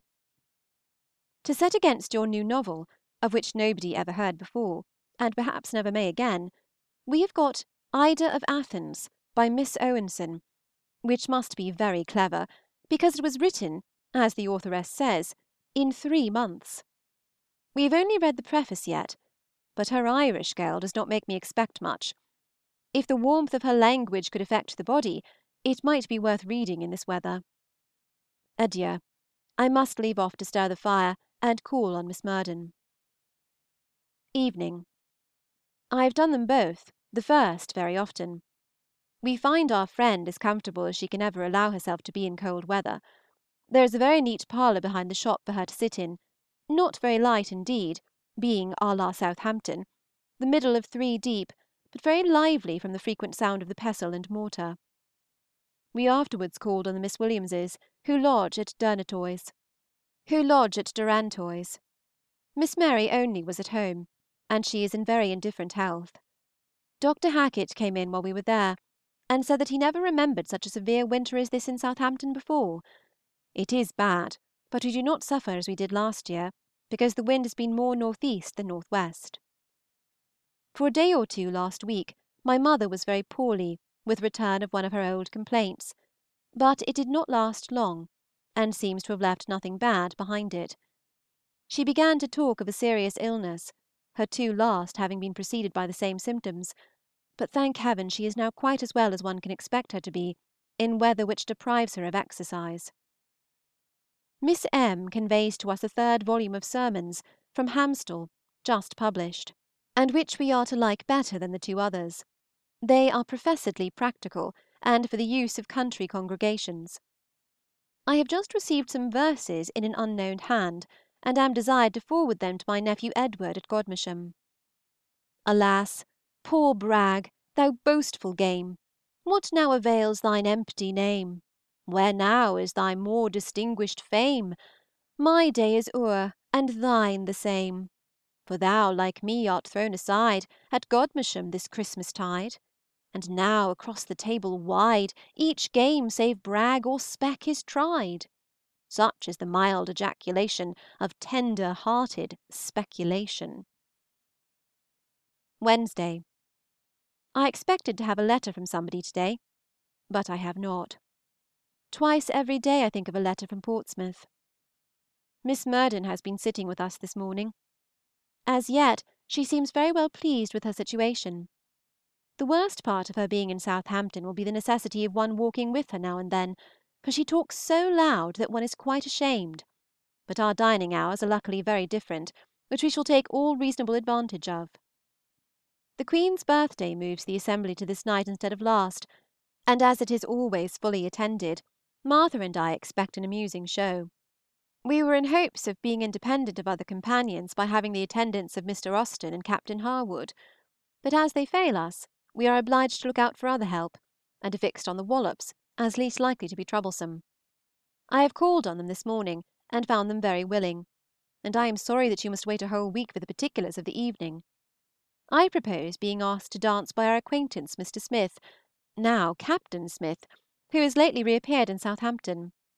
But I shall decline it. He saw Charles last August.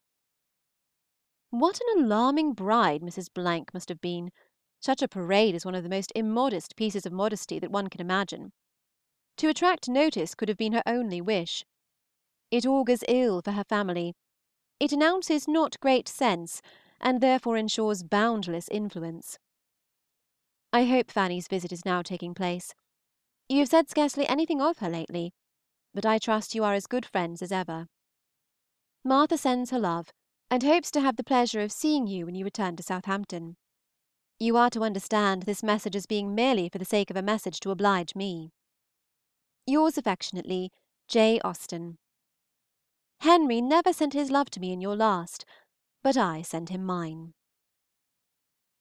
End of Section 14. Section 15. Letter 33. Castle Square, Tuesday (January 24). My dear Cassandra, I will give you the indulgence of a letter on Thursday this week instead of Friday, but I do not require you to write again before Sunday, provided I may believe you and your finger going on quite well. Take care of your precious self, do not work too hard. Remember that Aunt Cassandra is quite as scarce as Miss Beverley's. I had the happiness yesterday of a letter from Charles, but I shall say as little about it as possible, because I know that excruciating Henry will have had a letter likewise, to make all my intelligence valueless. It was written at Bermuda on the 7th and 10th of December. All well, and Fanny still only in expectation of being otherwise. He had taken a small prize in his late cruise, a French schooner, laden with sugar; but bad weather parted them, and she had not yet been heard of. His cruise ended December 1. My September letter was the latest he had received. This day three weeks you were to be in London, and I wish you better weather; not but that you may have worse, for we now have nothing but ceaseless snow or rain, and insufferable dirt to complain of no tempestuous winds nor severity of cold. Since I wrote last we have had something of each, but it is not genteel to rip up old grievances. You used me scandalously by not mentioning Edward Cooper's sermons. I tell you everything, and it is unknown the mysteries you conceal from me. And, to add to the rest, you persevere in giving a final E to invalid thereby putting it out of one's power to suppose Mrs. E. Leigh, even for a moment, a veteran soldier. She, good woman, is, I hope, destined for some further placid enjoyment of her own excellence in this world, for her recovery advances exceedingly well. I had this pleasant news in a letter from Bookham last Thursday, but as the letter was from Mary instead of her mother, you will guess her account was not equally good from home.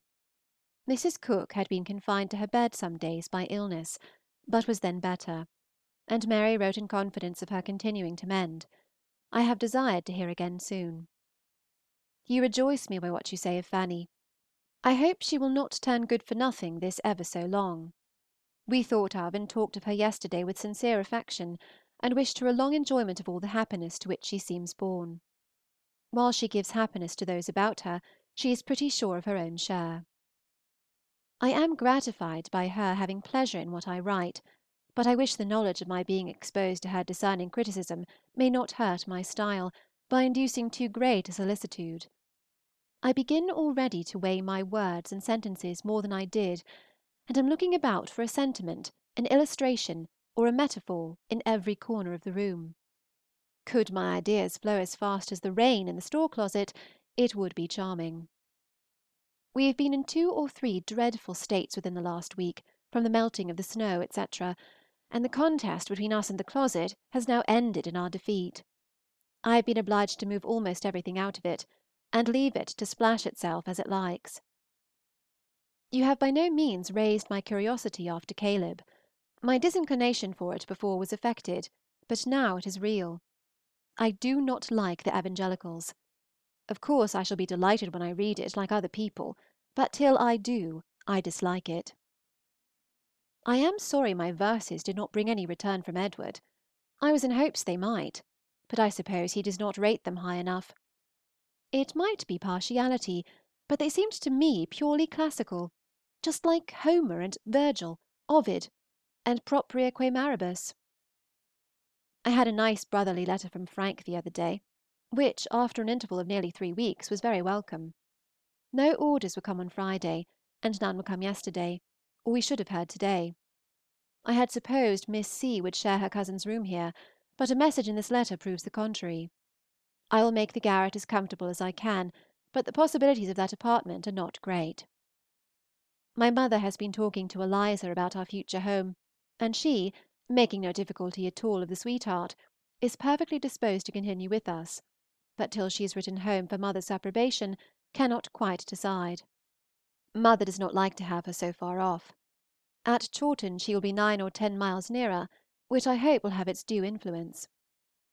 As for Sally, she means to play John Binns with us, in her anxiety to belong to our household again. Hitherto she appears a very good servant. You depend upon finding all your plants dead, I hope. They look very ill, I understand. Your silence on the subject of our ball makes me suppose your curiosity too great for words. We were very well entertained, and could have stayed longer but for the arrival of my list shoes to convey me home, and I did not like to keep them waiting in the cold. The room was tolerably full, and the ball opened by Miss Glyn. The Miss Lances had partners, Captain Dauvergne's friend appeared in regimentals, Caroline Maitland had an officer to flirt with, and Mr. John Harrison was deputed by Captain Smith being himself absent, to ask me to dance. Everything went well, you see, especially after we had tucked Mrs. Lance's neckerchief in behind and fastened it with a pin. We had a very full and agreeable account of Mr. Hammond's ball from Anna last night. The same fluent pen has sent similar information, I know, into Kent. She seems to have been as happy as one could wish her, and the complacency of her mamma in doing the honors of the evening must have made her pleasure almost as great. The grandeur of the meeting was beyond my hopes. I should like to have seen Anna's looks and performance, but that sad cropped head must have injured the former. Martha pleases herself with believing that if I had kept her counsel you would never have heard of Dr. M.'s late behavior, as if the very slight manner in which I mentioned it could have been all on which you found your judgment. I do not endeavor to undeceive her, because I wish her happy at all events, and know how highly she prizes happiness of any kind. She is, moreover, so full of kindness for us both, and sends you in particular so many good wishes about your finger, that I am willing to overlook a venial fault; and as Dr. M. is a clergyman, their attachment, however immoral, has a decorous air. Adieu, sweet you. This is grievous news from Spain. It is well that Dr. Moore was spared the knowledge of such a son's death. Yours affectionately, J. AUSTEN. Anna's hand gets better and better; it begins to be too good for any consequence. We send best love to dear little Lizzy and Marianne in particular. The Portsmouth paper gave a melancholy history of a poor madwoman, escaped from confinement, who said her husband and daughter, of the name of Payne, lived at Ashford in Kent. Do you own them? Letter 34. CASTLE SQUARE, Monday (January 30). MY DEAR CASSANDRA, I was not much surprised yesterday by the agreeable surprise of your letter, and extremely glad to receive the assurance of your finger being well again. Here is such a wet day as was never seen. I wish the poor little girls had better weather for their journey. They must amuse themselves with watching the rain drops down the windows. Sackree, I suppose, feels quite broken hearted. I cannot have done with the weather without observing how delightfully mild it is. I am sure Fanny must enjoy it with us. Yesterday was a very blowing day. We got to church, however, which we had not been able to do for two Sundays before. I am not at all ashamed about the name of the novel, having been guilty of no insult toward your handwriting. The diphthong I always saw, but knowing how fond you were of adding a vowel whenever you could, I attributed it to that alone, and the knowledge of the truth does the book no service. The only merit it could have was in the name of Caleb, which has an honest, unpretending sound; but in Cœlebs there is pedantry and affectation. Is it written only to classical scholars? I shall now try to say only what is necessary. I am weary of meandering. So expect a vast deal of small matter, concisely told, in the next two pages. Mrs. Cooke has been very dangerously ill, but is now, I hope, safe. I had a letter last week from George, Mary being too busy to write, and at that time the disorder was called of the typhus kind, and their alarm considerable but yesterday brought me a much better account from Mary, the origin of the complaint being now ascertained to be bilious, and the strong medicines requisite promising to be effectual.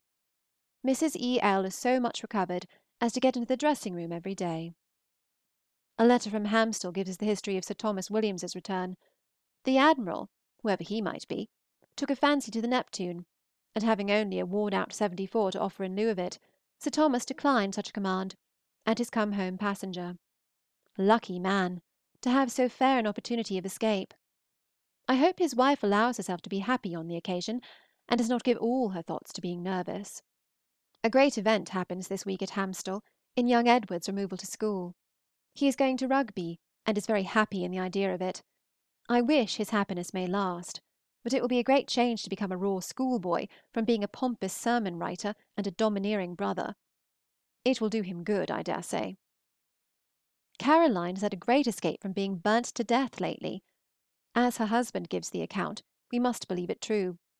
Miss Murden is gone, called away by the critical state of Mrs. Pottinger, who has had another severe stroke, and is without sense or speech. Miss Murden wishes to return to Southampton if circumstances suit, but it must be very doubtful. We have been obliged to turn away Cholles, he grew so very drunken and negligent, and we have a man in his place, called Thomas. Martha desires me to communicate something concerning herself, which she knows will give you pleasure, as affording her very particular satisfaction.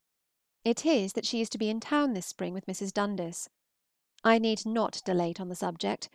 You understand enough of the whys and wherefores to enter into her feelings, and to be conscious that of all possible arrangements it is the one most acceptable to her. She goes to Barton on leaving us, and the family remove to town in April. What you tell me of Miss Sharp is quite new, and surprises me a little. I feel, however, as you do. She is born, poor thing, to struggle with evil, and her continuing with Miss B. is, I hope, a proof that matters are not always so very bad between them as her letters sometimes represent. Jenny's marriage I had heard of, and supposed you would do so too from Steventon, as I knew you were corresponding with Mary at the time. I hope she will not sully the respectable name she now bears. Your plan for Miss Curling is uncommonly considerate and friendly, and such as she must surely jump at. Edward's going round by Steventon, as I understand he promises to do, can be no reasonable objection. Mrs. J. Austen's hospitality is just of the kind to enjoy such a visitor. We were very glad to know Aunt Fanny was in the country when we read of the fire. Pray give my best compliments to the Misses Finches, if they are at G.M. I am sorry to find that Sir J. Moore has a mother living, but though a very heroic son, he might not be a very necessary one to her happiness. Deacon Morell may be more to Mrs. Morell. I wish Sir John had united something of the Christian with the hero in his death. Thank heaven! we have had no one to care for particularly among the troops; no one, in fact, nearer to us than Sir John himself. Colonel Maitland is safe and well; his mother and sisters were of course anxious about him, but there is no entering much into the solicitudes of that family. My mother is well, and gets out when she can with the same enjoyment, and apparently the same strength, as hitherto. She hopes you will not omit begging Mrs. Seward to get the garden cropped for us, supposing she leaves the house too early to make the garden any object to herself. We are very desirous of receiving your account of the house, for your observations will have a motive which can leave nothing to conjecture and suffer nothing from want of memory. For one's own dear self, one ascertains and remembers everything. Lady Sondes is an imprudent woman to come back to her old neighborhood again. I suppose she pretends never to have married before, and wonders how her father and mother came to have her christened Lady Sondes. The store closet, I hope, will never do so again, for much of the evil is proved to have proceeded from the gutter being choked up, and we have had it cleared. We had reason to rejoice in the child's absence at the time of the thaw, for the nursery was not habitable. We hear of similar disasters from almost everybody. No news from Portsmouth. We are very patient. Mrs. Charles Fowle desires to be kindly remembered to you. She is warmly interested in my brother and his family. Yours very affectionately, J. AUSTEN. End of Section 15. Section 16. Letter 35. Sloane Street, Thursday, April 18, 1811. My dear Cassandra, I have so many little matters to tell you of that I cannot wait any longer before I begin to put them down. I spent Tuesday in Bentinck Street. The Cookes called here and took me back, and it was quite a Cooke day, for the Miss Rolles paid a visit while I was there, and Sam Arnold dropped in to tea. The badness of the weather disconcerted an excellent plan of mine, that of calling on Miss Beckford again, but from the middle of the day it rained incessantly. Mary and I, after disposing of her father and mother, went to the Liverpool Museum and the British Gallery, and I had some amusement at each, though my preference for men and women always inclines me to attend more to the company than the sight. Mrs. Cooke regrets very much that she did not see you when you called. It was owing to a blunder among the servants, for she did not know of our visit till we were gone. She seems tolerably well, but with the nervous part of her complaint, I fear, increases, and makes her more and more unwilling to part with Mary. I have proposed to the latter that she should go to Chawton with me, on the supposition of my travelling the Guildford road, and she, I do believe, would be glad to do it, but perhaps it may be impossible; unless a brother can be at home at that time, it certainly must. George comes to them to day. I did not see Theo till late on Tuesday; he was gone to Ilford, but he came back in time to show his usual nothing meaning, harmless, heartless civility. Henry, who had been confined the whole day to the bank, took me in his way home, and after putting life and wit into the party for a quarter of an hour, put himself and his sister into a hackney coach. I bless my stars that I have done with Tuesday. But, alas! Wednesday was likewise a day of great doings, for Manon and I took our walk to Grafton House, and I have a good deal to say on that subject. I am sorry to tell you that I am getting very extravagant, and spending all my money; and what is worse for you, I have been spending yours too; for in a linen draper's shop to which I went for a checked muslin, and for which I was obliged to give seven shillings a yard, I was tempted by a pretty colored muslin, and bought ten yards of it on the chance of your liking it; but at the same time, if it should not suit you, you must not think yourself at all obliged to take it; it is only three shillings and sixpence a yard, and I should not in the least mind keeping the whole. In texture it is just what we prefer but its resemblance to green crewels, I must own, is not great, for the pattern is a small red spot. And now I believe I have done all my commissions except Wedgwood. I like my walk very much. It was shorter than I had expected, and the weather was delightful. We set off immediately after breakfast, and must have reached Grafton House by half past eleven; but when we entered the shop the whole counter was thronged, and we waited full half an hour before we could be attended to. When we were served, however, I was very well satisfied with my purchases. My bugle trimming at two shillings and fourpence, and three pair silk stockings for a little less than twelve shillings a pair. In my way back, who should I meet but Mr. Moore, just come from Beckenham. I believe he would have passed me if I had not made him stop, but we were delighted to meet. I soon found, however, that he had nothing new to tell me, and then I let him go.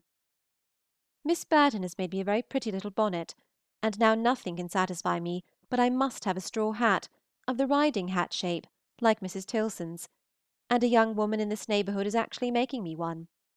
I am really very shocking, but it will not be dear at a guinea. Our pelisses are seventeen shillings each; she charges only eight shillings for the making, but the buttons seem expensive, are expensive I might have said, for the fact is plain enough. We drank tea again yesterday with the Tilsons, and met the Smiths. I find all these little parties very pleasant. I like Mrs. S. Miss Beaty is good humor itself, and does not seem much besides. We spend to morrow evening with them, and are to meet the Colonel and Mrs. Cantelo Smith you have been used to hear of, and, if she is in good humor, are likely to have excellent singing. To night I might have been at the play, Henry had kindly planned our going together to the Lyceum, but I have a cold which I should not like to make worse before Saturday, so I stay within all this day. Eliza is walking out by herself. She has plenty of business on her hands just now, for the day of the party is settled and drawing near. Above eighty people are invited for next Tuesday evening, and there is to be some very good music, five professionals, three of them glee singers, besides amateurs. Fanny will listen to this. One of the hirelings is a capital on the harp, from which I expect great pleasure. The foundation of the party was a dinner to Henry Egerton and Henry Walter, but the latter leaves town the day before. I am sorry, as I wished her prejudice to be done away, but should have been more sorry if there had been no invitation. I am a wretch, to be so occupied with all these things as to seem to have no thoughts to give to people and circumstances which really supply a far more lasting interest, the society in which you are; but I do think of you all, I assure you, and want to know all about everybody, and especially about your visit to the W. Friars, mais le moyen not to be occupied by one's own concerns. Saturday. Frank is superseded in the Caledonia. Henry brought us this news yesterday from Mr. Daysh, and he had at the same time that Charles may be in England in the course of a month. Sir Edward Pellew succeeds Lord Gambier in his command, and some captain of his succeeds Frank, and I believe the order is already gone out. Henry means to inquire further to day. He wrote to Mary on the occasion. This is something to think of. Henry is convinced that he will have the offer of something else, but does not think it will be at all incumbent upon him to accept it. And then follows, what will he do, and where will he live? I hope to hear from you to day. How are you as to health, strength, looks, etc.? I had a very comfortable account from Chawton yesterday. If the weather permits, Eliza and I walk into London this morning. She is in want of chimney lights for Tuesday, and I of an ounce of darning cotton. She is resolved not to venture to the play to night. The D'Entraigues and Comte Julien cannot come to the party, which was at first a grief, but she has since supplied herself so well with performers that it is of no consequence. Their not coming has produced our going to them to morrow evening, which I like the idea of. It will be amusing to see the ways of a French circle. I wrote to Mrs. Hill a few days ago, and have received a most kind and satisfactory answer. Any time the first week in May exactly suits her, and therefore I consider my going as tolerably fixed. I shall leave Sloane Street on the 1st or 2nd, and be ready for James on the 9th, and if his plan alters, I can take care of myself. I have explained my views here, and everything is smooth and pleasant, and Eliza talks kindly of conveying me to Streatham. We met the Tilsons yesterday evening, but the singing Smiths sent an excuse, which put our Mrs. Smith out of humor. We are come back, after a good dose of walking and coaching, and I have the pleasure of your letter. I wish I had James's verses, but they were left at Chawton. When I return thither, if Mrs. K. will give me leave, I will send them to her. Our first object to day was Henrietta Street, to consult with Henry in consequence of a very unlucky change of the play for this night, Hamlet instead of King John, and we are to go on Monday to Macbeth instead; but it is a disappointment to us both. Love to all. Yours affectionately, JANE. Letter 36. Sloane Street, Thursday (April 25). MY DEAREST CASSANDRA, I can return the compliment by thanking you for the unexpected pleasure of your letter yesterday, and as I like unexpected pleasure, it made me very happy; and indeed you need not apologize for your letter in any respect, for it is all very fine, but not too fine, I hope, to be written again, or something like it. I think Edward will not suffer much longer from heat; by the look of things this morning, I suspect the weather is rising into the balsamic northeast. It has been hot here, as you may suppose, since it was so hot with you, but I have not suffered from it at all, nor felt it in such a degree as to make me imagine it would be anything in the country. Everybody has talked of the heat, but I set it all down to London. I give you joy of our new nephew, and hope, if he ever comes to be hanged, it will not be till we are too old to care about it. It is a great comfort to have it so safely and speedily over. The Miss Curlings must be hard worked in writing so many letters, but the novelty of it may recommend it to them. Mine was from Miss Eliza, and she says that my brother may arrive to day. No, indeed, I am never too busy to think of S. and S. I can no more forget it than a mother can forget her sucking child, and I am much obliged to you for your inquiries.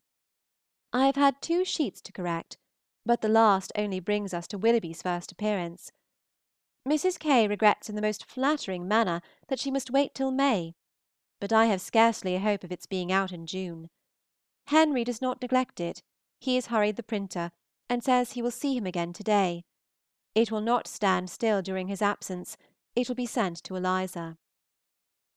The incomes remain as they were, but I will get them altered if I can. I am very much gratified by Mrs. K.'s interest in it and whatever may be the event of it as to my credit with her, sincerely wish her curiosity could be satisfied sooner than is now probable. I think she will like my Elinor, but cannot build on anything else. Our party went off extremely well. There were many solicitudes, alarms, and vexations beforehand, of course, but at last everything was quite right. The rooms were dressed up with flowers, etc., and looked very pretty. A glass for the mantelpiece was lent by the man who was making their own. Mr. Egerton and Mr. Walter came at half past five, and the festivities began with a pair of very fine soles. Yes, Mr. Walter, for he has postponed his leaving London on purpose, which did not give much pleasure at the time, any more than the circumstance from which it rose, his calling on Sunday and being asked by Henry to take the family dinner on that day, which he did; but it is all smoothed over now and she likes him very well. At half past seven arrived musicians in two hackney coaches, and by eight the lordly company began to appear. Among the earliest were George and Mary Cooke, and I spent the greatest part of the evening very pleasantly with them. The drawing room being soon hotter than we liked, we placed ourselves in the connecting passage, which was comparatively cool, and gave us all the advantage of the music at a pleasant distance, as well as that of the first view of every newcomer. I was quite surrounded by acquaintance, especially gentlemen; and what with Mr. Hampson, Mr. Seymour, Mr. W. Knatchbull, Mr. Guillemard, Mr. Cure, a Captain Simpson, brother to the Captain Simpson, besides Mr. Walter and Mr. Egerton, in addition to the Cookes, and Miss Beckford, and Miss Middleton, I had quite as much upon my hands as I could do. Poor Miss B. has been suffering again from her old complaint and looks thinner than ever. She certainly goes to Cheltenham in the beginning of June. We were all delight and cordiality, of course. Miss M. seems very happy, but has not beauty enough to figure in London. Including everybody, we were sixty six, which was considerably more than Eliza had expected, and quite enough to fill the back drawing room and leave a few to be scattered about in the other and in the passage. The music was extremely good. It opened tell Fanny, with "Poic de parp pers praise pof prapola," and of the other glees I remember, in peace love tunes, "Rosabelle," "The Red Cross Knight," and "Poor Insect." Between the songs were lessons on the harp, or harp and pianoforte together, and the harp player was Wiepart, whose name seems famous, though new to me. There was one female singer, a short Miss Davis, all in blue, bringing up for the public line, whose voice was said to be very fine indeed, and all the performers gave great satisfaction by doing what they were paid for, and giving themselves no airs. No amateur could be persuaded to do anything. The house was not clear till after twelve. If you wish to hear more of it, you must put your questions, but I seem rather to have exhausted than spared the subject. This said Captain Simpson told us, on the authority of some other captain just arrived from Halifax, that Charles was bringing the Cleopatra home, and that she was probably by this time in the Channel; but as Captain S. was certainly in liquor, we must not quite depend upon it. It must give one a sort of expectation, however, and will prevent my writing to him any more. I would rather he should not reach England till I am at home, and the Steventon party gone. My mother and Martha both write with great satisfaction of Anna's behavior. She is quite an Anna with variations, but she cannot have reached her last, for that is always the most flourishing and showy. She is at about her third or fourth, which are generally simple and pretty.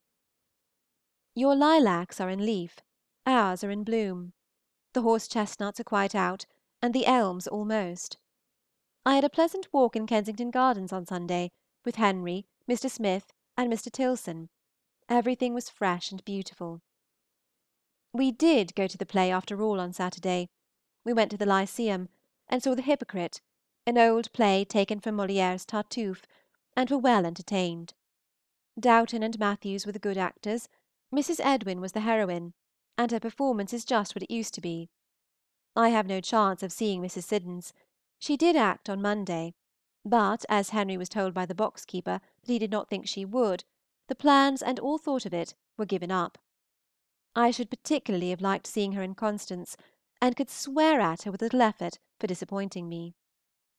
Henry has been to the water color exhibition, which opened on Monday, and is to meet us there again some morning. If Eliza cannot go, and she has a cold at present, Miss Beaty will be invited to be my companion.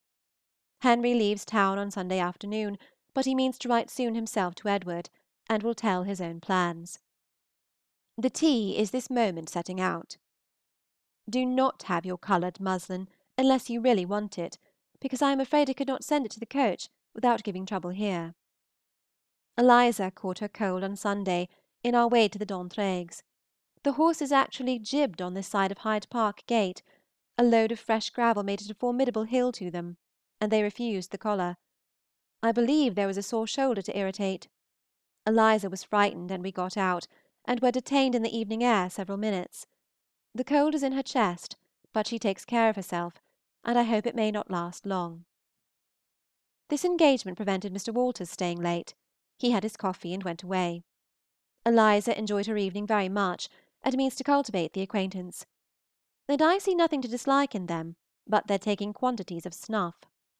Monsieur, the old Count, is a very fine looking man, with quiet manners, good enough for an Englishman, and, I believe, is a man of great information and taste. He has some fine paintings, which delighted Henry as much as the son's music gratified Eliza, and among them a miniature of Philip V. of Spain, Louis XIV.'s grandson, which exactly suited my capacity. Count Julien's performance is very wonderful. We met only Mrs. Latouche and Miss East and we are just now engaged to spend next Sunday evening at Mrs. L.'s, and to meet the D'Entraigues, but M. le Comte must do without Henry. If he would but speak English, I would take to him. Have you ever mentioned the leaving off tea to Mrs. K.? Eliza has just spoken of it again. The benefit she has found from it in sleeping has been very great. I shall write soon to Catherine to fix my day, which will be Thursday. We have no engagement but for Sunday. Eliza's cold makes quiet advisable. Her party is mentioned in this morning's paper. I am sorry to hear of poor Fanny's state. From that quarter, I suppose, is to be the alloy of her happiness. I will have no more to say. Yours affectionately, J. A. Give my love particularly to my goddaughter. End of Section 16. Section 17.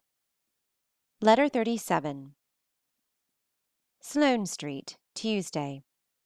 My dear Cassandra, I had sent off my letter yesterday before yours came, which I was sorry for; but as Eliza has been so good as to get me a frank, your questions shall be answered without much further expense to you. The best direction to Henry at Oxford will be "The Blue Boar, Cornmarket." I do not mean to provide another trimming for my pelisse, for I am determined to spend no more money, so I shall wear it as it is, longer than I ought, and then I do not know. My head dress was a bugle band like the border to my gown, and a flower of Mrs. Tilson's. I depended upon hearing something of the evening from Mr. W. K., and am very well satisfied with his notice of me. A pleasing looking young woman. That must do; one cannot pretend to anything better now; thankful to have it continued a few years longer. It gives me sincere pleasure to hear of Mrs. Knight's having had a tolerable night at last; but upon this occasion I wish she had another name, for the two Knights jingle very much. We have tried to get self control, but in vain. I should like to know what her estimate is, but am always half afraid of finding a clever novel too clever and of finding my own story and my own people all forestalled. Eliza has just received a few lines from Henry to assure her of the good conduct of his mare. He slept at Uxbridge on Sunday, and wrote from Wheatfield. We were not claimed by Hans Place yesterday, but are to dine there to day. Mr. Tilson called in the evening, but otherwise we were quite alone all day, and after having been out a good deal, the change was very pleasant. I like your opinion of Miss Atton much better than I expected, and have now hopes of her staying a whole twelvemonth. By this time, I suppose, she is hard at it, governing away. Poor creature! I pity her, though they are my nieces. Oh, yes, I remember Miss Emma Plumptre's local consequence perfectly. I am in a dilemma for want of an Emma, escaped from the lips of Henry Gipps. But really I was never much more put to it than in continuing an answer to Fanny's former message. What is there to be said on the subject? Perry Pell or Perry Pay, or Poe, or at the most Pye Pope Pay Pike Pitt. I congratulate Edward on the Weald of Kent Canal Bill being put off till another session, as I have just had the pleasure of reading. There is always something to be hoped from delay. Between session and session, the first prepossession May rouse up the nation, and the villainous bill May be forced to lie still Against wicked men's will. There is poetry for Edward and his daughter. I am afraid I shall not have any for you. I forgot to tell you in my last that our cousin Miss Payne called in on Saturday, and was persuaded to stay to dinner. She told us a great deal about her friend Lady Catherine Brecknell, who is most happily married, and Mr. Brecknell is very religious, and has got black whiskers. I am glad to think that Edward has a tolerable day for his drive to Goodnestone, and very glad to hear of his kind promise of bringing you to town. I hope everything will arrange itself favorably. The 16th is now to be Mrs. Dundas's day. I mean, if I can, to wait for your return before I have my new gown made up from a notion of their making up to more advantage together; and as I find the muslin is not so wide as it used to be, some contrivance may be necessary. I expect the skirt to require one half breadth cut in gauze, besides two whole breadths. Eliza has not quite yet resolved on inviting Anna, but I think she will. Yours very affectionately, JANE. Letter 38. Chawton, Wednesday (May 29). It was a mistake of mine, my dear Cassandra, to talk of a tenth child at Hamstall. I had forgot there were but eight already. Your inquiry after my uncle and aunt were most happily timed, for the very same post brought an account of them. They are again at Gloucester House, enjoying fresh air, which they seem to have felt the want of in Bath, and are tolerably well, but not more than tolerable. My aunt does not enter into particulars, but she does not write in spirits, and we imagine that she has never entirely got the better of her disorder in the winter. Mrs. Welby takes her out airing in her barouche, which gives her a headache. A comfortable proof, I suppose, of the uselessness of the new carriage, when they have got it. You certainly must have heard before I can tell you that Colonel Orde has married our cousin, Margaret Beckford, the Marchioness of Douglas's sister.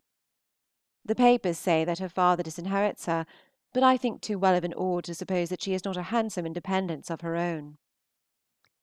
The chickens are all alive and fit for the table, but we save them for something grand.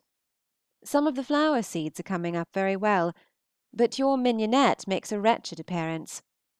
Miss Benn has been equally unlucky as to hers. She had seed from four different people, and none of it comes up. Our young peony at the foot of the fir tree has just blown, and looks very handsome, and the whole of the shrubbery border will be soon very gay with pinks and sweet williams, in addition to the columbines already in bloom. The syringas, too, are coming out. We are likely to have a great crop of Orleans plums, but not many greengages. On the standard scarcely any, three or four dozen perhaps against the wall. I told you differently when I first came home, but I can now judge better than I could then. I have had a medley and a satisfactory letter this morning from the husband and wife at Cowes, and in consequence of what is related of their plans, we have been talking over the possibility of inviting them here in their way from Steventon, which is what one should wish to do, and is, I dare say, what they expect; but supposing Martha to be at home, it does not seem a very easy thing to accommodate so large a party. My mother offers to give up her room to Frank and Mary but there will then be only the best for two maids and three children. They go to Steventon about the 22nd, and I guess, for it is quite a guess, will stay there from a fortnight to three weeks. I must not venture to press Miss Sharpe's coming at present; we may hardly be at liberty before August. Poor John Bridges! We are very sorry for his situation, and for the distress of the family. Lady B. is in one way severely tried, and our own dear brother suffers a great deal, I dare say, on the occasion. I have not much to say of ourselves. Anna is nursing a cold caught in the arbor at Faringdon, that she may be able to keep her engagement to Maria M. this evening, when I suppose she will make it worse. She did not return from Faringdon till Sunday, when H. B. walked home with her, and drank tea here. She was with the Prowtings almost all Monday. She went to learn to make feather trimmings of Miss Anna, and they kept her to dinner, which was rather lucky, as we were called upon to meet Mrs. and Miss Terry the same evening at the Digweeds; and though Anna was of course invited too, I think it always safest to keep her away from the family, lest she should be doing too little or too much. Mrs. Terry, Mary, and Robert, with my aunt Harding and her daughter came from Dummer for a day and a night, all very agreeable and very much delighted with the new house and with Chawton in general. We sat upstairs, and had thunder and lightning as usual. I never knew such a spring for thunderstorms as it has been. Thank God! we have had no bad ones here. I thought myself in luck to have my uncomfortable feelings shared by the mistress of the house, as that procured blinds and candles. It had been excessively hot the whole day. Mrs. Harding is a good-looking woman, but not much like Mrs. Toke, inasmuch as she is very brown, and has scarcely any teeth. She seems to have some of Mrs. Toke's civility. Miss H. is an elegant, pleasing, pretty-looking girl, about nineteen, I suppose, or nineteen and a half, or nineteen and a quarter, with flowers in her head and music at her finger ends. She plays very well indeed. I have seldom heard anybody with more pleasure. They were at Goddington four or five years ago. My cousin Flora Long was there last year. My name is Diana. How does Fanny like it? What a change in the weather! We have a fire again now. Harriet Benn sleeps at the great house to night, and spends to morrow with us, and the plan is that we should all walk with her to drink tea at Faringdon, for her mother is now recovered, but the state of the weather is not very promising at present. Miss Benn has been returned to her cottage since the beginning of last week, and has now just got another girl; she comes from Alton. For many days Miss B. had nobody with her but her niece Elizabeth, who was delighted to be her visitor and her maid. They both dined here on Saturday, while Anna was at Faringdon; and last night an accidental meeting and a sudden impulse produced Miss Benn and Maria Middleton at our tea table. If you have not heard, it is very fit you should, that Mr. Harrison has had the living of Fareham given him by the Bishop, and is going to reside there; and now it is said that Mr. Peach (beautiful wiseacre) wants to have the curacy of Overton, and if he does leave Wootton, James Digweed wishes to go there. Fare you well. Yours affectionately, JANE AUSTEN. The chimneys at the great house are done. Mr. Prowting has opened a gravel pit, very conveniently for my mother, just at the mouth of the approach to his house, but it looks a little as if he meant to catch all his company. Tolerable gravel. Letter 39. Chawton, Thursday (June 6). By this time, my dearest Cassandra, you know Martha's plans.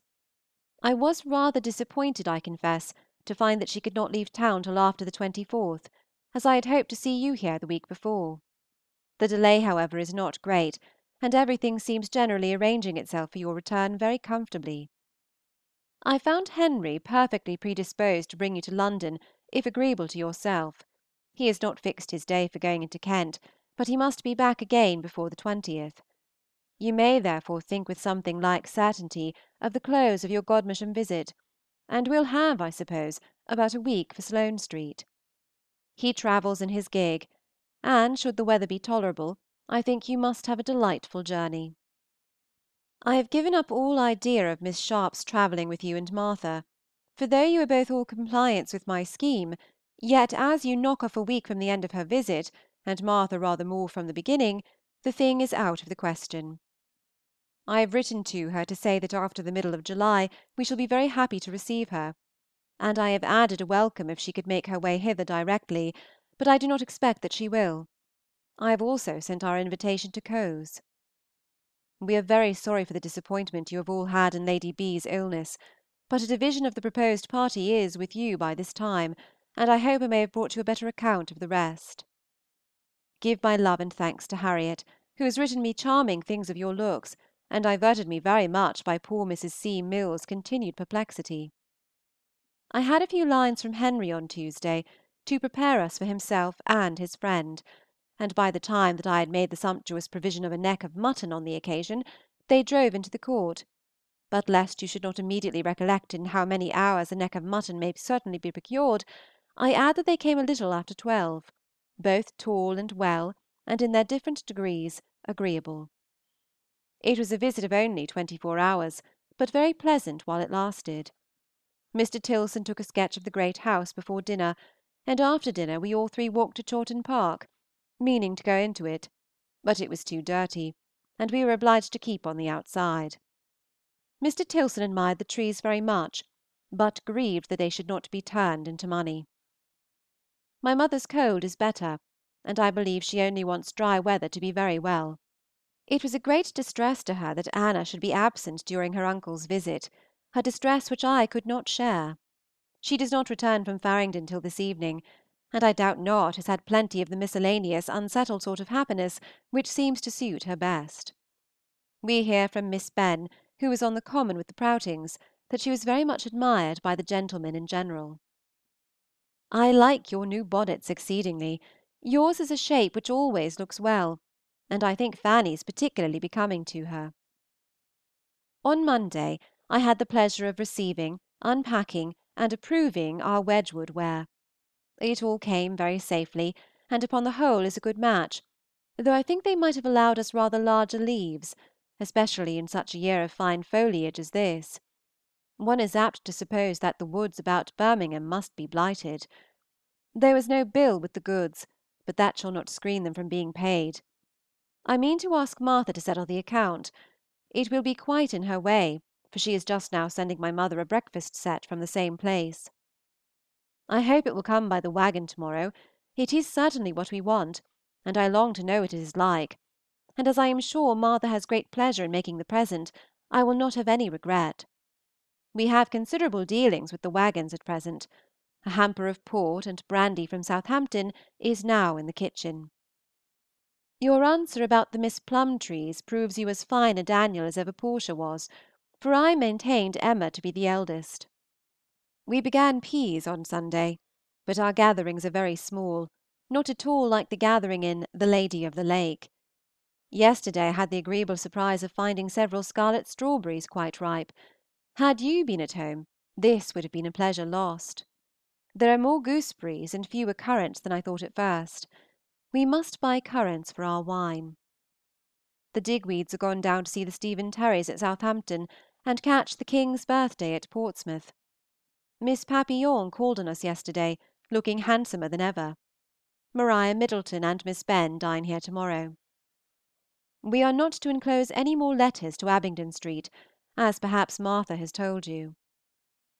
I had just left off writing and put on my things for walking to Alton, when Anna and her friend Harriet called in their way thither, so we went together.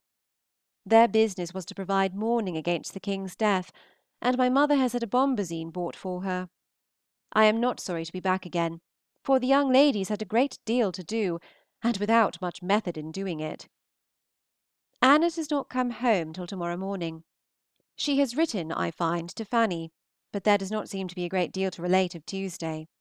I had hoped there might be dancing. Mrs. Budd died on Sunday evening. I saw her two days before her death, and thought it must happen soon. She suffered much from weakness and restlessness almost to the last. Poor little Harriet seems truly grieved. You have never mentioned Harry. How is he? With love to you all. Yours affectionately, J. A. End of Section 17. Section 18. Letter 40. Chawton, Friday, January 29, 1813.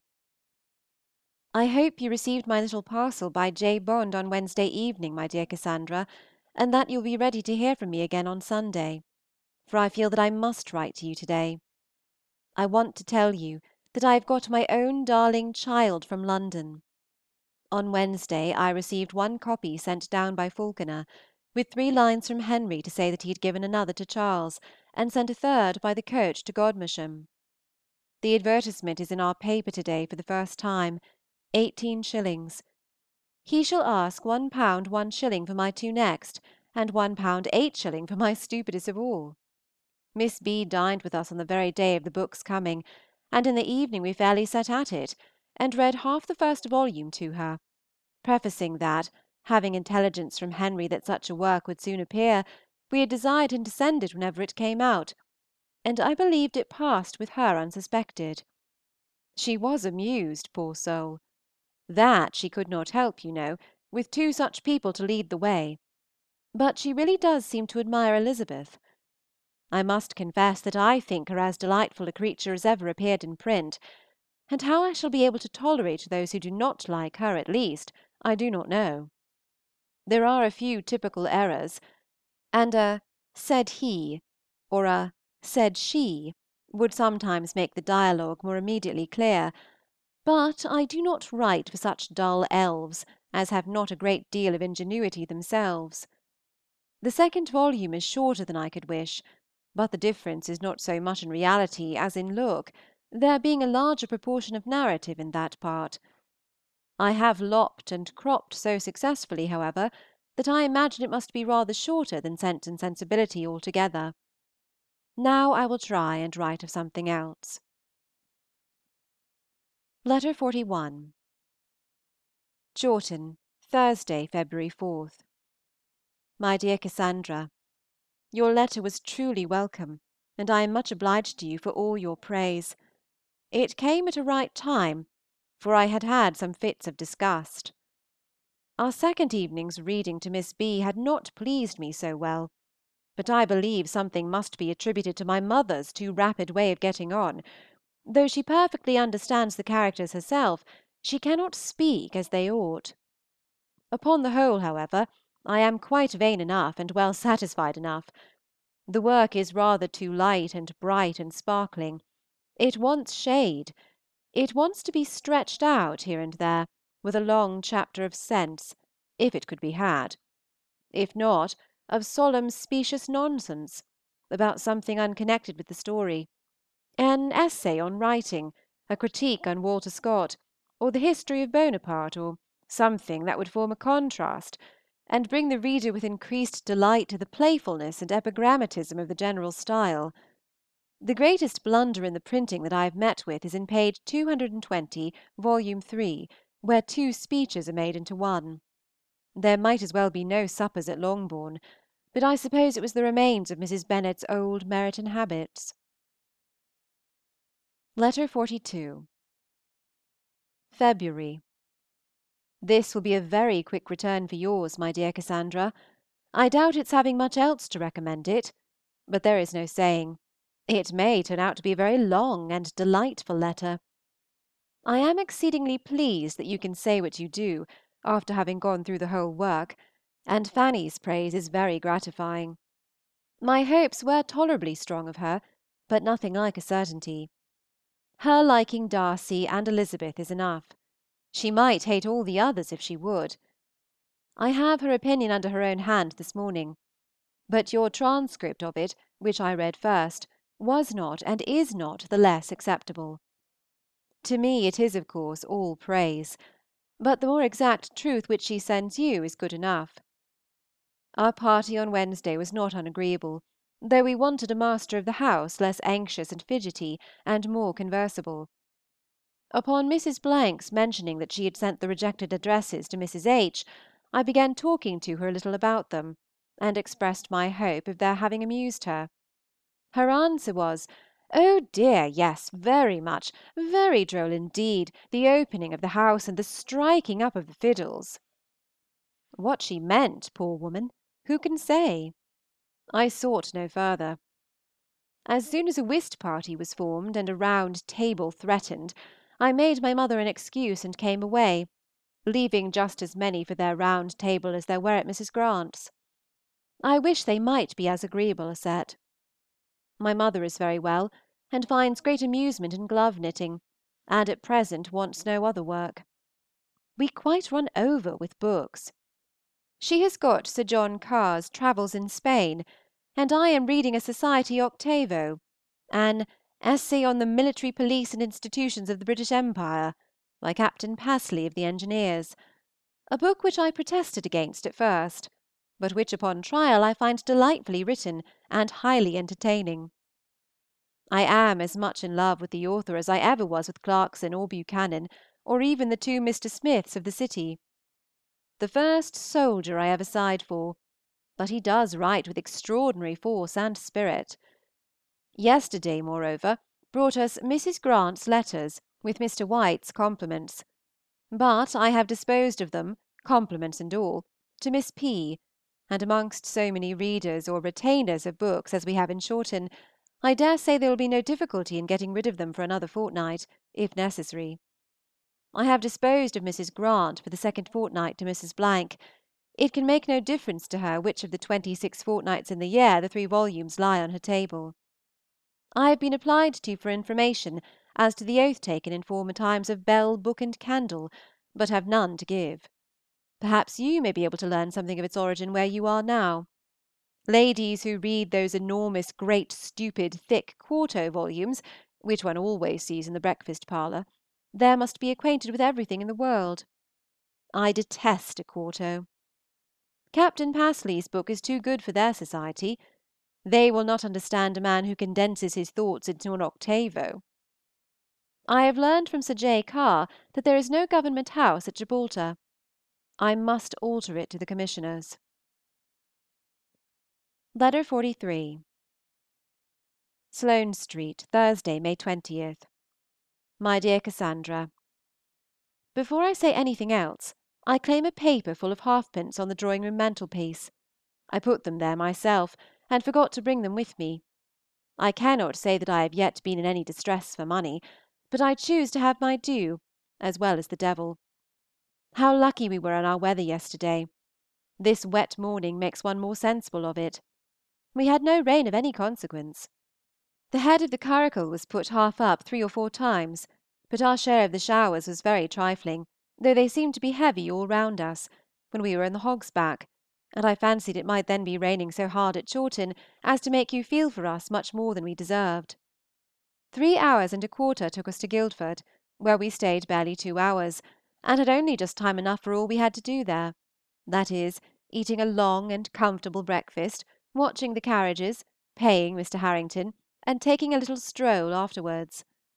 From some views which that stroll gave us, I think most highly of the situation of Guildford.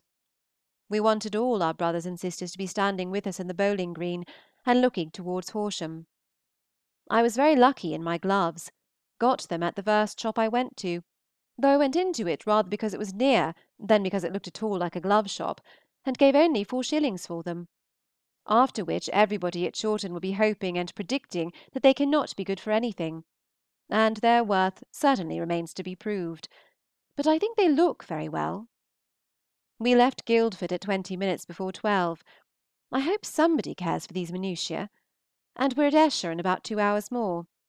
I was very much pleased with the country in general. Between Guildford and Ripley I thought it particularly pretty, also about Painshill; and from Mr. Spicer's grounds at Esher, which we walked into before dinner, the views were beautiful. I cannot say what we did not see, but I should think there could not be a wood, or a meadow, or palace, or remarkable spot in England that was not spread out before us on one side or another. Claremont is going to be sold, and Mr. Ellis has it now. It is a house that seems never to have prospered.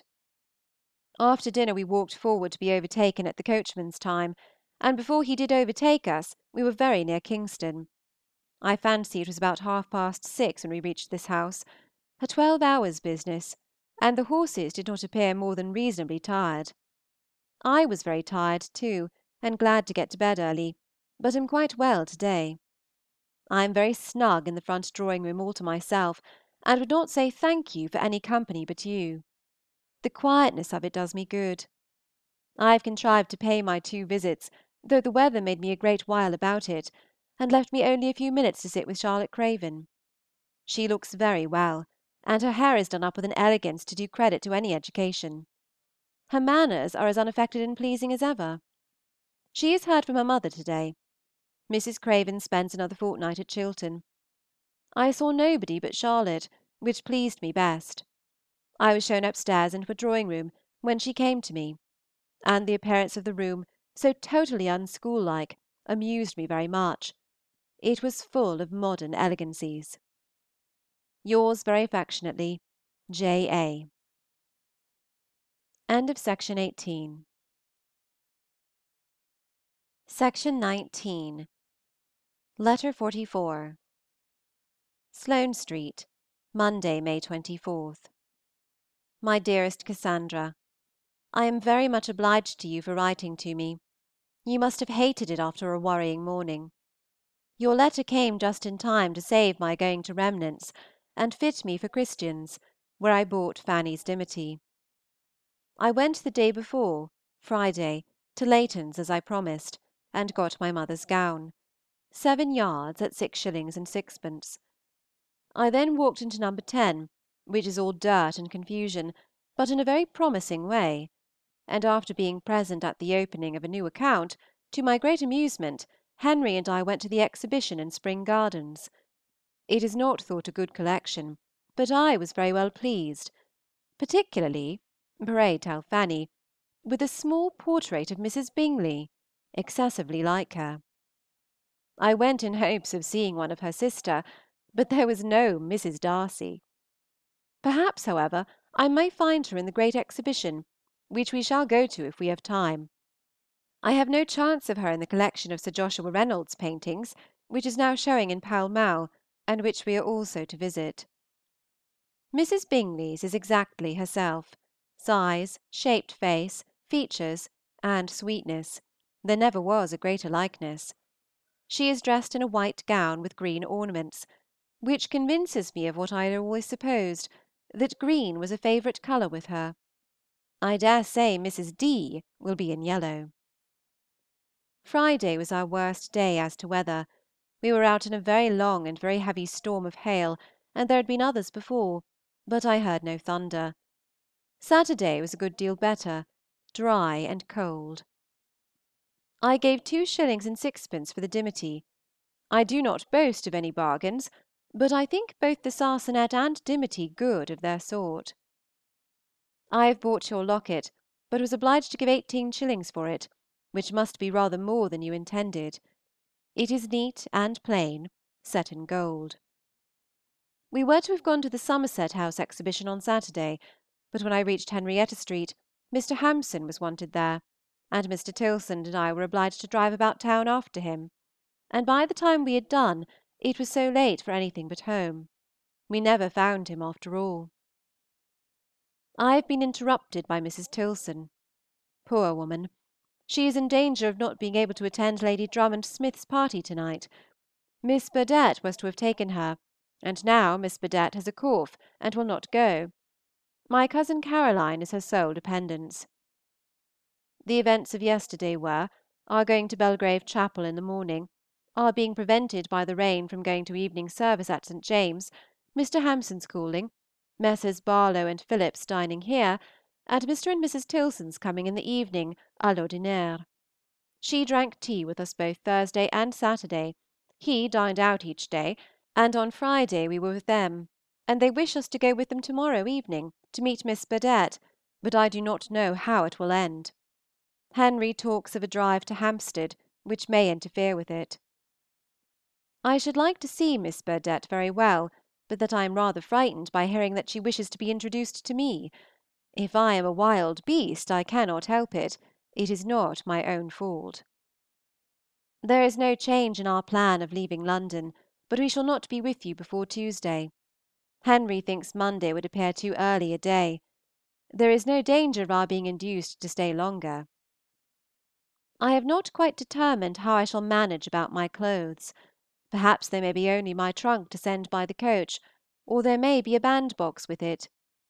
I have taken your gentle hint, and written to Mrs. Hill. The Hoblyns want us to dine with them, but we have refused. When Henry returns he will be dining out a great deal, I dare say; as he will then be alone, it will be more desirable; he will be more welcome at every table, and every invitation more welcome to him. He will not want either of us again till he is settled in Henrietta Street; this is my present persuasion. And he will not be settled there, really settled, till late in the autumn. He will not be come to bide till after September. There is a gentleman in treaty for this house. Gentleman himself is in the country, but gentleman's friend came to see it the other day, and seemed pleased on the whole. Gentleman would rather prefer an increased rent to parting with five hundred guineas at once, and if that is the only difficulty, it will not be minded. Henry is indifferent as to the which. Get us the best weather you can for Wednesday, Thursday, and Friday. We are to go to Windsor in our way to Henley, which will be a great delight. We shall be leaving Sloane Street about twelve, two or three hours after Charles's party have begun their journey. You will miss them, but the comfort of getting back into your own room will be great. And then the tea and sugar! I fear Miss Clewes is not better, or you would have mentioned it. I shall not write again unless I have any unexpected communication or opportunity to tempt me. I enclose Mr. Harrington's bill and receipt. I am very much obliged to Fanny for her letter. It made me laugh heartily, but I cannot pretend to answer it. Even had I more time, I should not feel at all sure of the sort of letter that Miss Darcy would write. I hope Miss Benn is got well again, and will have a comfortable dinner with you to day. Monday evening. We have been both to the Exhibition and Sir J. Reynolds's, and I am disappointed, for there was nothing like Mrs. D. at either. I can only imagine that Mr. D. prizes any picture of her too much to like it should be exposed to the public eye. I can imagine he would have that sort of feeling, that mixture of love, pride, and delicacy. Setting aside this disappointment, I had great amusement amongst the pictures, and the driving about, the carriage being open, was very pleasant. I liked my solitary elegance very much, and was ready to laugh all the time at my being where I was. I could not but feel that I had naturally small right to be parading about London in a barouche. Henry desires Edward may know that he had just bought three dozen of claret for him, cheap, and ordered it to be sent down to Chawton. I should not wonder if we got no farther than Reading on Thursday evening, and so reached Steventon only to a reasonable dinner hour the next day; but whatever I may write or you may imagine, we know it will be something different. I shall be quiet to morrow morning; all my business is done, and I shall only call again upon Mrs. Hoblyn, etc. Love to your much party. Yours affectionately, J. AUSTEN. Letter XLV. HENRIETTA Street, Wednesday (September 15), half past eight. Here I am, my dearest Cassandra, seated in the breakfast, dining, sitting room, beginning with all my might. Fanny will join me as soon as she is dressed, and begin her letter. We had a very good journey, weather and roads excellent, the first three stages for 1_s._ 6_d._, and sixpence, and our only misadventure the being delayed about a quarter of an hour at Kingston for horses, and being obliged to put up with a pair belonging to a hackney coach, and their coachman, which left no room on the barouche box for Lizzy, who was to have gone her last stage there as she did the first; consequently we were all four within, which was a little crowded. We arrived at a quarter past four, and were kindly welcomed by the coachman, and then by his master, and then by William, and then by Mrs. Perigord, who met us all before we reached the foot of the stairs. Madame Bigeon was below dressing us a most comfortable dinner of soup, fish, bouillet, partridges, and an apple tart, which we sat down to soon after five, after cleaning and dressing ourselves, and feeling that we were most commodiously disposed of. The little adjoining dressing room to our apartment makes Fanny and myself very well off indeed, and as we have poor Eliza's bed, our space is ample every way. Sais arrived safely about half past six. At seven we set off in a coach for the Lyceum, were at home again in about four hours and a half, had soup and wine and water, and then went to our holes. Edward finds his quarters very snug and quiet. I must get a softer pen. This is harder. I am in agonies. I have not yet seen Mr. Crabbe. Martha's letter is gone to the post. I am going to write nothing but short sentences. There shall be two full stops in every line. Layton and Shear's is Bedford House. We mean to get there before breakfast if it's possible, for we feel more and more how much we have to do and how little time. This house looks very nice. It seems like Sloane Street moved here. I believe Henry is just rid of Sloane Street. Fanny does not come, but I have Edward seated by me beginning a letter, which looks natural. Henry has been suffering from the pain in the face which he has been subject to before. He caught cold at Matlock, and since his return has been paying a little for past pleasure. It is nearly removed now, but he looks thin in the face, either from the pain or the fatigues of his tour, which must have been great. Lady Robert is delighted with P. and P., and really was so, as I understand, before she knew who wrote it, for of course she knows now. He told her with as much satisfaction as if it were my wish. He did not tell me this, but he told Fanny. And Mr. Hastings! I am quite delighted with what such a man writes about it. Henry sent him the books after his return from Daylesford, but you will hear the letter too. Let me be rational, and return to my two full stops. I talked to Henry at the play last night. We were in a private box, Mr. Spencer's, which made it much more pleasant. The box is directly on the stage. One is infinitely less fatigued than in the common way. But Henry's plans are not what one could wish. He does not mean to be at Chawton till the 29th. He must be in town again by October 5th. His plan is to get a couple of days of pheasant shooting, and then return directly. His wish was to bring you back with him. I have told him your scruples. He wishes you to suit yourself as to time, and if you cannot come till later, will send for you at any time as far as Bagshot. He presumed you would not find difficulty in getting so far. I could not say you would. He proposed your going with him into Oxfordshire. It was his own thought at first. I could not but catch at it for you. We have talked of it again this morning, for now we have breakfasted, and I am convinced that if you can make it suit in other respects you need not scruple on his account. If you cannot come back with him on the 3rd or 4th, therefore, I do hope you will contrive to go to Adlestrop. By not beginning your absence till about the middle of this month, I think you may manage it very well. But you will think all this over. One could wish he had intended to come to you earlier, but it cannot be helped. I said nothing to him Mrs. H. and Miss B., that he might not suppose difficulties. Shall not you put them into our own room? This seems to me the best plan, and the maid will be most conveniently near. Oh, dear me! when I shall ever have done. We did go to Layton and Shear's before breakfast. Very pretty English poplins at four shillings and 3_d._, Irish ditto at 6_s._, more pretty certainly, beautiful. Fanny and the two little girls are gone to take places for to night at Covent Garden. Clandestine Marriage and Midas. The latter will be a fine show for L. and M. They revelled last night in Don Juan, whom we left in hell at half past eleven. We had Scaramouch and a ghost, and were delighted. I speak of them; my delight was very tranquil, and the rest of us were sober minded. Don Juan was the last of three musical things; five hours at Brighton in three acts, of which one was over before we arrived, none the worse, and the Beehive, rather less flat and trumpery. I have this moment received five pounds from kind, beautiful Edward. Fanny has a similar gift. I shall save what I can of it for your better leisure in this place. My letter was from Miss Sharpe, nothing particular. A letter from Fanny Cage this morning. Four o'clock.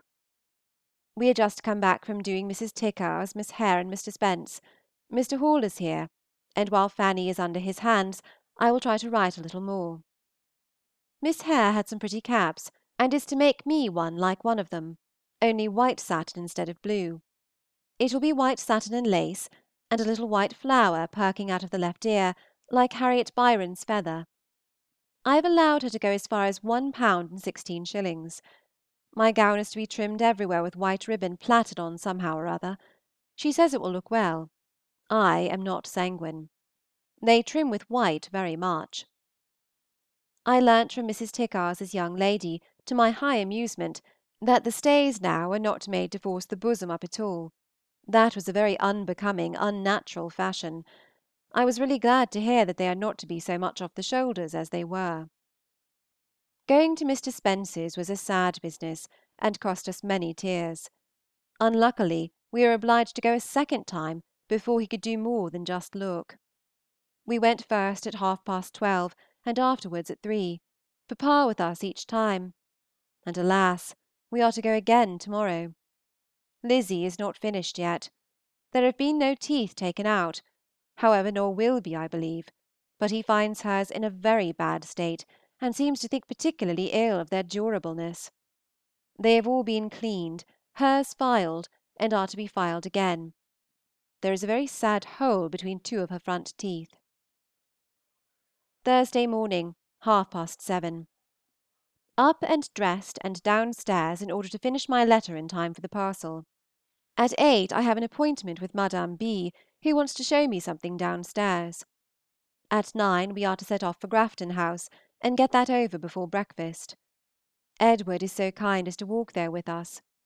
We are to be at Mr. Spencer's again from 11.5; from that time shall be driving about, I suppose, till four o'clock at least. We are, if possible, to call on Mrs. Tilson. Mr. Hall was very punctual yesterday, and curled me out at a great rate.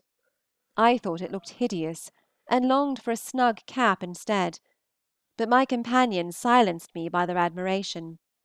I had only a bit of velvet round my head. I did not catch cold, however; the weather is all in my favor. I have had no pain in my face since I left you. We had very good places in the box next to stage box, front and second row; the three old ones behind, of course. I was particularly disappointed at seeing nothing of Mr. Crabbe. I felt sure of him when I saw that the boxes were fitted up with crimson velvet. The new Mr. Terry was Lord Ogleby, and Henry thinks he may do. but there was no acting more than moderate, and I was as much amused by the remembrances connected with Midas as with any part of it. The girls were very much delighted, but still preferred Don Juan, and I must say that I have seen nobody on the stage who has a more interesting character than that compound of cruelty and lust. It was not possible for me to get the worsteds yesterday. I heard Edward last night pressing Henry to come to you, and I think Henry engaged to go there after his November collection. Nothing has been done as to S. and S. The books came to hand too late for him to have time for it before he went. Mr. Hastings never hinted at Eliza in the smallest degree. Henry knew nothing of Mr. Trimmer's death. I tell you these things that you may not have to ask them over again. There is a new clerk sent down to Alton, a Mr. Edmund Williams, a young man whom Henry thinks most highly of, and he turns out to be a son of the luckless Williamses of Grosvenor Place. I long to have you hear Mr. H.'s opinion of P. and P. His admiring my Elizabeth so much is particularly welcome to me. Instead of saving my superfluous wealth for you to spend, I am going to treat myself with spending it myself. I hope at least that I shall find some poplin at Layton and Shear's that will tempt me to buy it. If I do, it shall be sent to Chawton, as half will be for you, for I depend upon your being so kind as to accept it, being the main point. It will be a great pleasure to me. Don't say a word. I only wish you could choose too. I shall send twenty yards. Now for Bath. Poor F. Cage has suffered a good deal from her accident. The noise of the White Hart was terrible to her. They will keep her quiet, I dare say. She is not so much delighted with the place as the rest of the party, probably, as she says herself, from having been less well, but she thinks she should like it the better in the season. The streets are very empty now, and the shops not so gay as she expected. They are at No. 1 Henrietta Street, the corner of Laura Place, and have no acquaintance at present but the Bramstons. Lady Bridges drinks at the Cross Bath, her son at the Hot, and Louisa is going to bathe. Dr. Parry seems to be half starving Mr. Bridges, for he is restricted to much such a diet as James's, bread, water, and meat, and is never to eat so much of that as he wishes, and he is to walk a great deal, walk till he drops, I believe, gout or no gout. It really is to that purpose. I have not exaggerated. Charming weather for you and us, and the travellers, and everybody. You will take your walk this afternoon, and End of section 19. Section 20. Letter 46. Henrietta Street, Thursday, September 16th, after dinner. Thank you, my dearest Cassandra, for the nice long letter I sent off this morning. I hope you have had it by this time, and that it has found you all well, and my mother no more in need of leeches. Whether this will be delivered to you by Henry on Saturday evening, or by the postman on Sunday morning, I know not, as he has lately recollected something of an engagement for Saturday, which perhaps may delay his visit. He seems determined to come to you soon, however. I hope you will receive the gown to morrow, and may be able with tolerable honesty to say you like the color. It was bought at Grafton House, where, by going very early, we got immediate attendance and went on very comfortably. I only forgot the one particular thing which I had always resolved to buy there, a white silk handkerchief, and was therefore obliged to give six shillings for one at Crook and Besford's, which reminds me to say that the worsteds ought also to be at Chawton to morrow, and that I shall be very happy to hear they are approved. I had not much time for deliberation. We are now all four of us young ladies sitting round the circular table in the inner room writing our letters while the two brothers are having a comfortable doze in the room adjoining. It is to be a quiet evening, much to the satisfaction of four of the six. My eyes are quite tired of dust and lamps. The letter you forwarded from Edward, junior, has been duly received. He has been shooting most prosperously at home, and dining at Chilham Castle with Mr. Scudamore. My cap is come home, and I like it very much. Fanny has one also. Hers is white sarcenet and lace, of a different shape from mine, more fit for morning carriage wear, which is what it is intended for, and is in shape exceedingly like our own satin and lace of last winter, shaped round the face exactly like it, with pipes and more fulness, and a round crown inserted behind. My cap has a peak in front. Large full bows of very narrow ribbon, old twopenny, are the thing; one over the right temple, perhaps, and another at the left ear. Henry is not quite well; his stomach is rather deranged. You must keep him in rhubarb, and give him plenty of port and water. He caught his cold farther back than I told you, before he got to Matlock, somewhere in his journey from the north, but the ill effects of that I hope are nearly gone. We returned from Grafton House only just in time for breakfast, and had scarcely finished breakfast when the carriage came to the door. From eleven to half past three we were hard at it; we did contrive to get to Hans Place for ten minutes. Mrs. T. was as affectionate and pleasing as ever. After our return, Mr. Tilson walked up from the Compting House and called upon us, and these have been all our visitings. I have rejoiced more than once that I bought my writing paper in the country. We have not had a quarter of an hour to spare. I enclose the 18d. due to my mother. The rose color was six shillings and the other four shillings per yard. There was but two yards and a quarter of the dark slate in the shop, but the man promised to match it and send it off correctly. Fanny bought her Irish at Newton's in Leicester Square, and I took the opportunity of thinking about your Irish and seeing one piece of the yard wide at four shillings, and it seemed to me very good good enough for your purpose; it might at least be worth your while to go there, if you have no other engagements. Fanny is very much pleased with the stockings she has bought of Remington, silk at twelve shillings, cotton at four shillings threepence. She thinks them great bargains, but I have not yet seen them, as my hair was dressing when the man and the stockings came. The poor girls and their teeth! I have not mentioned them yet, but we were a whole hour at Spence's and Lizzie's were filed and lamented over again, and poor Marianne had two taken out after all, and the two just beyond the eye teeth, to make room for those in front. When her doom was fixed, Fanny, Lizzie, and I walked into the next room, where we heard each of the two sharp and hasty screams. The little girl's teeth I can suppose in a critical state, but I think he must be a lover of teeth and money and mischief to parade about Fanny's. I would not have him look at mine for a shilling a tooth and double it. It was a disagreeable hour. We then went to Wedgwood's, where my brother and Fanny chose a dinner set.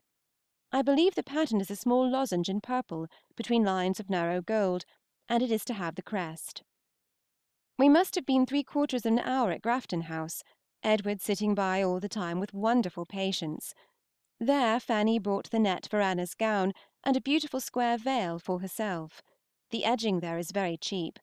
I was tempted by some, and I bought some very nice plaiting lace at three shillings and 4_d._ Fanny desires me to tell Martha, with her kind love, that Birchall assured her there was no second set of Hook's Lessons for Beginners, and that by my advice she has therefore chosen her a set by another composer.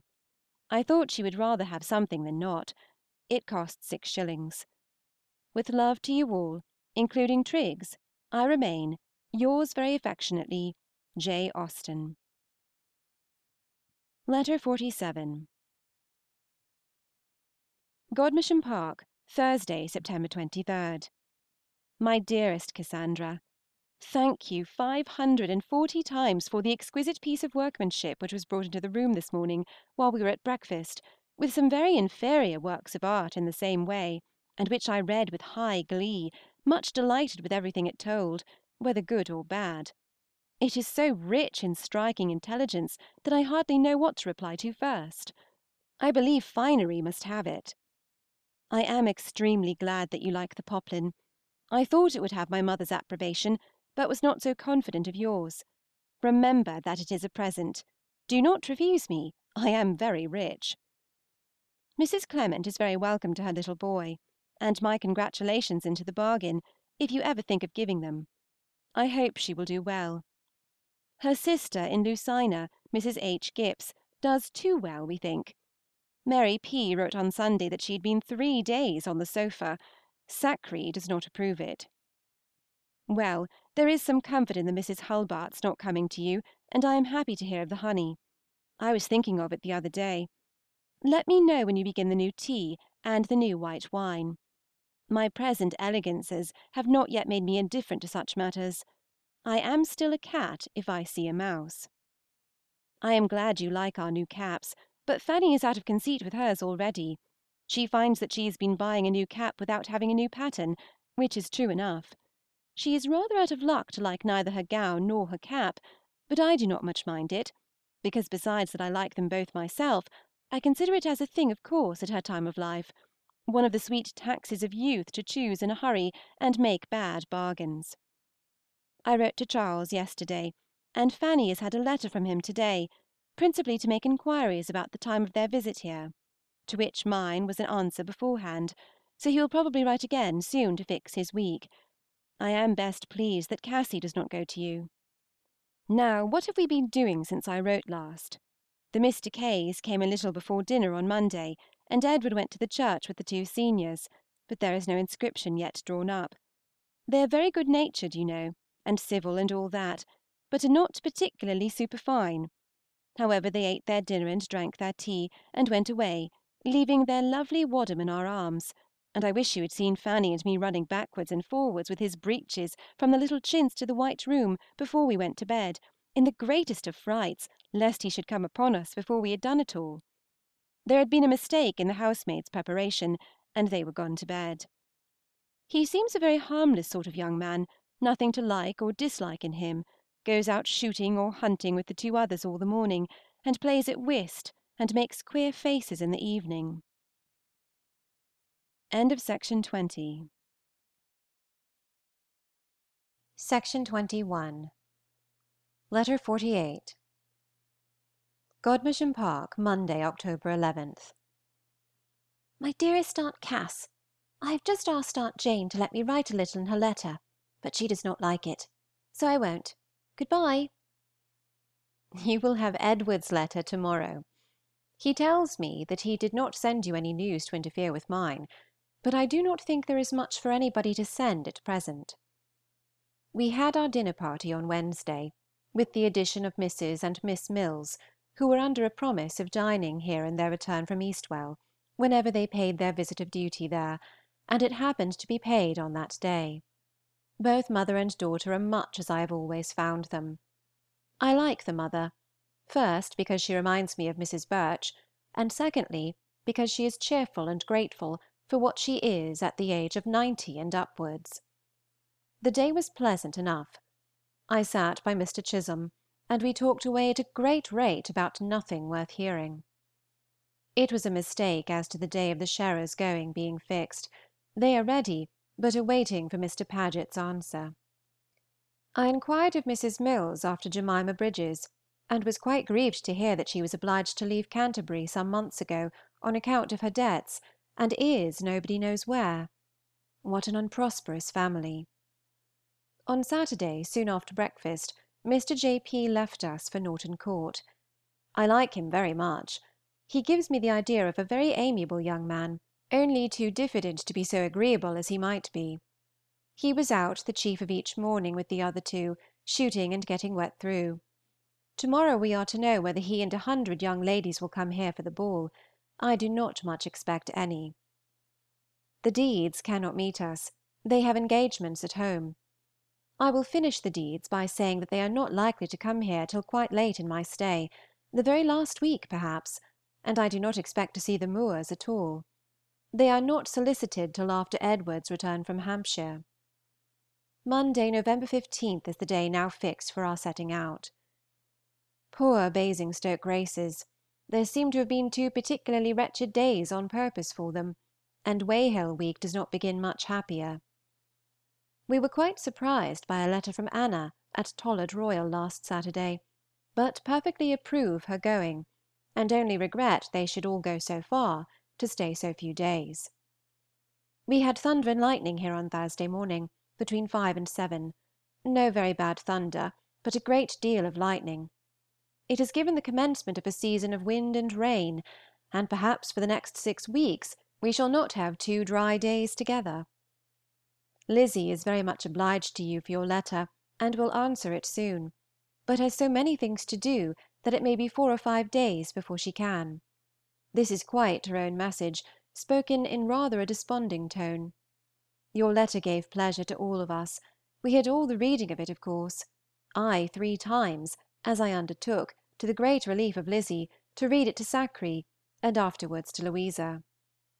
Sackree does not at all approve of Mary Doe and her nuts, on the score of propriety rather than health. She saw some signs of going after her in George and Henry, and thinks if you could give the girl a check, by rather reproving her for taking anything seriously about nuts which they said to her, it might be of use. This, of course, is between our three discreet selves, a scene of triennial bliss. Mrs. Bretton called here on Saturday. I never saw her before. She is a large, ungenteel woman, with self-satisfied and would-be elegant manners. We are certain of some visitors to morrow. Edward Bridges comes for two nights in his way from Lenham to Ramsgate, and brings a friend, name unknown, but supposed to be a Mr. Harper, a neighboring clergyman; and Mr. R. Mascall is to shoot with the young men, which it is to be supposed will end in his staying dinner. On Thursday Mr. Lushington, M.P. for Canterbury, and manager of the Lodge Hounds, dines here and stays the night. He is chiefly young Edward's acquaintance. If I can, I will get a frank from him, and write to you all the sooner. I suppose the Ashford ball will furnish something. As I wrote of my nephews with a little bitterness in my last, I think it particularly incumbent on me to do them justice now, and I have great pleasure in saying they were both at the sacrament yesterday. After having much praised or much blamed anybody, one is generally sensible of something just the reverse soon afterwards. Now these two boys, who are out with the foxhounds, will come home and disgust me again by some habit of luxury or some proof of sporting mania, unless I keep it off by this prediction. They amuse themselves very comfortably in the evening by netting; they are each about a rabbit net, and sit as deedily to it side by side as any two Uncle Franks could do. I am looking over Self Control again, and my opinion is confirmed of its being an excellently meant, elegantly written work, without anything of nature or probability in it. I declare I do not know whether Laura's passage down the American river is not the most natural, possible, every day thing she ever does. Tuesday. Dear me! what is to become of me? Such a long letter! two and forty lines in the second page. Like Harriet Byron, I ask, what am I to do with my gratitude? I can do nothing but thank you and go on. A few of your inquiries, I think, are replied to en avance. The name of F. Cage's drawing master is O'Neil. We are exceedingly amused with your Sheldon news, and your self reproach on the subject of Mrs. Stockwell made me laugh heartily. I rather wondered that John Johncock, the only person in the room, could help laughing too. I had not heard before of her having the measles. Mrs. H. and Althea's staying till Friday was quite new to me; a good plan, however. I could not have settled it better myself, and am glad they found so much in the house to approve, and I hope they will ask Martha to visit them. I admire the sagacity and taste of Charlotte Williams; those large dark eyes always judge well. I will compliment her by naming a heroine after her. Edward has had all the particulars of the building, etc., read to him twice over, and seems very well satisfied. A narrow door to the pantry is the only subject of solicitude; it is certainly just the door which should not be narrow, on account of the trays; but if a case of necessity, it must be borne. I knew there was sugar in the tin, but had no idea of there being enough to last through your company. All the better. You ought not to think this new loaf better than the other because that was the first of five which all came together. Something of fancy, perhaps, and something of imagination. Dear Mrs. Digweed! I cannot bear that she should not be foolishly happy after a ball. I hope Miss Yates and her companions were all well the day after their arrival. I am thoroughly rejoiced that Miss Benn has placed herself in lodgings, though I hope they may not be long necessary. No letter from Charles yet. Southey's Life of Nelson. I am tired of Lives of Nelson, being that I never read any. I will read this, however, if Frank is mentioned in it. Here am I in Kent, with one brother in the same county and another brother's wife, and see nothing of them, which seems unnatural. It will not last so forever, I trust. I should like to have Mrs. F. A. and her children here for a week, but not a syllable of that nature is ever breathed. I wish her last visit had not been so long a one. I wonder whether Mrs. Tilson has ever lain in. Mention it if it ever comes to your knowledge, and we shall hear of it by the same post from Henry. Mr. Rob Mascall breakfasted here. He eats a great deal of butter. I dined upon goose yesterday, which I hope will secure a good sale of my second edition. Have you any tomatoes? Fanny and I regale on them every day. Disastrous letters from the Plumptres and Oxendens, refusals everywhere, a blank partout, and it is not quite certain whether we go or not. Something may depend upon the disposition of Uncle Edward when he comes, and upon what we hear at Chilham Castle this morning, for we are going to pay visits. We are going to each house at Chilham and Mystole. I shall like seeing the Faggs. I shall like it all, except that we are to set out so early that I have not time to write as I wish. Edward Bridges's friend is a Mr. Hawker, I find, not Harper. I would not have you sleep in such an error for the world. My brother desires his best love and thanks for all your information. He hopes the roots of the old beech have been dug away enough to allow a proper covering of mould and turf. He is sorry for the necessity of building the new coin, but hopes they will contrive that the doorway should be of the usual width, if it must be contracted on one side, by widening it on the other. The appearance need not signify, and he desires me to say that your being at Chawton when he is will be quite necessary. You cannot think it more indispensable than he does. He is very much obliged to you for your attention to everything. Have you any idea of returning with him to Henrietta Street and finishing your visit then? Tell me your sweet little innocent ideas. Everything of love and kindness, proper and improper, must now suffice. Yours very affectionately, J. Austen. Letter 49. Godmersham Park, Thursday (October 14th. My dearest Cassandra, Now I will prepare for Mr. Lushington, and as it will be wisest also to prepare for his not coming or my not getting a frank, I shall write very close from the first, and even leave room for the seal in the proper place. When I have followed up my last with this, I shall feel somewhat less unworthy of you than the state of our correspondence now requires. I left off in a great hurry to prepare for our morning visits. Of course was ready a great deal the first, and need not have hurried so much. Fanny wore her new gown and cap. I was surprised to find Mystole so pretty. The ladies were at home. I was in luck, and saw Lady Fagg and all her five daughters, with an old Mrs. Hamilton from Canterbury, and Mrs. and Miss Chapman from Margate into the bargain. I never saw so plain a family. Five sisters so very plain. They are as plain as the Foresters, or the Franfraddops, or the Seagraves, or the Rivers, excluding Sophy. Miss Sally Fagg has a pretty figure, and that comprises all the good looks of the family. It was stupidish. Fanny did her part very well, but there was a lack of talk altogether, and the three friends in the house only sat by and looked at us. However, Miss Chapman's name is Laura, and she had a double flounce to her gown. You really must get some flounces. Are not some of your large stock of white morning gowns just in a happy state for a flounce? Too short? Nobody at home at either house in Chilham. Edward Bridges and his friend did not forget to arrive. The friend is a Mr. Wigram, one of the three and twenty children of a rich great mercantile, Sir Robert Wigram, an old acquaintance of the Footes, but very recently known to Edward B. The history of his coming here is that intending to go from Ramsgate to Brighton, Edward B. persuaded him to take Lenham on his way, which gave him the convenience of Mr. W.'s gig and the comfort of not being alone there; but, probably thinking a few days of Godmersham would be the cheapest and pleasantest way of entertaining his friend and himself, offered a visit here, and here they stay till to morrow.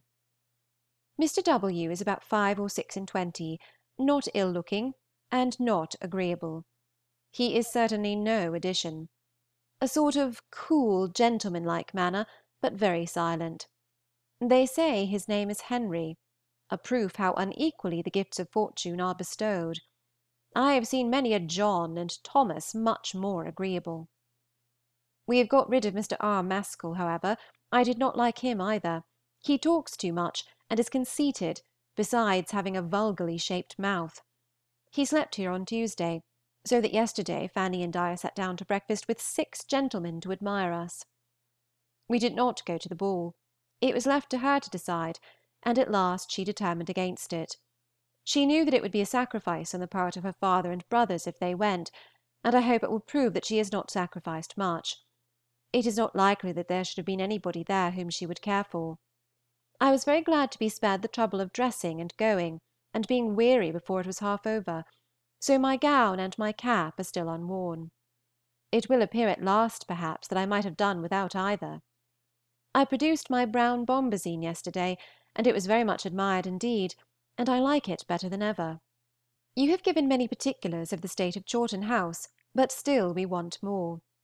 Edward wants to be expressly told that all the round tower, etc., is entirely down, and the door from the best room stopped up; he does not know enough of the appearance of things in that quarter. He heard from Bath yesterday. Lady B. continues very well, and Dr. Parry's opinion is that while the water agrees with her she ought to remain there, which throws their coming away at a greater uncertainty than we had supposed. It will end, perhaps, in a fit of the gout, which may prevent her coming away.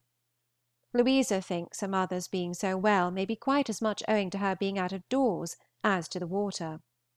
Lady B. is going to try the hot pump, the cross bath being about to be painted. Louisa is particularly well herself, and thinks the water has been of use to her. She mentioned our inquiries, etc., to Mr. and Mrs. Alex. Evelyn, and had their best compliments and thanks to give in return. Dr. Parry does not expect Mr. E. to last much longer. Only think of Mrs. Holder's being dead! Poor woman! she has done the only thing in the world she could possibly do to make one cease to abuse her. Now, if you please, Hooper must have it in his power to do more by his uncle. Lucky for the little girl! An Anne Elkins can hardly be so unfit for the care of a child as a Mrs. Holder. A letter from Wrotham yesterday offering an early visit here, and Mr. and Mrs. Moore and one child are to come on Monday for ten days. I hope Charles and Fanny may not fix the same time, but if they come at all in October they must. What is the use of hoping? The two parties of children is the chief evil. To be sure, here we are. The very thing has happened, or rather worse, a letter from Charles this very morning, which gives us reason to suppose they may come here to day. It depends upon the weather, and the weather is now very fine.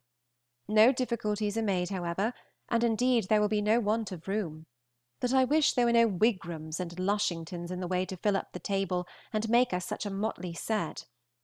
I cannot spare Mr. Lushington either, because of his frank but Mr. Wigram does no good to anybody.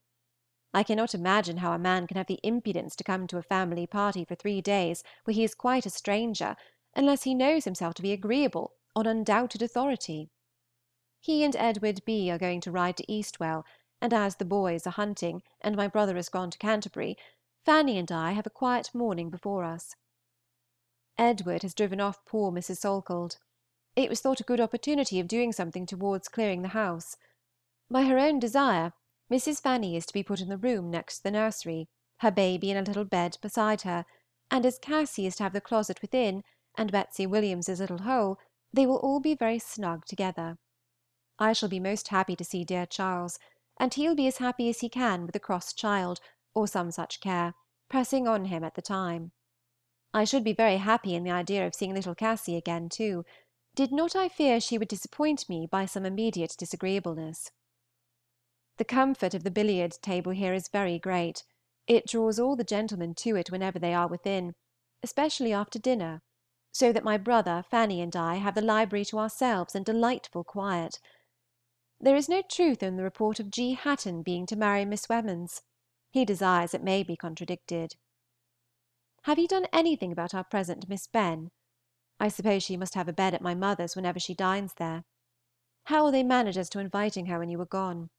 and if they invite, how will they continue to entertain her? Let me know as many of your parting arrangements as you can, as to wine, etc. I wonder whether the ink bottle has been filled. Does butcher's meat keep up at the same price, and is not bread lower than two shillings and sixpence? Mary's blue gown! My mother must be in agonies. I have a great mind to have my blue gown dyed some time or other. I proposed it once to you, and you made some objection, I forget what. It is the fashion of flounces that gives it particular expediency. Mrs. and Miss Wildman have just been here. Miss is very plain. I wish Lady B. may be returned before we leave Godmersham, that Fanny may spend the time of her father's absence at Goodnestone, which is what she would prefer. Friday. They came last night at about seven. We had given them up, but I still expected them to come. Dessert was nearly over, a better time for arriving than an hour and a half earlier. They were late because they did not set out earlier, and did not allow time enough. Charles did not aim at more than reaching Sittingbourne by three, which could not have brought them here by dinner time. They had a very rough passage; he would not have ventured if he had known how bad it would be. However, here they are, safe and well, just like their own nice selves, Fanny looking as neat and white this morning as possible, and dear Charles all affectionate, placid, quiet, cheerful good humor. They are both looking very well, but poor little Cassy is grown extremely thin, and looks poorly. I hope a week's country air and exercise may do her good. I am sorry to say it can be but a week. The baby does not appear so large in proportion as she was, nor quite so pretty, but I have seen very little of her. Cassy was too tired and bewildered just at first to seem to know anybody. We met them in the hall, the women and girl part of us, but before we reached the library she kissed me very affectionately, and has since seemed to recollect me in the same way. It was quite an evening of confusion, as you may suppose. At first we were all walking about from one part of the house to the other. Then came a fresh dinner in the breakfast room for Charles and his wife, which Fanny and I attended. Then we moved into the library, were joined by the dining room people, were introduced, and so forth; and then we had tea and coffee which was not over till past ten. Billiards again drew all the odd ones away, and Edward, Charles, the two Fannys, and I sat snugly talking. I shall be glad to have our numbers a little reduced, and by the time you receive this we shall be only a family, though a large family, party. Mr. Lushington goes to morrow. Now I must speak of him, and I like him very much. I am sure he is clever, and a man of taste. He got a volume of Milton last night, and spoke of it with warmth. He is quite an M.P., very smiling, with an exceeding good address and readiness of language. I am rather in love with him. I dare say he is ambitious and insincere. He puts me in mind of Mr. Dundas. He has a wide smiling mouth and very good teeth, and something the same complexion and nose. He is a much shorter man, with Martha's leave. Does Martha never hear from Mrs. Craven? Is Mrs. Craven never at home? We breakfasted in the dining room to day, and are now all pretty well dispersed and quiet. Charles and George are gone out shooting together, to Winnigates and Seaton Wood. I asked on purpose to tell Henry. Mr. Lushington and Edward are gone some other way. I wish Charles may kill something, but this high wind is against their sport. Lady Williams is living at the Rose in Sittingbourne. They called upon her yesterday. She cannot live at Sheerness, and as soon as she gets to Sittingbourne is quite well. In return for all your matches, I announce that her brother William is going to marry a Miss Austen, of a Wiltshire family, who say they are related to us. I talked to Cassy about Chawton. She remembers much, but does not volunteer on the subject. Poor little love! I wish she were not so very Palmery, but it seems stronger than ever. I never knew a wife's family features have such undue influence. Papa and mamma have not made up their mind as to parting with her or not. The chief, indeed the only difficulty with mamma is a very reasonable one, the child's being very unwilling to leave them. When it was mentioned to her she did not like the idea of it at all. At the same time she has been suffering so much lately from sea-sickness that her mamma cannot bear to have her much on board this winter. Charles is less inclined to part with her. I do not know how it will end, or what is to determine it. He desires his best love to you, and has not written because he has not been able to decide. They are both very sensible of your kindness on the occasion. I have made Charles furnish me with something to say about young Kendall. He is going on very well. When he first joined the Namur, my brother did not find him forward enough to be what they call put in the office, and therefore placed him under the schoolmaster; but he is very much improved, and goes into the office now every afternoon, still attending school in the morning. This cold weather comes very fortunately for Edward's nerves, with such a house full; it suits him exactly; he is all alive and cheerful. Poor James, on the contrary, must be running his toes into the fire. I find that Mary Jane Fowle was very near returning with her brother and paying them a visit on board. I forget exactly what hindered her; I believe the Cheltenham scheme. I am glad something did. They are to go to Cheltenham on Monday se'nnight. I don't vouch for their going, you know; it only comes from one of the family. Now I think I have written you a good sized letter, and may deserve whatever I can get in reply. Infinities of love. I must distinguish that of Fanny senior, who particularly desires to be remembered to you all. Yours very affectionately, J. AUSTEN. End of Section 21 Section 22 Letter 50 Godmersham Park, October 18th. My dear Aunt Cassandra, I am very much obliged to you for your long letter and for the nice account of Chawton. We are all very glad to hear that the Adams are gone, and hope Dame Libscombe will be more happy now with her deafy child, as she calls it, but I am afraid there is not much chance of her remaining long sole mistress of her house.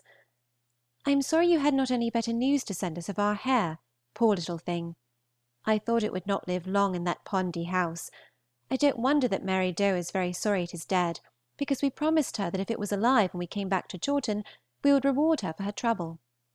Papa is very much obliged to you for ordering the scrubby firs to be cut down. I think he was rather frightened at first about the great oak.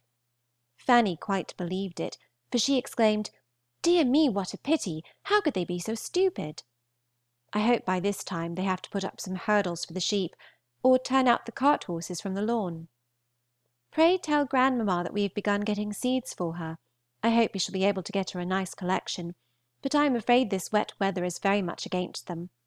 How glad I am to hear that she had such good success with her chickens, but I wish there had been some more bantams among them. I am very sorry to hear of poor Lizzie's fate. I must now tell you something about our poor people. I believe you know old Mary Croucher. She gets madderer and madderer every day. Aunt Jane has been to see her, but it was on one of her rational days. Poor Will Amos hopes your skewers are doing well. He has left his house in the Poor Row, and lives in a barn at Bilting. We asked him why he went away, and he said the fleas were so starved when he came back from Chawton that they all flew upon him, and enemost et him up. How unlucky it is that the weather is so wet! Poor Uncle Charles has come home half drowned every day. I don't think little Fanny is quite so pretty as she was. One reason is because she wears short petticoats, I believe. I hope Cook is better; she was very unwell the day before we went away. Papa has given me a half dozen new pencils, which are very good ones indeed. I draw every other day. I hope you go and whip Lucy Chalcraft every night. Miss Clewes begs me to give her very best respects to you; she is very much obliged to you for your kind inquiries after her.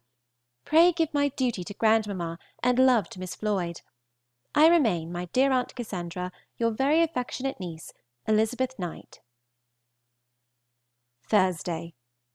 I think Lizzie's letter will entertain you. Thank you for yours just received. To morrow shall be fine if possible. You will be at Guildford before our party set off. They only go to Quay Street, as Mr. Street the purser lives there, and they have promised to dine and sleep with him.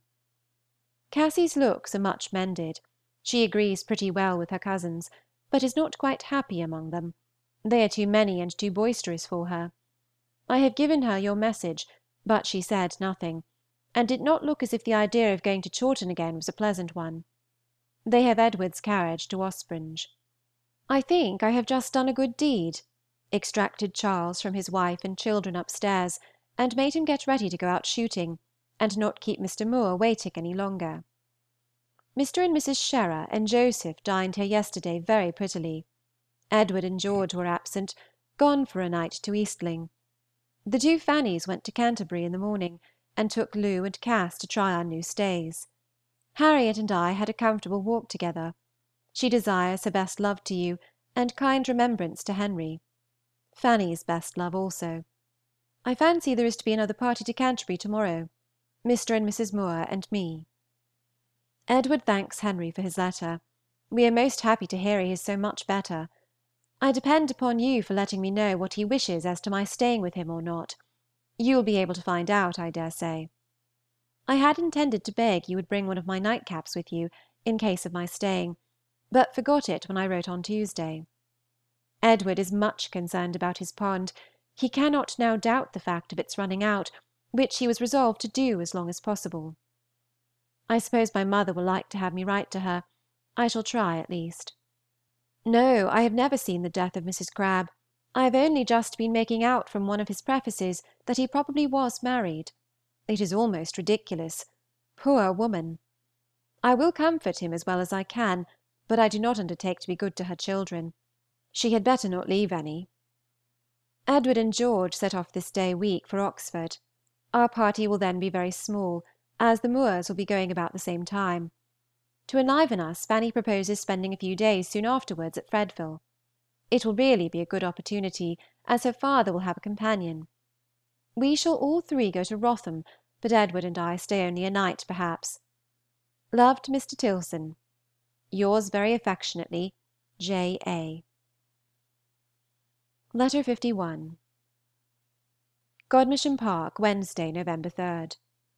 MY DEAREST CASSANDRA, I will keep this celebrated birthday by writing to you, and as my pen seems inclined to write large, I will put my lines very close together. I had but just time to enjoy your letter yesterday before Edward and I set off in the chair for Canterbury, and I allowed him to hear the chief of it as we went along. We rejoice sincerely in Henry's gaining ground as he does, and hope there will be weather for him to get out every day this week, as the likeliest way of making him equal to what he plans for the next. If he is tolerably well, the going into Oxfordshire will make him better, by making him happier. Can it be that I have not given you the minutiae of Edward's plans? See, here they are: to go to Wrotham on Saturday the 13th, spend Sunday there, and be in town on Monday to dinner, and, if agreeable to Henry, spend one whole day with him, which day is likely to be Tuesday, and so go down to Chawton on Wednesday. But now I cannot be quite easy without staying a little while with Henry, unless he wishes it otherwise. His illness and the dull time of year together make me feel that it would be horrible of me not to offer to remain with him, and therefore, unless you know of any objection, I wish you would tell him with my best love that I shall be most happy to spend ten days or a fortnight in Henrietta Street if he will accept me. I do not offer more than a fortnight, because I shall then have been some time from home, but it will be a great pleasure to be with him, as it always is. I have the less regret and scruple on your account, because I shall see you for a day and a half, and because you will have Edward for at least a week. My scheme is to take Bookham in my way home for a few days, and my hope that Henry will be so good as to send me some part of the way thither. I have a most kind repetition of Mrs. Cooke's two or three dozen invitations, with the offer of meeting me anywhere in one of her airings. Fanny's cold is much better. By dozing and keeping her room on Sunday, she got rid of the worst of it, but I am rather afraid of what this day may do for her. She is gone to Canterbury, with Miss Clewes, Liz, and Marianne, and is but roguish weather for any one in a tender state. Miss Clewes has been going to Canterbury ever since her return, and it is just now accomplishing. Edward and I had a delightful morning for our drive there. I enjoyed it thoroughly, but the day turned off before we were ready, and we came home in some rain and the apprehension of a great deal. It has not done us any harm, however. He went to inspect the gaol as a visiting magistrate, and took me with him. I was gratified, and went through all the feelings which people must go through, I think, in visiting such a building. We paid no other visits, only walked about snugly together, and shopped. I bought a concert ticket, and a sprig of flowers for my old age. To vary the subject from gay to grave with inimitable address, I shall now tell you something of the Bath party, and still a Bath party they are, for a fit of the gout came on last week. The accounts of Lady B. are as good as can be under such a circumstance. Dr. P. says it appears a very good sort of gout, and her spirits are better than usual; but as to her coming away, it is of course all uncertainty. I have very little doubt of Edward's going down to Bath, if they have not left it when he is in Hampshire. If he does, he will go on from Steventon, and then return direct to London, without coming back to Chawton. This detention does not suit his feelings. It may be rather a good thing, however, that Dr. P. should see Lady B. with the gout on her. Harriet was quite wishing for it. The day seems to improve. I wish my pen would too. Sweet Mr. Ogle! I dare say he sees all the panoramas for nothing, has free admittance everywhere; he is so delightful. Now you need not see anybody else. I am glad to hear of our being likely to have a peep at Charles and Fanny at Christmas, but do not force poor Cass to stay if she hates it. You have done very right as to Mrs. F. A. Your tidings of S. and S. give me pleasure; I have never seen it advertised. Harriet, in a letter to Fanny to day, inquires whether they sell cloths for pelisses at Bedford House, and if they do, will be very much obliged to you to desire them to send her down patterns, with the widths and prices. They may go from Charing Cross almost any day in the week, but if it is a ready money house it will not do, for the brew of fur the Archbishop says she cannot pay for it immediately. Fanny and I suspect they do not deal in the article. The Sherers, I believe, are now really going to go. Joseph has had a bed here the last two nights, and I do not know whether this is not the day of moving. Mrs. Sherer called yesterday to take leave. The weather looks worse again. We dine at Chilham Castle to morrow, and I expect to find some amusement, but more from the concert the next day, as I am sure of seeing several that I want to see.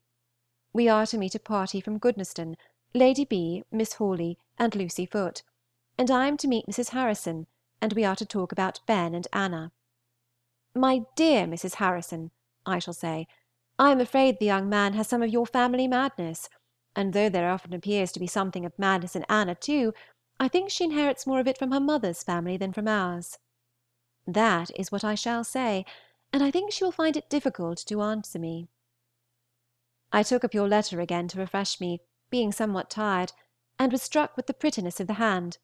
It is really a very pretty hand now and then, so small and neat. I wish I could get as much into a sheet of paper. Another time I will take two days to make a letter in. It is fatiguing to write a whole long one at once. I hope to hear from you again on Sunday, and again on Friday, the day before we move. On Monday, I suppose, you will be going to Streatham, to see quiet Mr. Hill, and eat very bad baker's bread. A fall in bread, by the by. I hope my mother's bill next week will show it. I have had a very comfortable letter from her one of her foolscap sheets quite full of little home news. Anna was there the first of the two days. An Anna sent away and an Anna fetched are different things. This will be an excellent time for Ben to pay his visit, now that we, the Formidables, are absent. I did not mean to eat, but Mr. Johncock has brought in the tray, so I must. I am all alone. Edward is gone into his woods. At this present time I have five tables, eight and twenty chairs, and two fires all to myself. Miss Clewes is to be invited to go to the concert with us. There will be my brother's place and ticket for her, as he cannot go. He and the other connections of the Cages are to meet at Milgate that very day, to consult about a proposed alteration of the Maidstone road, in which the Cages are very much interested. Sir Brook comes here in the morning, and they are to be joined by Mr. Deedes at Ashford. The loss of the concert will be no great evil to the Squire. We shall be a party of three ladies, therefore, and to meet three ladies. What a convenient carriage Henry's is to his friends in general! Who has it next? I am glad William's going is voluntary, and on no worse grounds. An inclination for the country is a venial fault. He has more of Cowper than of Johnson in him, fonder of tame hares and blank verse than of the full tide of human existence at Charing Cross. Oh, I have more of such sweet flattery from Miss Sharp. She is an excellent kind friend. I am read and admired in Ireland too. There is a Mrs. Fletcher, the wife of a judge, an old lady, and very good and very clever, who is all curiosity to know about me, what I am like, and so forth. I am not known to her by name, however. This comes through Mrs. Carrick, not through Mrs. Gore. You are quite out there. I do not despair of having my picture in the Exhibition at last, all white and red, with my head on one side, or perhaps I may marry young Mr. D'Arblay. I suppose in the mean time I shall owe dear Henry a great deal of money for printing, etc. I hope Mrs. Fletcher will indulge herself with S. and S. If I am to stay in H. S., and you should be writing home soon, I wish you would be so good as to give a hint of it, for I am not likely to write there again these ten days, having written yesterday. Fanny has set her heart upon its being a Mr. Brett who is going to marry a Miss Dora Best, of this country. I dare say Henry has no objection. Pray, where did the boys sleep? The Deedes come here on Monday to stay till Friday, so that we shall end with a flourish the last canto. They bring Isabella and one of the grown ups, and will come in for a Canterbury ball on Thursday. I shall be glad to see them. Mrs. Deedes and I must talk rationally together, I suppose. Edward does not write to Henry, because of my writing so often. God bless you. I shall be so glad to see you again, and I wish you many happy returns of this day. Poor Lord Howard! How he does cry about it! Yours very truly, J. A. End of Section 22 Section 23 Letter 52 Godmersham Park, Saturday, November 6. My dearest Cassandra, Having half an hour before breakfast, very snug in my own room, lovely morning, excellent fire, fancy me! I will give you some account of the last two days. And yet what is there to be told? I shall get foolishly minute unless I cut the matter short. We met only the Bretons at Chilham Castle besides a Mr. and Mrs. Osborne and a Miss Lee staying in the house, and were only fourteen altogether. My brother and Fanny thought it the pleasantest party they had ever known there, and I was very well entertained by bits and scraps. I had long wanted to see Dr. Breton, and his wife amuses me very much with her affected refinement and elegance. Miss Lee I found very conversable; she admires Crabbe as she ought. She is at an age of reason, ten years older than myself at least. She was at the famous ball at Chilham Castle, so of course you remember her. By the by, as I must leave off being young, I find many douceurs in being a sort of chaperon, for I am put on the sofa near the fire, and can drink as much wine as I like. We had music in the evening. Fanny and Mrs. Wildman played, and Mr. James Wildman sat close by and listened, or pretended to listen. Yesterday was a day of dissipation all through. First came Sir Brook to dissipate us before breakfast, then there was a call from Mr. Sherer, then a regular morning visit from Lady Honywood, in her way home from Eastwell, then Sir Brook and Edward set off, then we dined, five in number, at half past four, then we had coffee, and at six Miss Clewes, Fanny, and I drove away. We had a beautiful night for our frisks. We were earlier than we need have been, but after a time Lady B. and her two companions appeared; we had kept places for them, and there we sat, all six in a row, under a side wall, I between Lucy Foote and Miss Clewes. Lady B. was much what I expected. I could not determine whether she was rather handsome or very plain. I liked her for being in a hurry to have the concert over and get away and for getting away at last with a great deal of decision and promptness, not waiting to compliment and dawdle and fuss about seeing dear Fanny, who was half the evening in another part of the room with her friends the Plumptres. I am growing too minute, so I will go to breakfast. When the concert was over, Mrs. Harrison and I found each other out, and had a very comfortable little complimentary friendly chat. She is a sweet woman, still quite a sweet woman in herself, and so like her sister. I could almost have thought I was speaking to Mrs. Lefroy. She introduced me to her daughter, whom I think pretty, but most dutifully inferior to la Mère Boutet. The Faggs and the Hammonds were there, William Hammond the only young man of renown. Miss looked very handsome, but I prefer her little smiling, flirting sister Julia. I was just introduced at last to Mary Plumptre, but I should hardly know her again. She was delighted with me, however, good enthusiastic soul!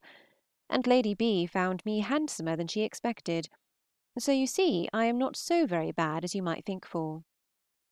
It was twelve before we reached home. We were all dog tired, but pretty well to day. Mrs. Clewes says she has not caught cold, and Fanny's does not seem worse. I was so tired that I began to wonder how I should get through the ball next Thursday; but there will be so much more variety then in walking about, and probably so much less heat, that perhaps I may not feel it more. My china crape is still kept for the ball. Enough of the concert. I had a letter from Mary yesterday. They travelled down to Cheltenham last Monday very safely, and are certainly to be there a month.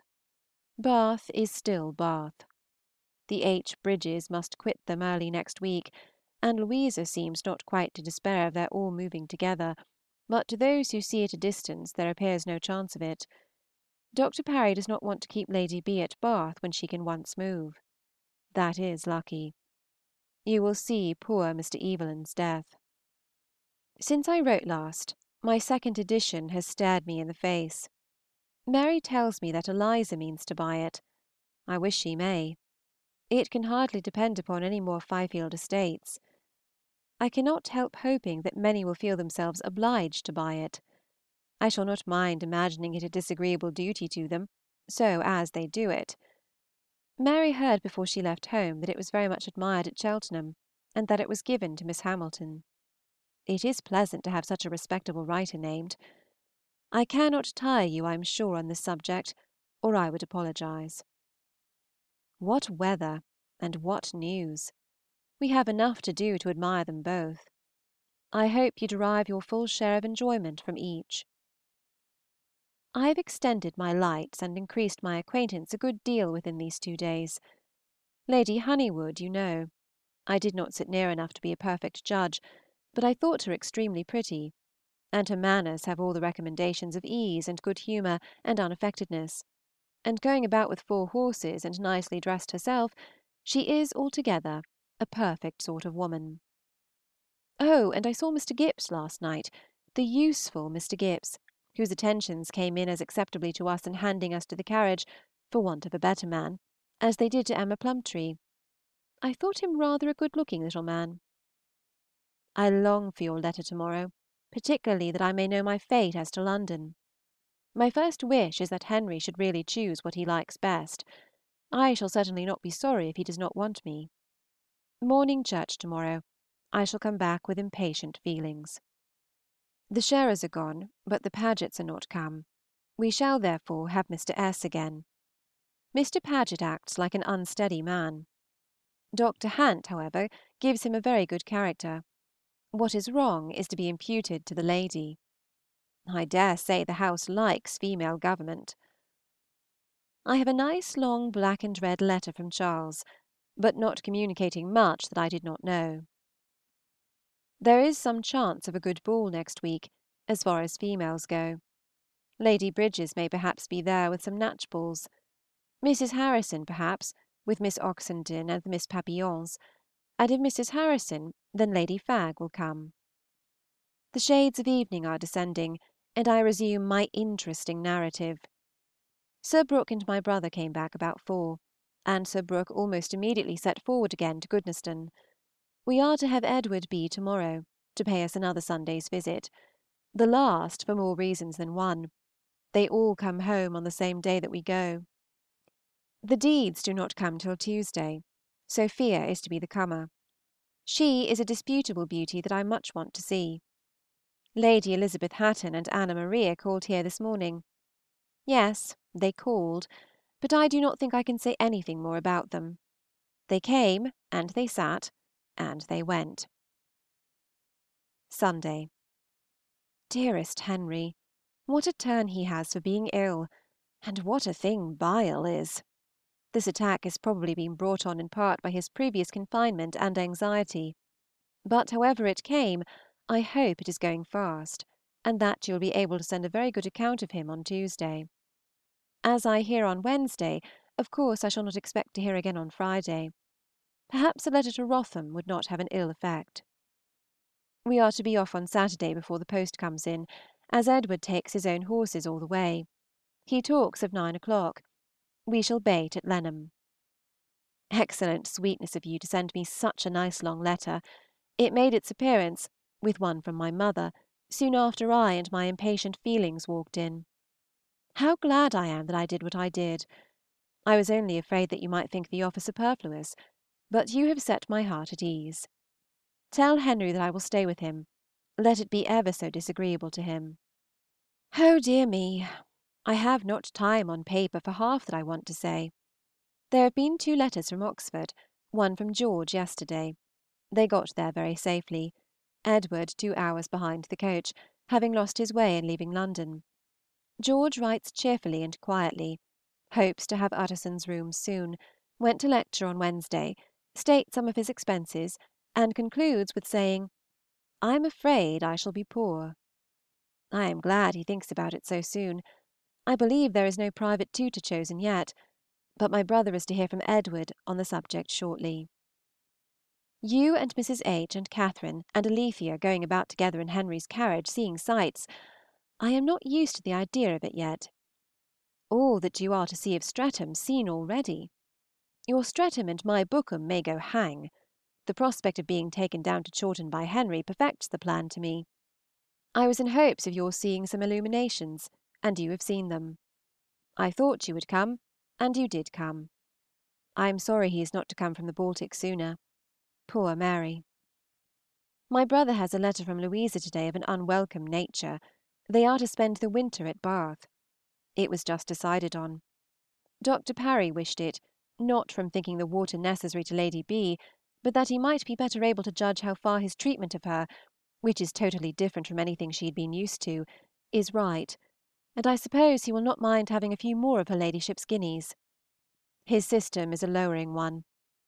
He took twelve ounces of blood from her when the gout appeared, and forbids wine, etc. Hitherto the plan agrees with her. She is very well satisfied to stay, but it is a sore disappointment to Louisa and Fanny. The H. Bridges leave them on Tuesday, and they mean to move into a smaller house. You may guess how Edward feels. There can be no doubt of his going to Bath now. I should not wonder if he brought Fanny Cage back with him. You shall hear from me once more some day or other. Yours very affectionately, J. A. We do not like Mr. Hampson's scheme. Letter 53. Henrietta Street, Wednesday, March 2, 1814. We had altogether a very good journey, and everything at Cobham was comfortable. I could not pay Mr. Harrington. That was the only alas of the business. I shall therefore return his bill, and my mother's two pounds, that you may try your luck. We did not begin reading till Bentley Green. Henry's approbation is hitherto even equal to my wishes. He says it is different from the other two, but does not appear to think it at all inferior. He has only married Mrs. R. I am afraid he has gone through the most entertaining part. He took to Lady B. and Mrs. N. most kindly, and gives great praise to the drawing of the characters. He understands them all, likes Fanny, and, I think, foresees how it will all be. I finished the heroine last night, and was very much amused by it. I wonder James did not like it better. It diverted me exceedingly. We went to bed at ten. I was very tired, but slept to a miracle, and am lovely to day, and at present Henry seems to have no complaint. We left Cobham at half past eight, stopped to bait and breakfast at Kingston, and were in this house considerably before two. Nice, smiling Mr. Barlow met us at the door, and in reply to inquiries after news, said that peace was generally expected. I have taken possession of my bedroom, unpacked my bandbox, sent Miss P.'s two letters to the twopenny post, have been visited by Madame B., and am now writing by myself at the new table in the front room. It is snowing. We had some snowstorms yesterday, and a smart frost at night, which gave us a hard road from Cobham to Kingston; but as it was then getting dirty and heavy, Henry had a pair of leaders put on to the bottom of Sloane Street. His own horses, therefore, cannot have had hard work. I watched for veils as we drove through the streets, and had the pleasure of seeing several upon vulgar heads. And now, how do you all do?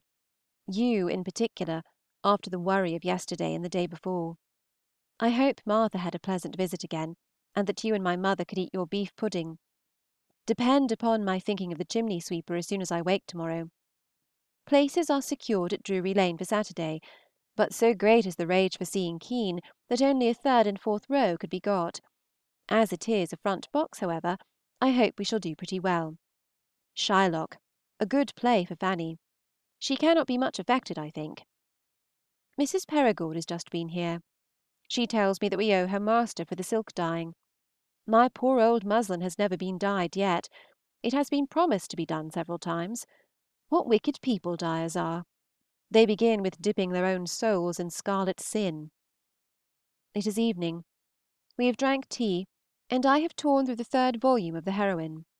I do not think it falls off. It is a delightful burlesque, particularly on the Radcliffe style. Henry is going on with "Mansfield Park." He admires H. Crawford. I mean properly, as a clever, pleasant man. I tell you all the good I can, as I know how much you will enjoy it. We hear that Mr. Kean is more admired than ever. There are no good places to be got in Drury Lane for the next fortnight, but Henry means to secure some for Saturday fortnight, when you are reckoned upon. Give my love to little Cass. I hope she found my bed comfortable last night. I have seen nobody in London yet with such a long chin as Dr. Syntax nor anybody quite so large as Gog Magolicus. Yours affectionately, J. AUSTEN. End of Section 23. Section 24. Letter 54. Henrietta Street, Wednesday, March 9. Well, we went to the play again last night, and as we were out a great part of the morning too, shopping and seeing the Indian jugglers, I am very glad to be quiet now till dressing time. We are to dine at the Tilsons, and to morrow at Mr. Spencer's. We had not done breakfast yesterday when Mr. J. Plumptre appeared to say that he had secured a box. Henry asked him to dine here, which I fancy he was very happy to do, and so at five o'clock we four sat down to table together, while the master of the house was preparing for going out himself. The farmer's wife is a musical thing in three acts, and as Edward was steady in not staying for anything more, we were home before ten. Fanny and Mr. J. P. are delighted with Miss S., and her merit in singing is, I dare say, very great. That she gave me no pleasure is no reflection upon her, nor, I hope, upon myself, being what nature made me on that article. All that I am sensible of in Miss S. is a pleasing person and no skill in acting. We had Matthews, Liston, and Emery; of course some amusement. Our friends were off before half past eight this morning, and had the prospect of a heavy cold journey before them.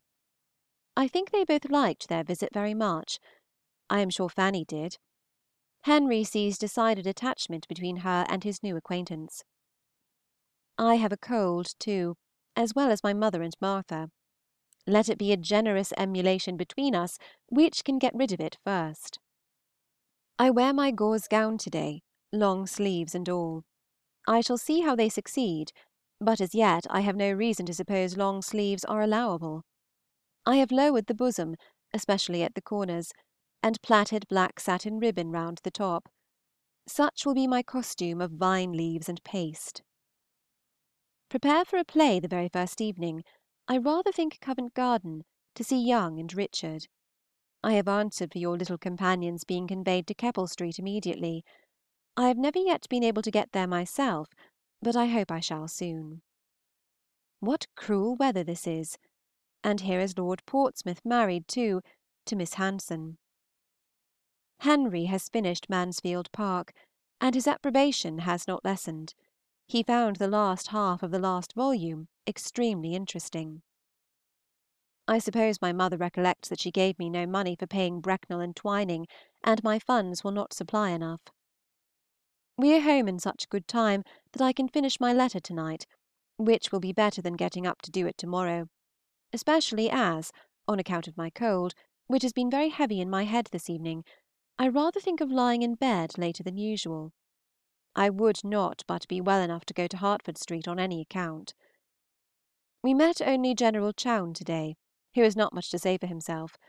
I was ready to laugh at the remembrance of Frederick, and such a different Frederick as we chose to fancy him to the real Christopher. Mrs. Tilson had long sleeves too, and she assured me that they are worn in the evening by many. I was glad to hear this. She dines here, I believe, next Tuesday. On Friday we are to be snug with only Mr. Barlow and an evening of business. I am so pleased that the mead is brewed. Love to all. I have written to Mrs. Hill, and care for nobody. Yours affectionately, J. AUSTEN. Letter 55 Chawton, Tuesday (June 13). MY DEAREST CASSANDRA, Fanny takes my mother to Alton this morning, which gives me an opportunity of sending you a few lines without any other trouble than that of writing them. This is a delightful day in the country, and I hope not much too hot for town. Well, you had a good journey, I trust, and all that, and not rain enough to spoil your bonnet. It appeared so likely to be a wet evening that I went up to the great house between three and four, and dawdled away an hour very comfortably, though Edward was not very brisk. The air was clearer in the evening, and he was better. We all five walked together into the kitchen garden and along the Gosport road, and they drank tea with us. You will be glad to hear that G. Turner has another situation, something in the Cow line, near Rumsey, and he wishes to move immediately, which is not likely to be inconvenient to anybody. The new nurseryman at Alton comes this morning to value the crops in the garden. The only letter to day is from Mrs. Cooke to me. They do not leave home till July, and want me to come to them, according to my promise. And, after considering everything, I have resolved on going. My companions promote it.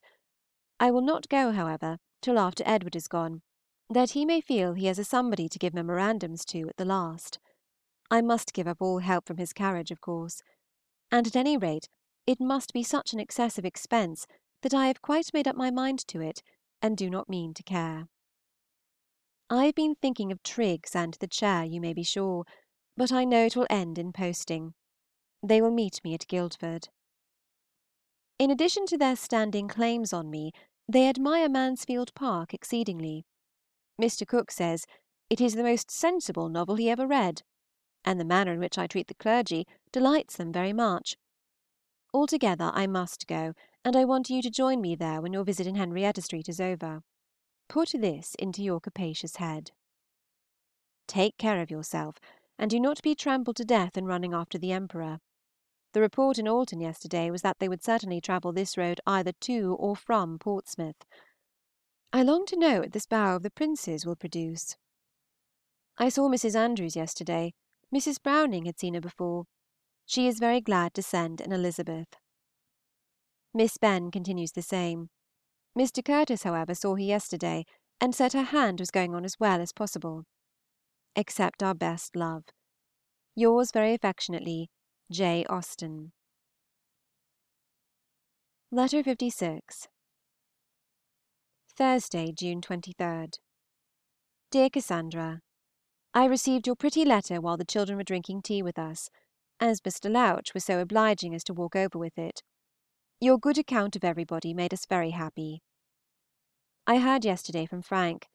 When he began his letter he hoped to be here on Monday, but before it was ended he had been told that the Naval Review would not take place till Friday, which would probably occasion him some delay as he cannot get some necessary business of his own attended to while Portsmouth is in such a bustle.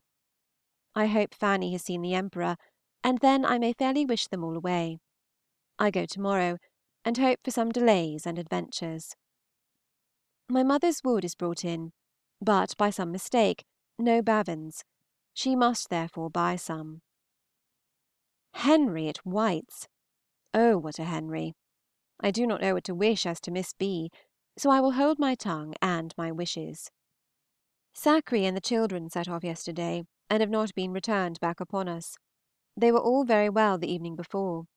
We had handsome presents from the great house yesterday, a ham and the four leeches. Sackree has left some shirts of her master's at the school, which, finished or unfinished, she begs to have sent by Henry and William. Mr. Hinton is expected home soon, which is a good thing for the shirts. We have called upon Miss Dusautoy and Miss Papillon, and been very pretty. Miss D. has a great idea of being Fanny Price, she and her youngest sister together, who is named Fanny. Miss Benn has drank tea with the Proutings, and, I believe, comes to us this evening. She has still a swelling about the forefinger and a little discharge, and does not seem to be on the point of a perfect cure, but her spirits are good, and she will be most happy, I believe, to accept any invitation. The Clements are gone to Petersfield to look. Only think of the Marquis of Granby being dead! I hope, if it please Heaven there should be another son, they will have better sponsors and less parade. I certainly do not wish that Henry should think again of getting me to town. I would rather return straight from Bookham; but if he really does propose it, I cannot say no to what will be so kindly intended.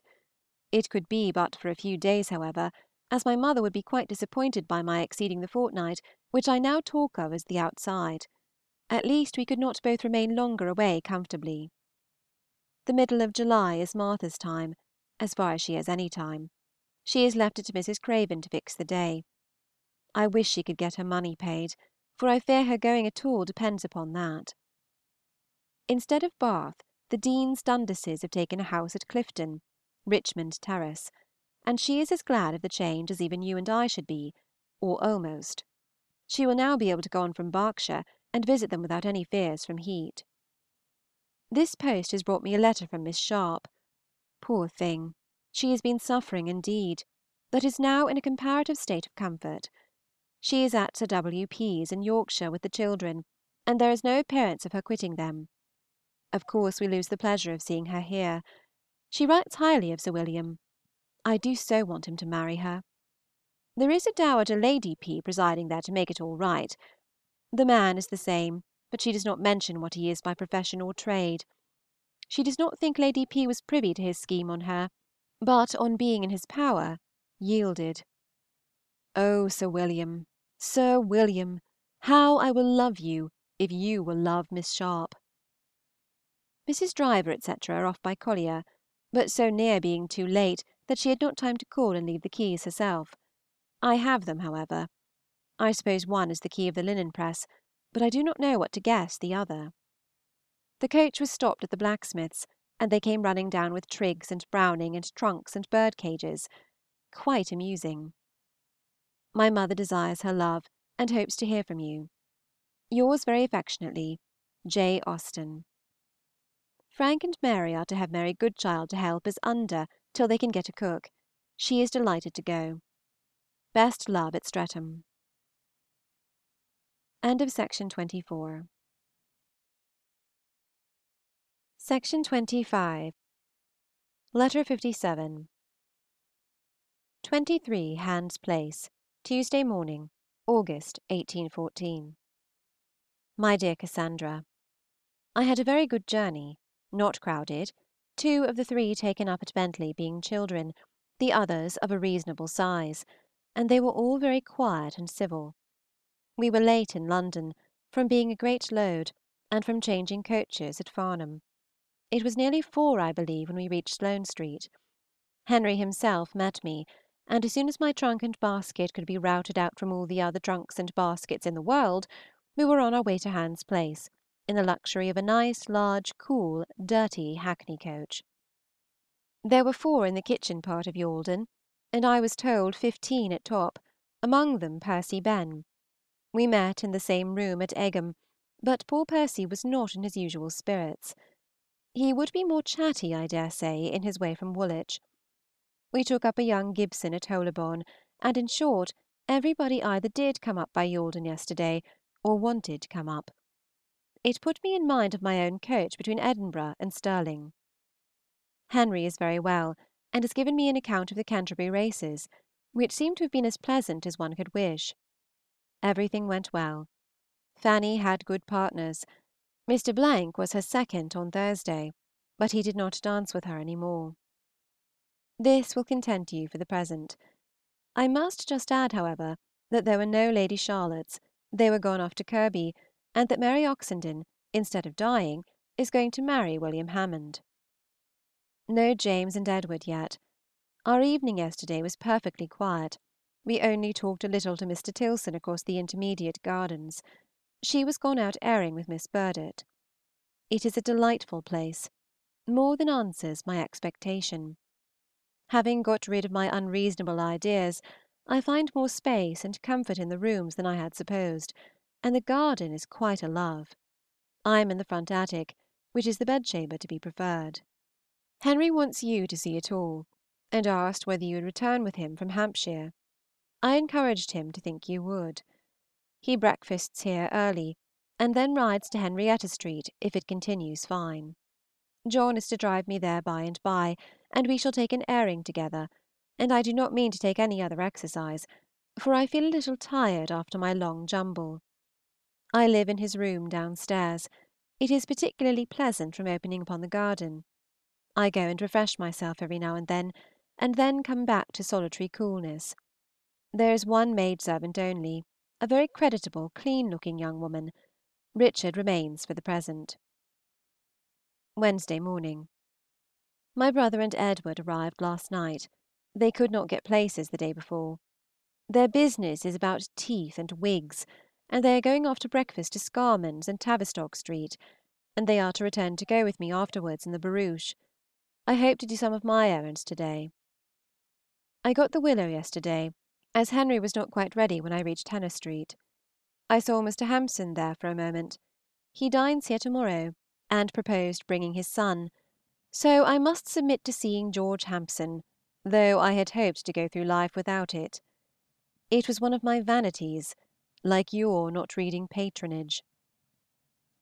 After leaving H. Street we drove to Mrs. Latouche's; they are always at home, and they are to dine here on Friday.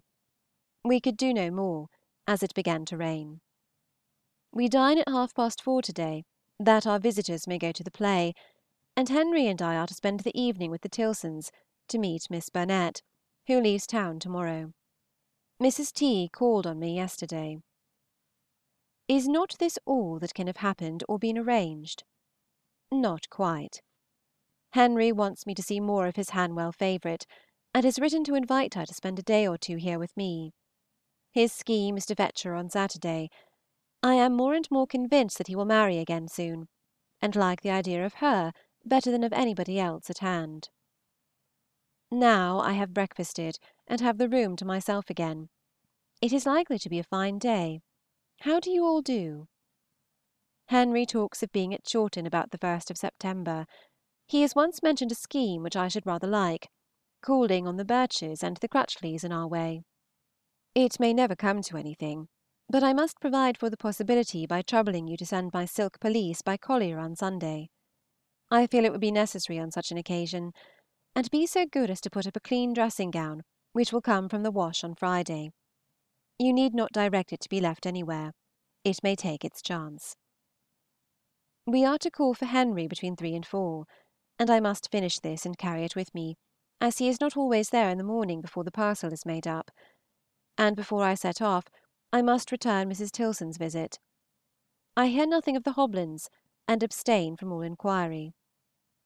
I hope Mary Jane and Frank's gardens go on well. Give my love to them all. Nunna Hat's love to George. A great many people wanted to run up in the coach as well as me. The wheat looked very well all the way, and James says the same of his road. The same good account of Mrs. C.'s health continues, and her circumstances mend. She gets farther and farther from poverty. What a comfort! Good bye to you. Yours very truly and affectionately, JANE. All well at Steventon. I hear nothing particular of Ben, except that Edward is to get him some pencils. Letter 58. My dear Anna, I am very much obliged to you for sending your manuscript. It has entertained me extremely, indeed all of us. I read it aloud to your grandmamma and Aunt Cass, and we were very much pleased. The spirit does not droop at all. Sir Thomas, Lady Helen, and St. Julian are very well done, and Cecilia continues to be interesting in spite of her being so amiable. It is very fit you should advance her age. I like the beginning of Devereux Foster very much, a great deal better than if he had been very good or very bad. A few verbal corrections are all that I felt tempted to make, the principal of them is a speech of St. Julian to Lady Helen, which you see I have presumed to alter. As Lady H. is Cecilia's superior, it would not be correct to talk of her being introduced. It is Cecilia who must be introduced. And I do not like a lover speaking in the third person; it is too much like the part of Lord Overtley, and I think it not natural. If you think differently, however, you need not mind me. I am impatient for more, and only wait for a safe conveyance to return this. Yours affectionately, J. A. Letter 59. August 10, 1814. My dear Anna, I am quite ashamed to find that I have never answered some question of yours in a former note. I kept it on purpose to refer to it at a proper time, and then forgot it. I like the name "Which is the Heroine" very well, and I dare say shall grow to like it very much in time, but enthusiasm was something so very superior that my common title must appear to disadvantage. I am not sensible of any blunders about Dawlish; the library was pitiful and wretched twelve years ago, and not likely to have anybody's publications. There is no such title as Desborough, either among dukes, marquises, earls, viscounts, or barons. These were your inquiries. I will now thank you for your envelope received this morning. Your Aunt Cass is as well pleased with St. Julian as ever, and I am delighted with the idea of seeing Progillian again. Wednesday, 17th. We have now just finished the first of the three books I had the pleasure of receiving yesterday. I read it aloud, and we were all very much amused, and I like the work quite as well as ever. I depend on getting through another book before dinner, but there is really a good deal of respectable reading in your forty eight pages. I have no doubt six would make a very good sized volume. You must have been quite pleased to have accomplished so much. I like Lord Portman and his brother very much. I am only afraid that Lord P.'s good nature will make most people like him better than he deserves. The whole family are very good, and Lady Anne, who is your great dread, you have succeeded particularly well with. Bell Griffin is just what she should be.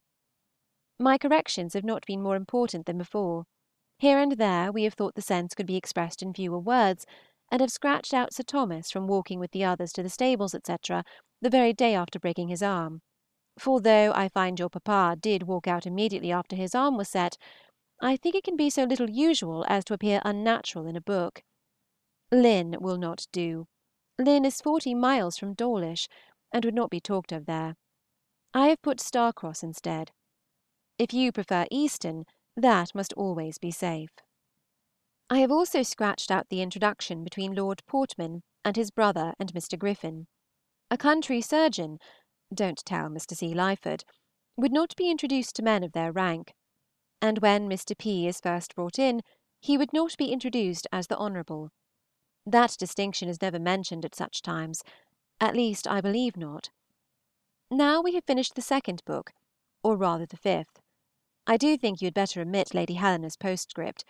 To those that are acquainted with Pride and Prejudice it will seem an imitation. And your Aunt C. and I both recommend your making a little alteration in the last scene between Devereux F. and Lady Clanmurray and her daughter. We think they press him too much, more than sensible or well bred women would do. Lady C. at least should have discretion enough to be sooner satisfied with his determination of not going with them. I am very much pleased with Egerton as yet.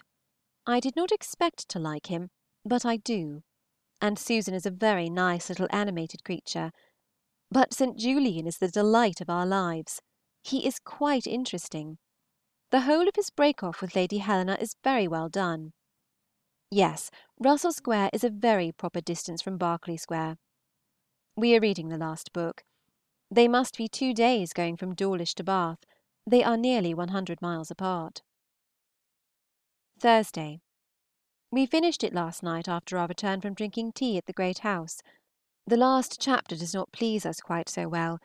We do not thoroughly like the play perhaps from having had too much of plays in that way lately vide Mansfield Park and we think you had better not leave England. Let the Portmans go to Ireland, but as you know nothing of the manners there, you had better not go with them. You will be in danger of giving false representations. Stick to Bath and the Foresters. There you will be quite at home. Your Aunt C. does not like desultory novels, and is rather afraid yours will be too much so that there will be too frequently a change from one set of people to another, and that circumstances will be introduced of apparent consequence which will lead to nothing. It will not be so great an objection to me if it does. I allow much more latitude than she does, and think nature and spirit cover many sins of a wandering story, and people in general do not care so much about it for your comfort. I should like to have had more of Devereux. I do not feel acquainted enough with him. You were afraid of meddling with him, I dare say. I like your sketch of Lord Clanmurray, and your picture of the two young girls' enjoyment is very good. I have not noticed St. Julian's serious conversation with Cecilia, but I like it exceedingly. What he says about the madness of otherwise sensible women on the subject of their daughters coming out is worth its weight in gold. I do not perceive that the language sinks. Pray go on. End of section 25. Section 26. Letter 60. Chawton, September 9. My dear Anna, We have been very much amused by your three books, but I have a good many criticisms to make, more than you will like. We are not satisfied with Mrs. Forester settling herself as tenant and near neighbor to such a man as Sir Thomas, without having some other inducement to go there. She ought to have some friend living thereabouts to tempt her. A woman going with two girls just growing up into a neighborhood where she knows nobody but one man of not very good character is an awkwardness which so prudent a woman as Mrs. F. would not be likely to fall into. Remember, she is very prudent; you must not let her act so inconsistently. Give her a friend, and let that friend be invited by Sir Thomas H. to meet her, and we shall have no objection to her dining at the Priory as she does; but otherwise a woman in her situation would hardly go there before she has been visited by other families. I like the scene itself, the Miss Leslie, Lady Anne, and the music very much. Leslie is a noble name. Sir Thomas H. you always do very well. I have only taken the liberty of expunging one phrase of his which would not be allowable. Bless my heart! It is too familiar and inelegant. Your grandmother is more disturbed at Mrs. Forrester's not returning the Egertons' visit sooner than by anything else. They ought to have called at the parsonage before Sunday. You describe a sweet place, but your descriptions are often more minute than would be liked. You give too many particulars of right hand and left. Mrs. Forrester is not careful enough of Susan's health. Susan ought not to be walking out so soon after heavy rains, taking long walks in the dirt. An anxious mother would not suffer it. I like your Susan very much. She is a sweet creature; her playfulness of fancy is very delightful. I like her as she is now exceedingly, but I am not quite so well satisfied with her behavior to George R. At first she seems all over attachment and feeling, and afterwards to have none at all. She is so extremely confused at the ball, and so well satisfied apparently with Mr. Morgan. She seems to have changed her character. You are now collecting your people delightfully, getting them exactly into such a spot as is the delight of my life. Three or four families in a country village is the very thing to work on, and I hope you will do a great deal more, and make full use of them while they are so very favorably arranged. You are but now coming to the heart and beauty of your story. Until the heroine grows up the fun must be imperfect, but I expect a great deal of entertainment from the next three or four books, and I hope you will not resent these remarks by sending me no more. We like the Egertons very well. We see no blue pantaloons or cocks or hens. There is nothing to enchant one certainly in Mr. L. L., but we make no objection to him, and his inclination to like Susan is pleasing. The sister is a good contrast, but the name of Rachel is as much as I can bear. They are not so much like the Papillons as I expected. Your last chapter is very entertaining, the conversation on genius, etc. Mr. St. Julian and Susan both talk in character, and very well. In some former parts Cecilia is perhaps a little too solemn and good, but upon the whole her disposition is very well opposed to Susan's; her want of imagination is very natural. I wish you could make Mrs. Forester talk more but she must be difficult to manage and make entertaining, because there is so much good sense and propriety about her that nothing can be made very broad. Her economy and her ambition must not be staring. The papers left by Mrs. Fisher are very good. Of course one guesses something. I hope when you have written a great deal more you will be equal to scratching out some of the past. The scene with Mrs. Mellish I should condemn; it is prosy and nothing to the purpose, and indeed the more you can find in your heart to curtail between Dawlish and Newton Priors, the better I think it will be. One does not care for girls until they are grown up. Your Aunt C. quite understands the exquisiteness of that name; Newton Priors is really a nonpareil. Milton would have given his eyes to have thought of it. Is not the cottage taken from Tollard Royal? Thus far the letter was written on the 9th, but before it was finished, news arrived at Chawton of the death of Mrs. Charles Austen. She died in her confinement, and the baby died also. She left three little girls, Cassy, Harriet, and Fanny. It was not until the 18th that Jane resumed her letter as follows: Sunday. I am very glad, dear Anna, that I wrote as I did before this sad event occurred. I have only to add that your grandmamma does not seem the worse now for the shock. I shall be very happy to receive more of your work if more is ready, and you write so fast that I have great hopes Mr. Digweed will come back freighted with such a cargo as not all his hops or his sheep could equal the value of. Your grandmamma desires me to say that she will have finished your shoes to morrow, and thinks they will look very well; and that she depends upon seeing you, as you promise, before you quit the country, and hopes you will give her more than a day. Yours affectionately, J. AUSTEN. Letter 61. CHAWTON, Wednesday (September 28). MY DEAR ANNA, I hope you do not depend on having your book again immediately. I kept it that your grandmamma may hear it, for it has not been possible yet to have any public reading.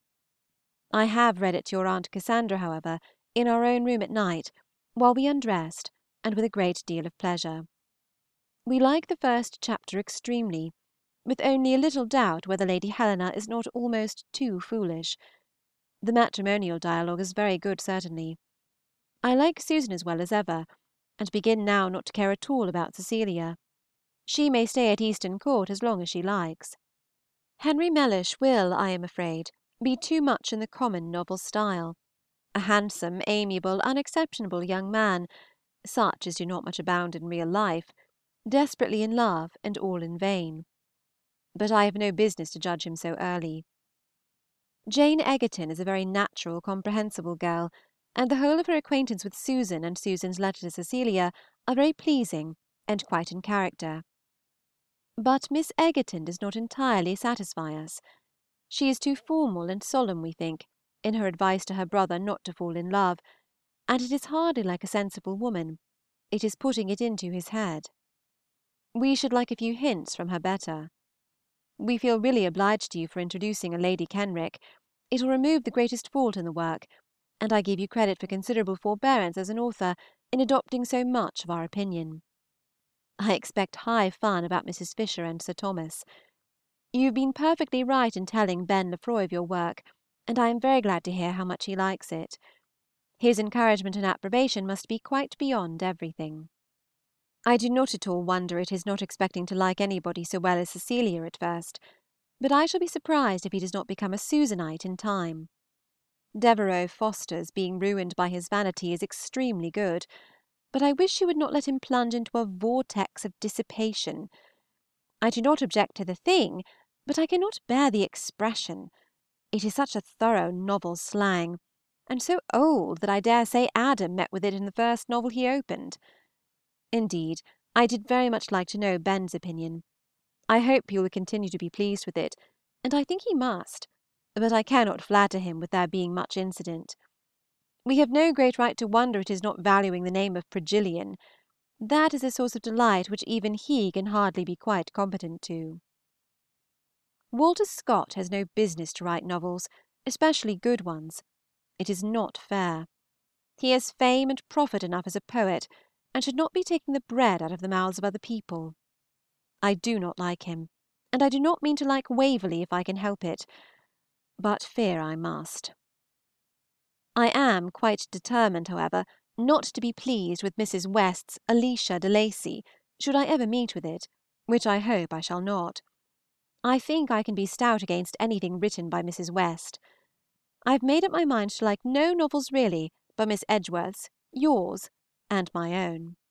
What can you do with Egerton to increase the interest for him? I wish you could contrive something, some family occurrence to bring out his good qualities more, some distress among brothers and sisters to relieve by the sale of his curacy, something to carry him mysteriously away, and then be heard of at York or Edinburgh in an old greatcoat. I would not seriously recommend anything improbable, but if you could invent something spirited for him, it would have a good effect. He might lend all his money to Captain Morris, but then he would be a great fool if he did. Cannot the Morrises quarrel, and he reconcile them? Excuse the liberty I take in these suggestions. Your Aunt Frank's nursemaid has just given her warning, but whether she is worth your having, or would take your place, I know not. She was Mrs. Webb's maid before she went to the great house. She leaves your aunt because she could not agree with the other servants. She is in love with the man, and her head seems rather turned. He returns her affection, but she fancies every one else is wanting him and envying her. Her previous service must have fitted her for such a place as yours, and she is very active and cleanly. The Webbs are really gone. When I saw the wagons at the door, and thought of all the trouble they must have in moving, I began to reproach myself for not having liked them better; but since the wagons have disappeared my conscience has been closed again, and I am excessively glad they are gone. I am very fond of Sherlock's sermons, and prefer them to almost any. Your affectionate aunt, J. AUSTEN. If you wish me to speak to the maid, let me know. End of Section 26 Section 27 Letter 62 To Miss Frances Austen Chawton, Friday, November 18, 1814. I feel quite as doubtful as you could be, my dearest Fanny, as to when my letter may be finished, for I can command very little quiet time at present. But yet I must begin, for I know you will be glad to hear as soon as possible, and I really am impatient myself to be writing something on so very interesting a subject, though I have no hope of writing anything to the purpose. I shall do very little more, I dare say, than say over again what you have said before. I was certainly a good deal surprised at first, as I had no suspicion of any change in your feelings, and I have no scruple in saying that you cannot be in love. My dear Fanny, I am ready to laugh at the idea, and yet it is no laughing matter to have had you so mistaken as to your own feelings. And with all my heart I wish I had cautioned you on that point when first you spoke to me but though I did not think you then much in love, I did consider you as being attached in a degree quite sufficiently for happiness, as I had no doubt it would increase with opportunity, and from the time of our being in London together I thought you really very much in love. But you certainly are not at all; there is no conceding it.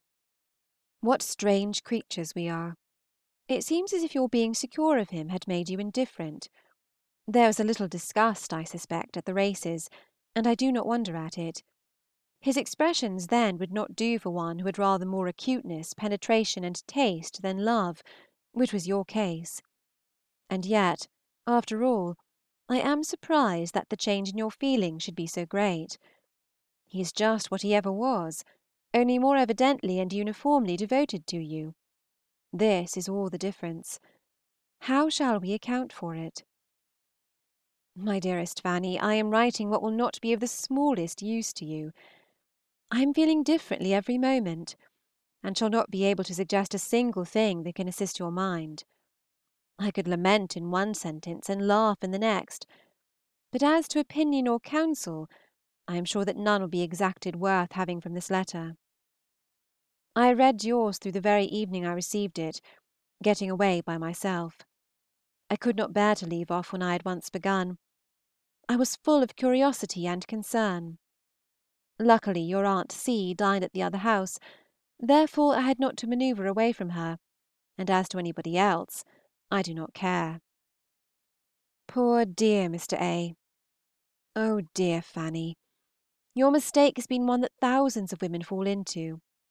He was the first young man who attached himself to you. That was the charm, and most powerful it is.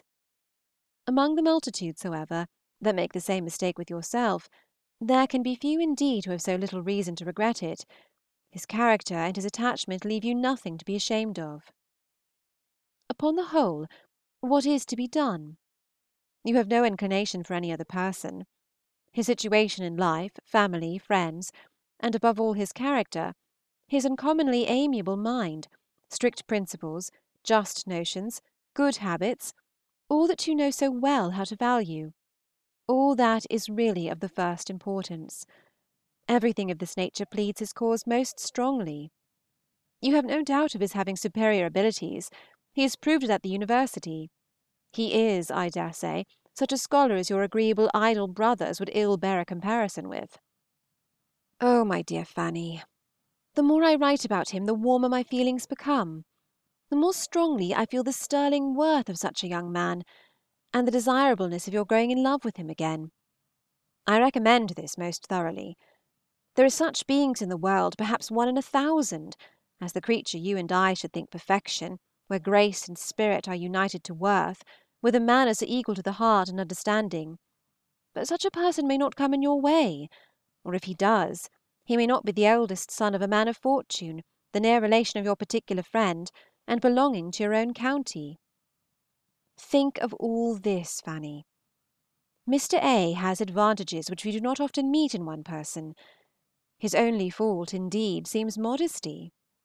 If he were less modest, he would be more agreeable, speak louder, and look impudenter; and is not it a fine character of which modesty is the only defect? I have no doubt he will get more lively and more like yourselves as he is more with you; he will catch your ways, if he belongs to you. And as to there being any objection from his goodness, from the danger of his becoming even evangelical, I cannot admit that. I am by no means convinced that we ought not all to be evangelicals and am at least persuaded that they who are so from reason and feeling must be happiest and safest. Do not be frightened from the connection by your brother's having most wit. Wisdom is better than wit, and in the long run will certainly have the laugh on her side. And don't be frightened by the idea of his acting more strictly up to the precepts of the New Testament than others. And now, my dear Fanny, having written so much on one side of the question, I shall turn round and entreat you not to commit yourself farther, and not to think of accepting him unless you really do like him. Anything is to be preferred or endured rather than marrying without affection; and if his deficiencies of manner, etc., etc., strike you more than all his good qualities, if you continue to think strongly of him, give him up at once. Things are now in such a state that you must resolve upon one or the other, either to allow him to go on as he has done or whenever you are together, behave with a coldness which may convince him that he has been deceiving himself.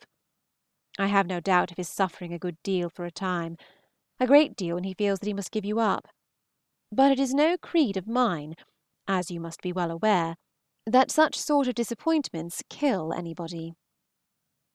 Your sending the music was an admirable device; it made everything easy, and I do not know how I could have accounted for the parcel otherwise for though your dear papa most conscientiously hunted about till he found me alone in the dining parlor, your Aunt C. had seen that he had a parcel to deliver.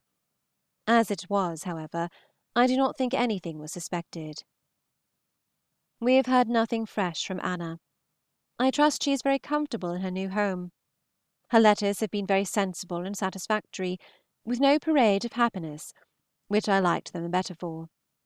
I have often known young married women write in a way I did not like in that respect. You will be glad to hear that the first edition of Mansfield Park is all sold. Your Uncle Henry is rather wanting me to come to town to settle about a second edition, but as I could not very conveniently leave home now, I have written him my will and pleasure, and unless he still urges it, shall not go. I am very greedy, and want to make the most of it; but as you are much above caring about money, I shall not plague you with any particulars. The pleasures of vanity are more within your comprehension, and you will enter into mine at receiving the praise which every now and then comes to me through some channel or other. Saturday. Mr. Palmer spent yesterday with us, and is gone off with Cassy this morning. We have been expecting Miss Lloyd the last two days, and feel sure of her to day. Mr. Knight and Mr. Edward Knight are to dine with us, and on Monday they are to dine with us again, accompanied by their respectable host and hostess. Sunday. Your papa had given me messages to you, but as they are unnecessary, as he writes by this post to Aunt Louisa. We had a pleasant party yesterday, at least we found it so. It is delightful to see him so cheerful and confident. Aunt Cass and I dine at the Great House to day. We shall be a snug half dozen. Miss Lloyd came, as we expected, yesterday, and desires her love.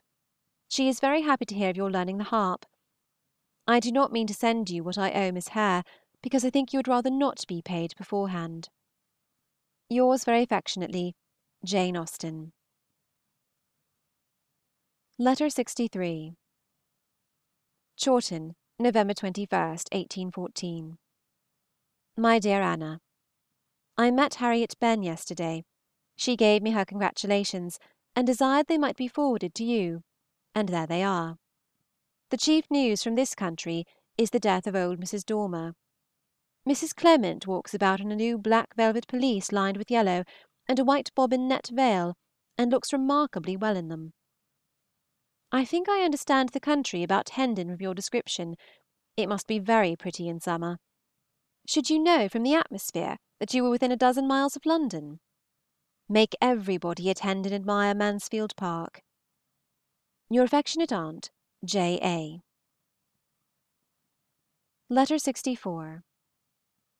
Hans Place, November 28, 1814. My dear Anna, I assure you we all came away very much pleased with your visit. We talked of you for about a mile and a half with great satisfaction, and I have been just sending a very good report of you to Miss Benn, with a full account of your dress for Susan and Maria. We were all at the play last night to see Miss O'Neil and Isabella. I do not think she was quite equal to my expectations.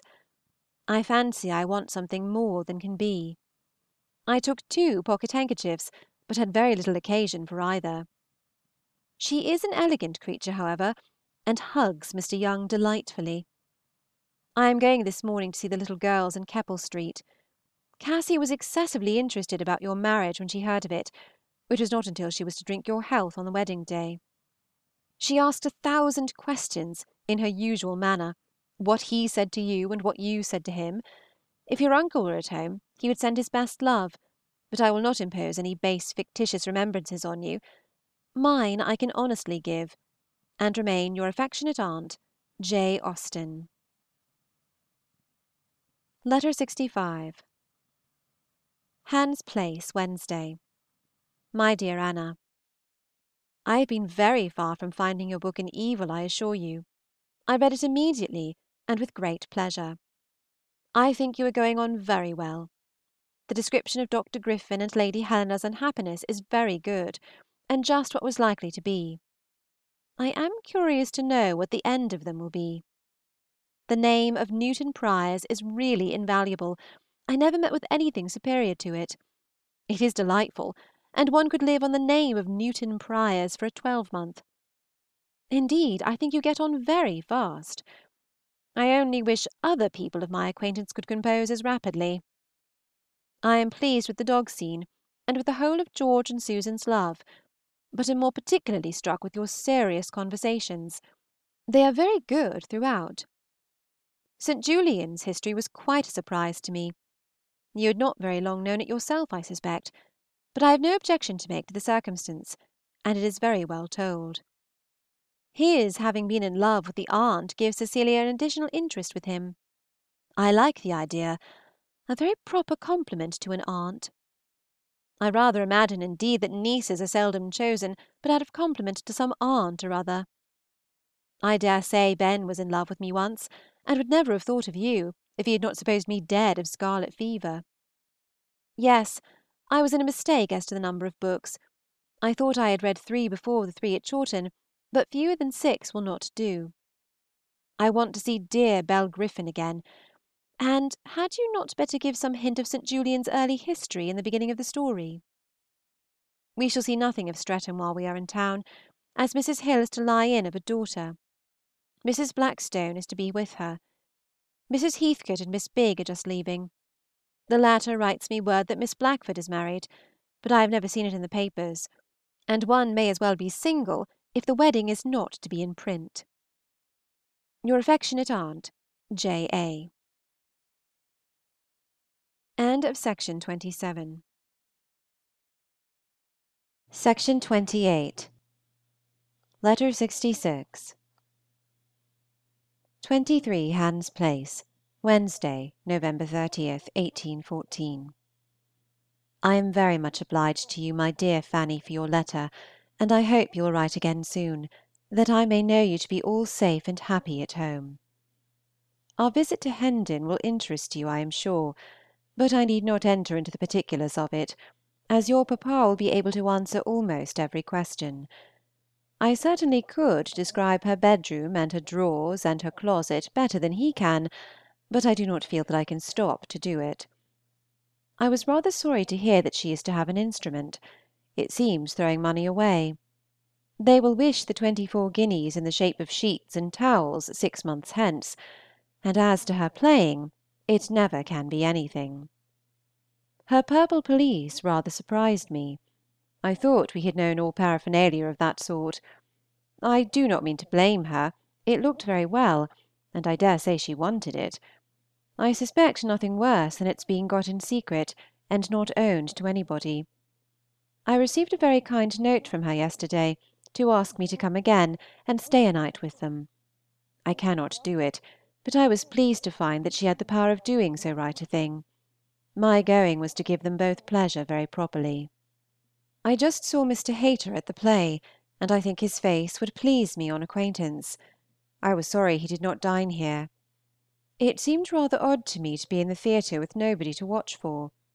I was quite composed myself, at leisure for all the agitated Isabella could raise. Now, my dearest Fanny, I will begin a subject which comes in very naturally. You frighten me out of my wits by your reference.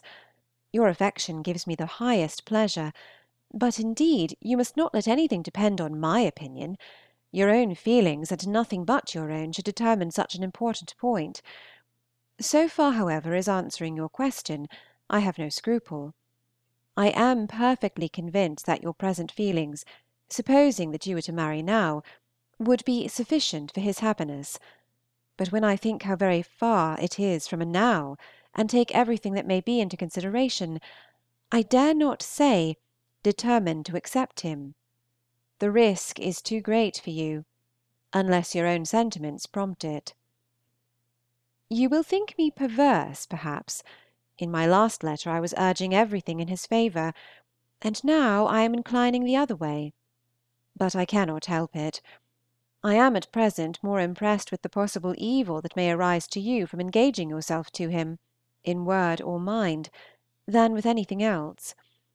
When I consider how few young men you have yet seen much of, how capable you are yes, I do still think you very capable of being really in love, and how full of temptation the next six or seven years of your life will probably be, it is the very period of life the strongest attachments to be formed. I cannot wish you, with your present very cool feelings, to devote yourself in honor to him. It is very true that you may never attach another man his equal altogether, but if that other man has the power of attaching you more, he will be in your eyes the most perfect. I shall be glad if you can revive past feelings, and from your unbiased self resolve to go on as you have done, but this I do not expect and without it I cannot wish you to be fettered. I should not be afraid of your marrying him. With all his worth you would soon love him enough for the happiness of both. But I should dread the continuance of this sort of tacit engagement, with such an uncertainty as there is of when it may be completed. Years may pass before he is independent. You like him well enough to marry, but not well enough to wait.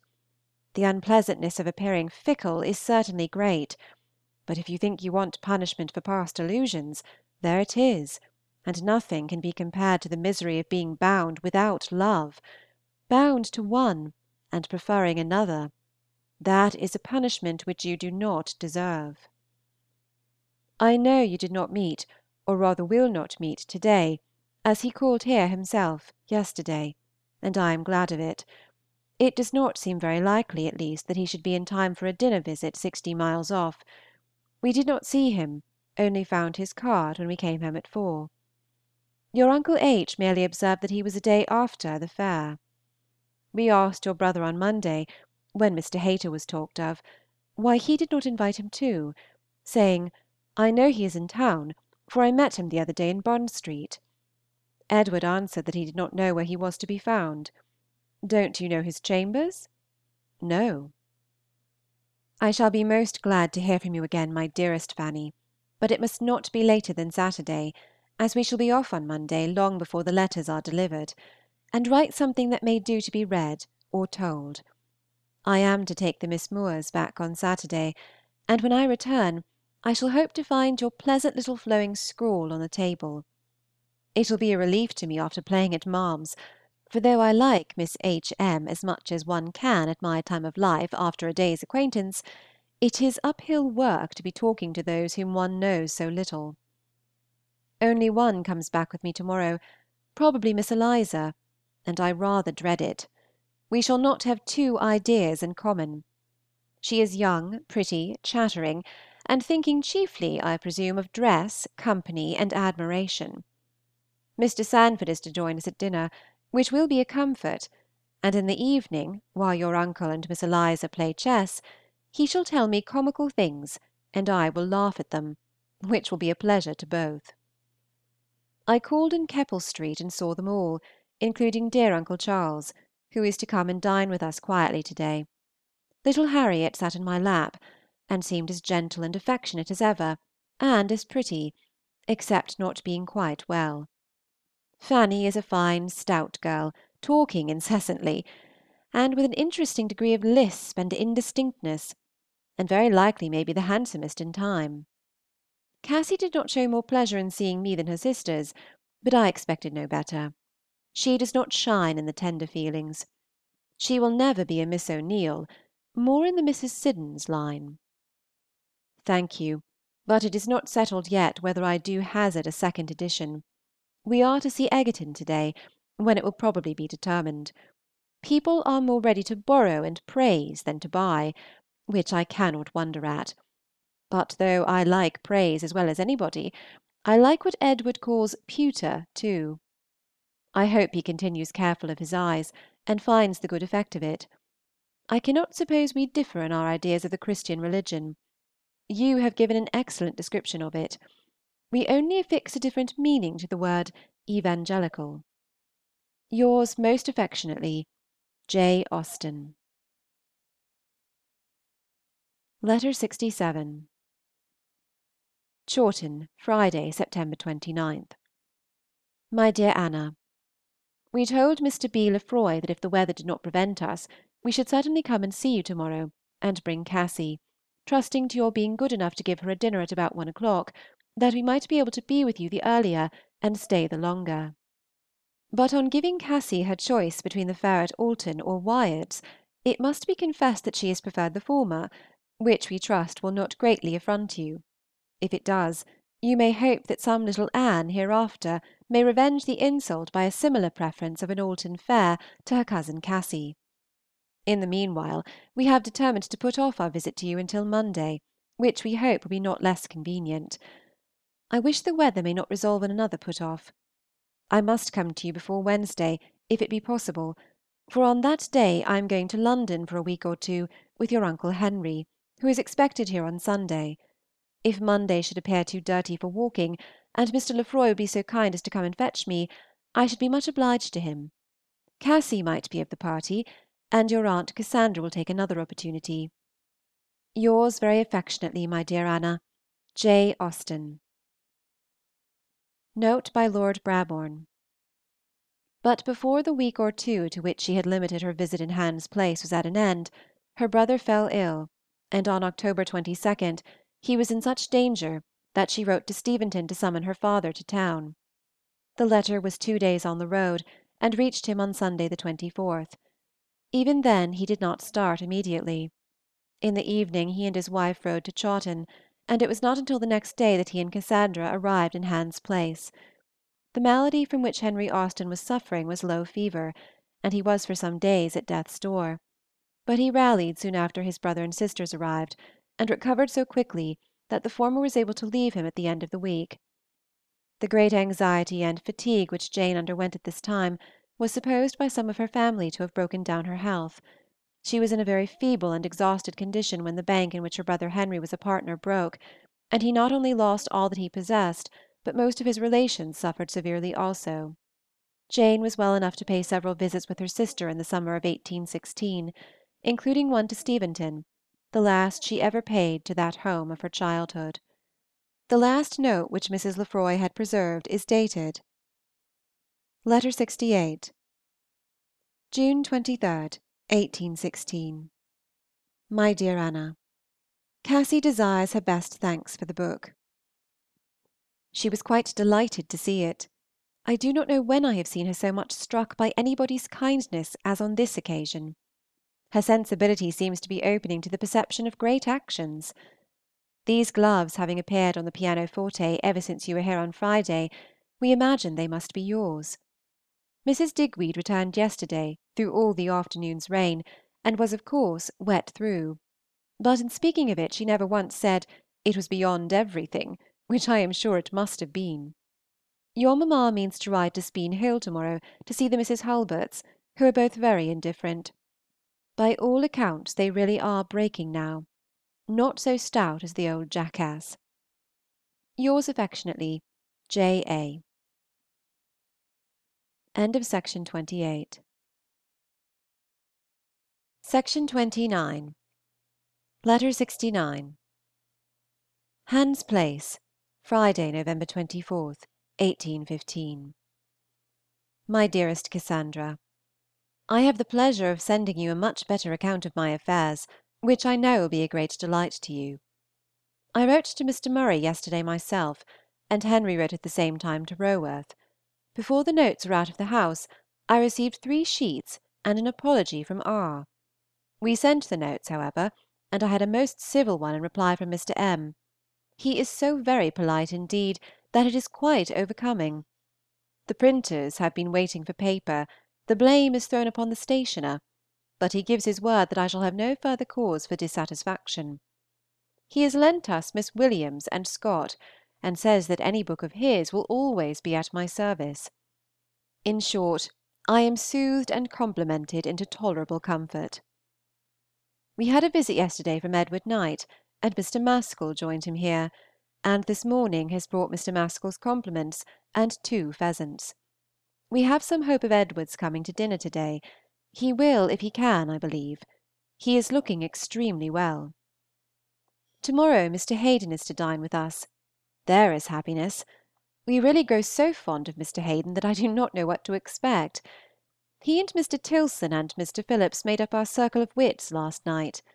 Fanny played, and he sat and listened and suggested improvements, till Richard came in to tell him that "the doctor was waiting for him at Captain Blake's." and then he was off with a speed that you can imagine. He never does appear in the least above his profession or out of humor with it, or I should think poor Captain Blake, whoever he is, in a very bad way. I must have misunderstood Henry when I told him that you were to hear from him to day. He read me what he wrote to Edward. Part of it must have amused him. I am sure one part, alas! cannot be very amusing to anybody. I wonder that with such business to worry him he can be getting better but he certainly does gain strength, and if you and Edward were to see him now, I feel sure that you would think him improved since Monday. He was out yesterday; it was a fine sunshiny day here.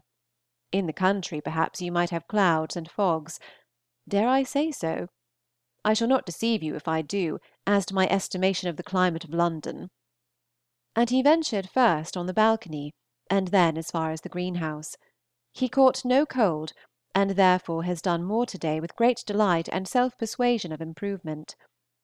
He has been to see Mrs. Tilson and the Malings. By the by, you may talk to Mr. T. of his wife's being better.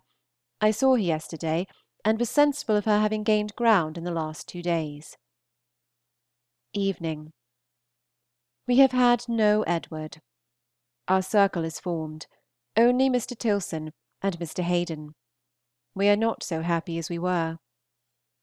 A message came this afternoon from Mrs. Latouche and Miss East, offering themselves to drink tea with us to morrow, and, as it was accepted, here is an end of our extreme felicity in our dinner guest. I am heartily sorry they are coming; it will be an evening spoilt to Fanny and me. Another little disappointment. Mr. H. advises Henry's not venturing with us in the carriage to morrow; if it were spring, he says, it would be a different thing. One would rather this had not been. He seems to think his going out to day rather imprudent, though acknowledging at the same time that he is better than he was in the morning. Fanny has had a letter full of commissions from Goodnestone. We shall be busy about them and her own matters, I dare say, from twelve to four. Nothing, I trust, will keep us from Keppel Street. This day has brought a most friendly letter from Mr. Fowle, with a brace of pheasants. I did not know before that Henry had written to him a few days ago to ask for them. We shall live upon pheasants. No bad life. I send you five one pound notes, for fear you should be distressed for little money. Lizzie's work is charmingly done. Shall you put it to your chintz? A sheet came in this moment; first and third volumes are now at 144, second at 48. I am sure you will like particulars. We are not to have the trouble of returning the sheets to Mr. Murray any longer; the printer's boys bring and carry. I hope Mary continues to get well fast, and I send my love to little Herbert. You will tell me more of Martha's plans, of course, when you write again. Remember me most kindly to everybody, and Miss Benn besides. Yours very affectionately, J. Austen. I have been listening to dreadful insanity. It is Mr. Haden's firm belief that a person not musical is fit for every sort of wickedness. I ventured to assert a little on the other side, but wished the cause in abler hands. Letter 70. Hans Place, Sunday (November 26). My dearest, The parcel arrived safely, and I am much obliged to you for your trouble. It cost two shillings and tenpence but as there is a certain saving of two shillings and 4 and a halfpence on the other side, I am sure it is well worth doing. I send four pairs of silk stockings, but I do not want them washed at present. In the three neck handkerchiefs I include the one sent down before. These things, perhaps, Edward may be able to bring, but even if he is not, I am extremely pleased with his returning to you from Steventon. It is much better, far preferable. I did mention the P. R. in my note to Mr. Murray; it brought me a fine compliment in return. Whether it has done any other good I do not know, but Henry thought it worth trying. The printers continue to supply me very well. I am advanced in Volume III. to my arrowroot, upon which peculiar style of spelling there is modest query in the margin. I will not forget Anna's arrowroot. I hope you have told Martha of my first resolution of letting nobody know that I might dedicate, etc., for fear of being obliged to do it, and that she is thoroughly convinced of my being influenced now by nothing but the most mercenary motives. I have paid nine shillings on her account to Miss Palmer; there was no more owing. Well, we were all very busy yesterday, from half past eleven till four in the streets, working almost entirely for other people driving from place to place after a parcel for Sandling, which we never could find, and encountering the miseries of Grafton House to get a purple frock for Eleanor Bridges. We got to Keppel Street, however, which was all I cared for; and though we could stay only a quarter of an hour, Fanny's calling gave great pleasure, and her sensibility still greater, for she was very much affected at the sight of the children. Poor little F. looked heavy. We saw the whole party. Aunt Harriet hopes Cassy will not forget to make a pincushion for Mrs. Kelly, as she has spoken of its being promised her several times. I hope we shall see Aunt H. and the dear little girls here on Thursday. So much for the morning. Then came the dinner and Mr. Haden, who brought good manners and clever conversation. From seven to eight the harp; at eight Mrs. L. and Miss E. arrived, and for the rest of the evening the drawing room was thus arranged on the sofa side the two ladies, Henry, and myself making the best of it; on the opposite side Fanny and Mr. Haden, in two chairs I believe at least they had two chairs talking together uninterruptedly. Fancy the scene! And what is to be fancied next? Why, that Mr. H. dines here again to morrow. To day we are to have Mr. Barlow. Mr. H. is reading "Mansfield Park" for the first time, and he prefers it to P. and P. A hare and four rabbits from Godmersham yesterday, so that we are stocked for nearly a week. Poor Farmer Andrews! I am very sorry for him, and sincerely wish his recovery. A better account of the sugar than I could have expected. I should like to help you break some more. I am glad you cannot wake early. I am sure you must have been under great arrears of rest. Fanny and I have been to Bede Chapel, and walked back with Maria Cuthbert. We have been very little plagued with visitors this last week. I remember only Miss Herries, the aunt, but I am in terror for to day, a fine bright Sunday, plenty of mortar and nothing to do. Henry gets out in his garden every day, but at present his inclination for doing more seems over, nor has he now any plan for leaving London before December 18th, when he thinks of going to Oxford for a few days. In to day, indeed, his feelings are for continuing where he is through the next two months. One knows the uncertainty of all this, but should it be so, we must think the best, and hope the best, and do the best; and my idea in that case is, that when he goes to Oxford I should go home, and have nearly a week of you before you take my place. This is only a silent project, you know, to be gladly given up if better things occur. Henry calls himself stronger every day, and Mr. H. keeps on approving his pulse, which seems generally better than ever; but still they will not let him be well. Perhaps when Fanny is gone he will be allowed to recover faster. I am not disappointed. I never thought the little girl at Wyards very pretty, but she will have a fine complexion and curly hair, and pass for a beauty. We are glad the mamma's cold has not been worse, and send our love and good wishes by every convenient opportunity. Sweet, amiable Frank! Why does he have a cold too?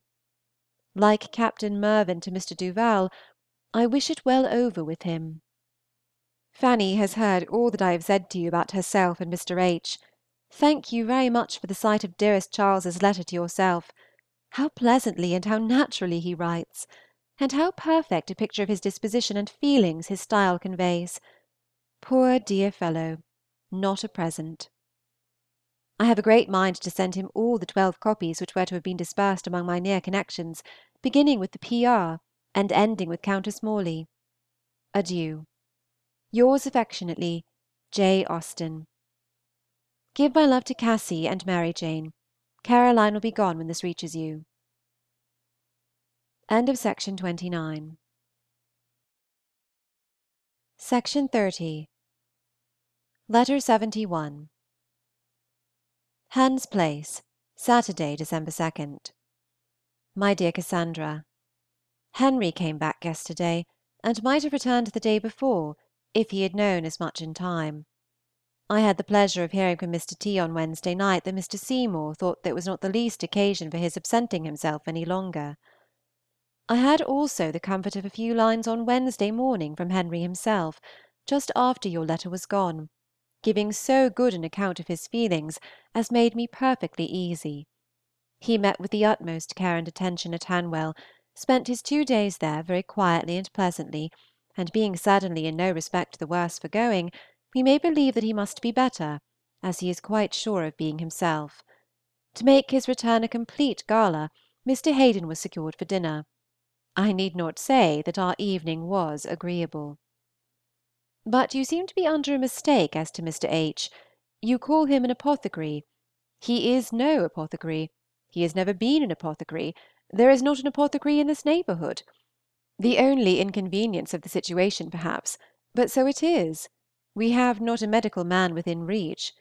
He is a Haden, nothing but a Haden, a sort of wonderful nondescript creature on two legs, something between a man and an angel, but without the least spice of an apothecary.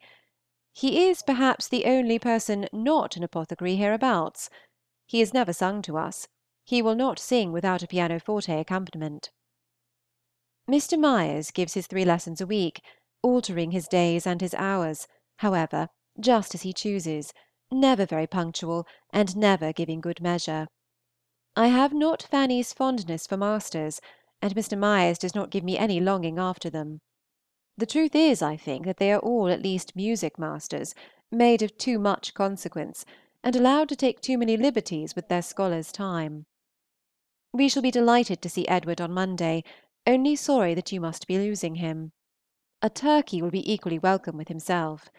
He must prepare for his own proper bedchamber here, as Henry moved down to the one below last week; he found the other cold. I am sorry my mother has been suffering, and am afraid this exquisite weather is too good to agree with her.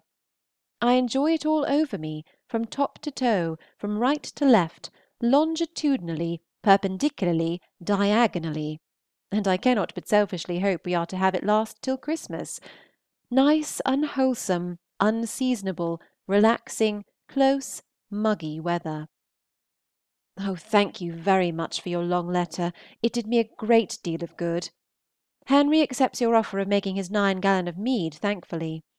The mistake of the dogs rather vexed him for a moment, but he has not thought of it since. To day he makes a third attempt at his strengthening plaster, and as I am sure he will now be getting out a great deal, it is to be wished that he may be able to keep it on. He sets off this morning by the Chelsea coach to sign bonds and visit Henrietta Street, and I have no doubt will be going every day to Henrietta Street. Fanny and I were very snug by ourselves as soon as we were satisfied about our invalids being safe at Hanwell.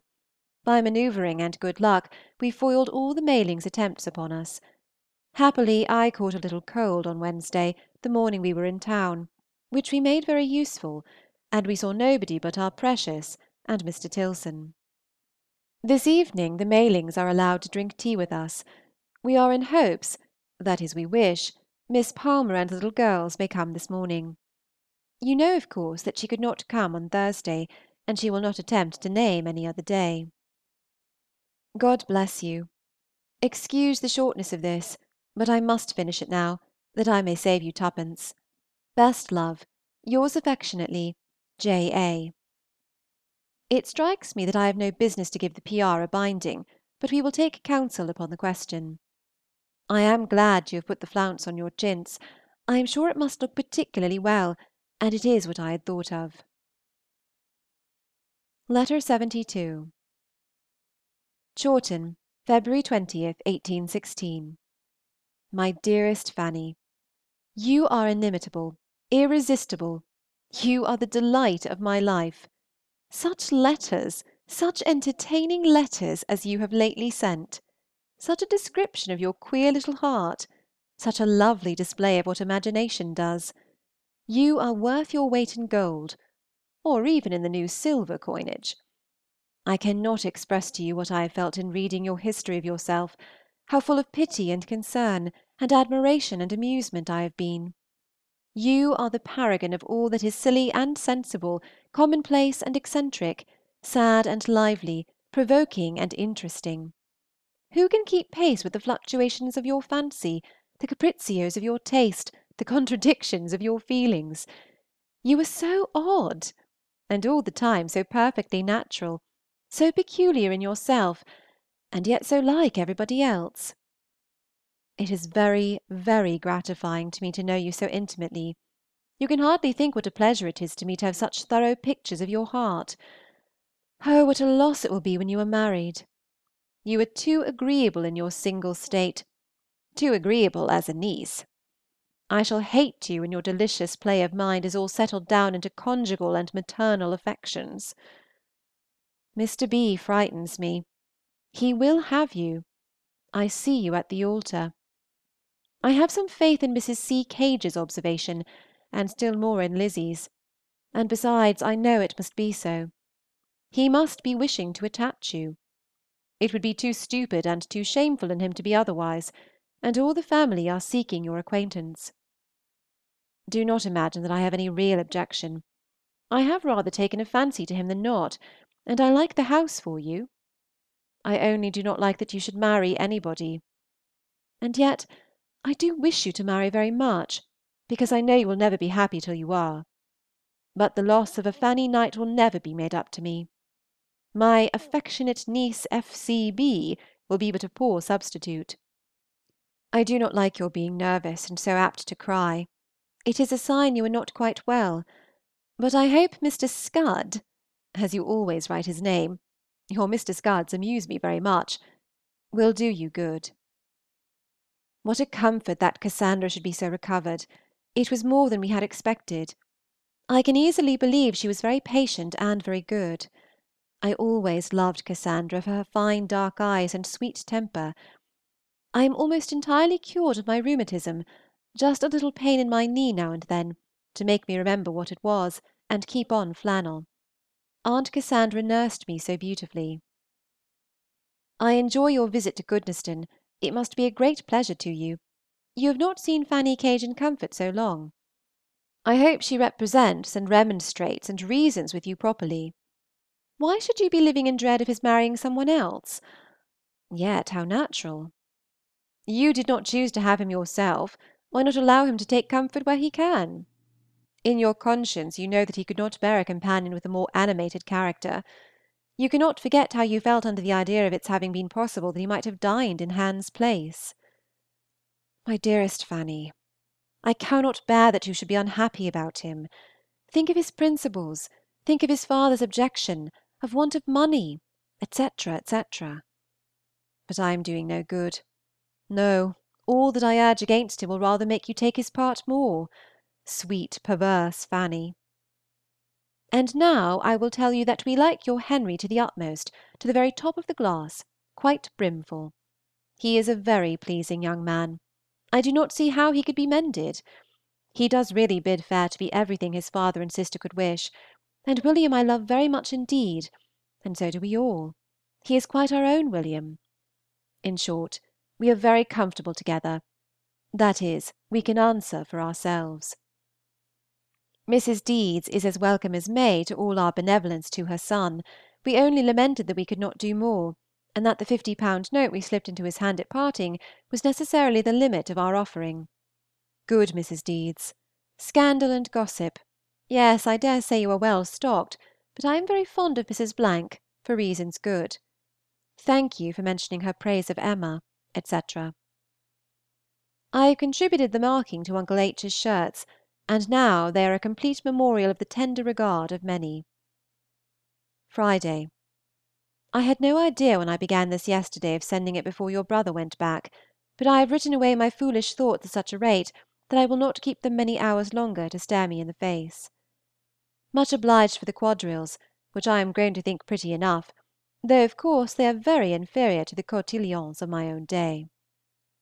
Ben and Anna walked here last Sunday to hear Uncle Henry, and she looked so pretty, it was quite a pleasure to see her, so young and so blooming and so innocent, as if she had never had a wicked thought in her life, which yet one has some reason to suppose she must have had, if we believe the doctrine of original sin.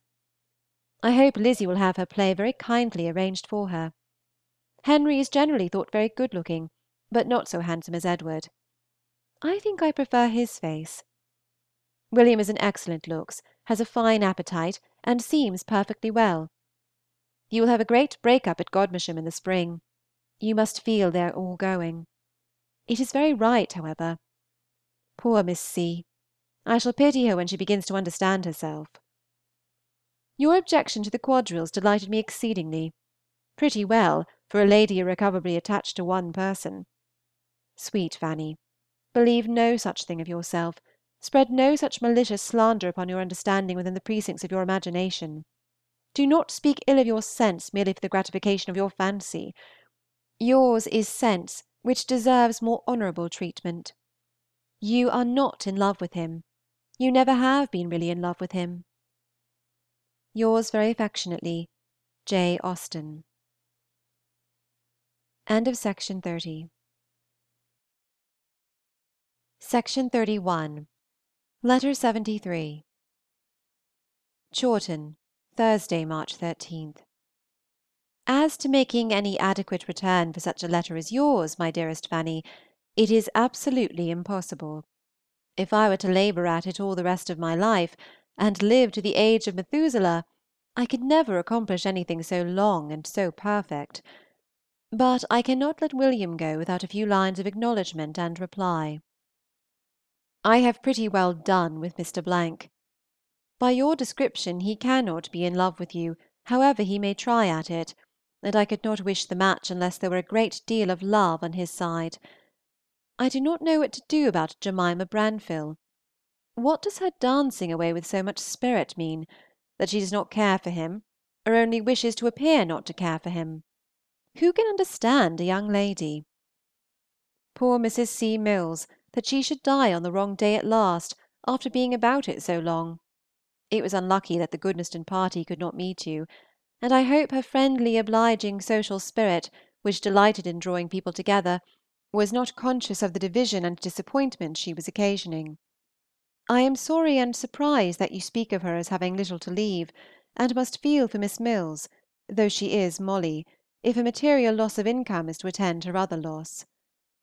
Single women have a dreadful propensity for being poor, which is one very strong argument in favor of matrimony; but I need not dwell on such arguments with you, pretty dear.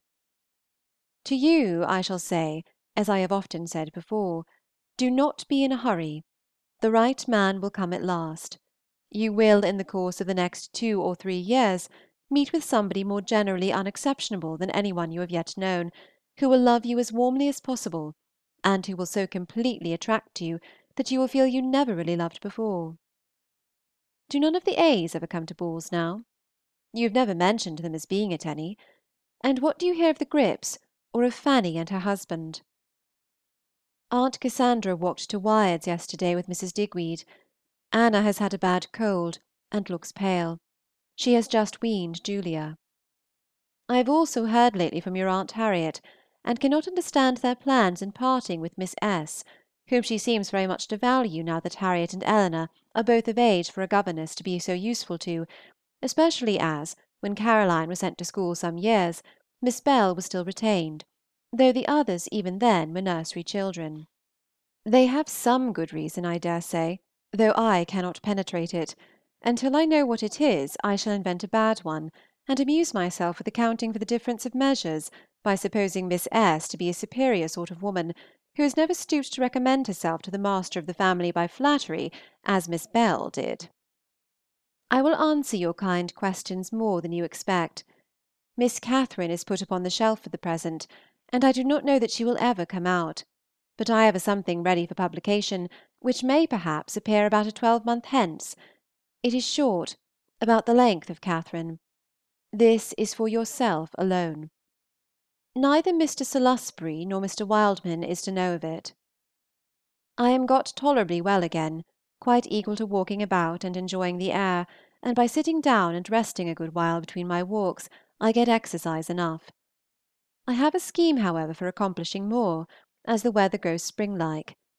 I mean to take to riding the donkey; it will be more independent and less troublesome than the use of the carriage, and I shall be able to go about with Aunt Cassandra in her walks to Alton and Wyards. I hope you will think William looking well; he was bilious the other day, and Aunt Cassandra supplied him with the dose at his own request. I am sure you would have approved it. William and I are the best of friends; I love him very much. Everything is so natural about him, his affections, his manners, and his drollery; he entertains and interests us extremely. Mat Hammond and A. M. Shaw are people whom I cannot care for in themselves, but I enter into their situation, and am glad they are so happy.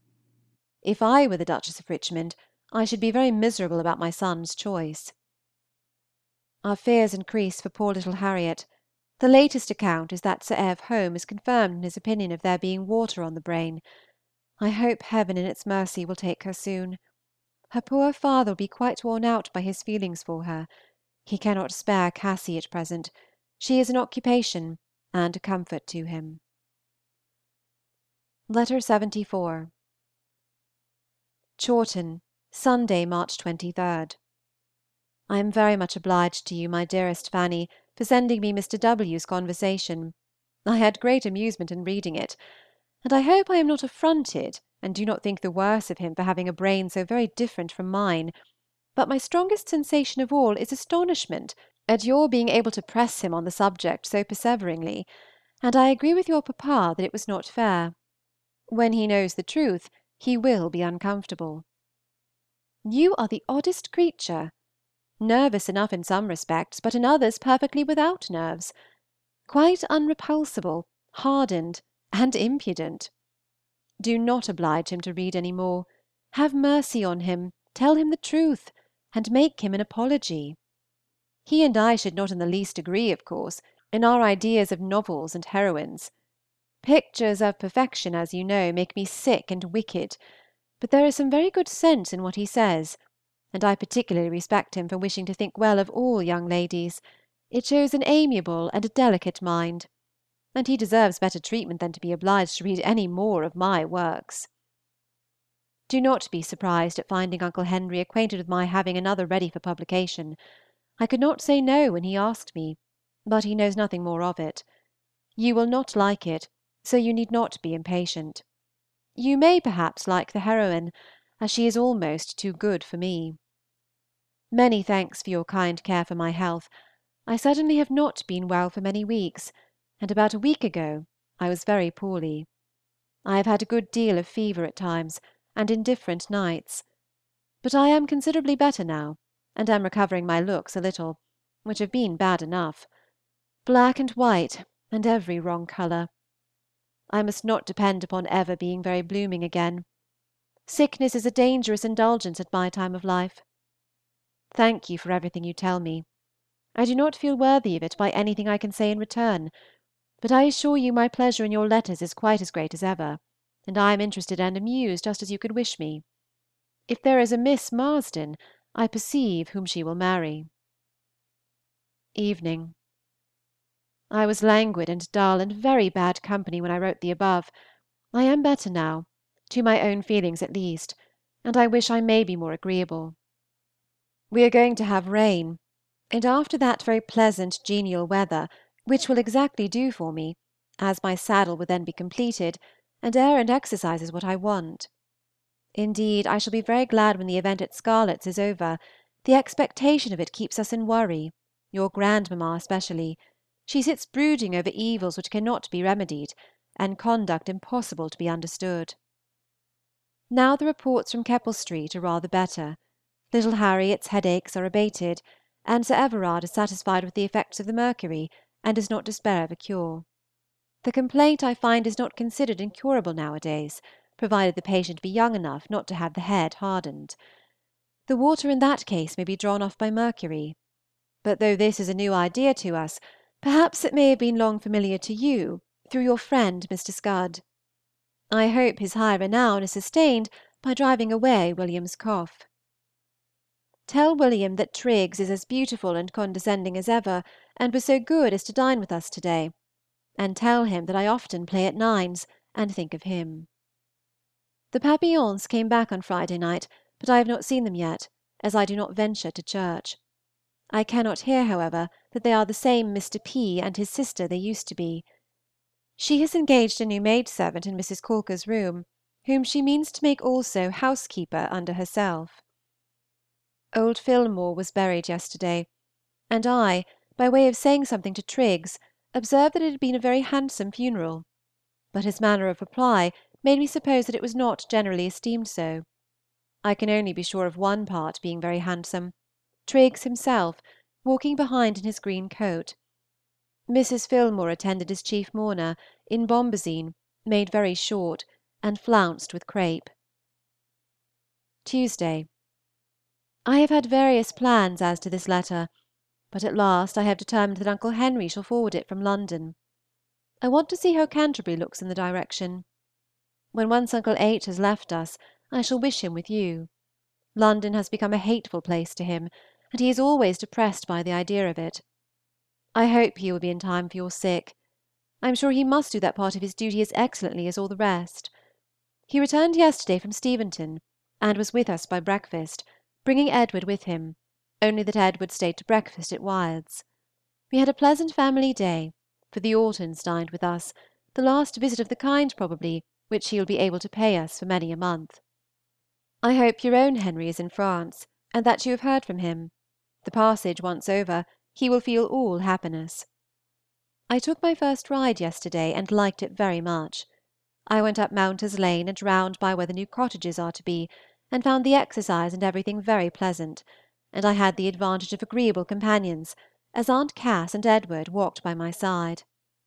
Aunt Cass is such an excellent nurse, so assiduous and unwearied; but you know all that already. Very affectionately yours, J. AUSTEN.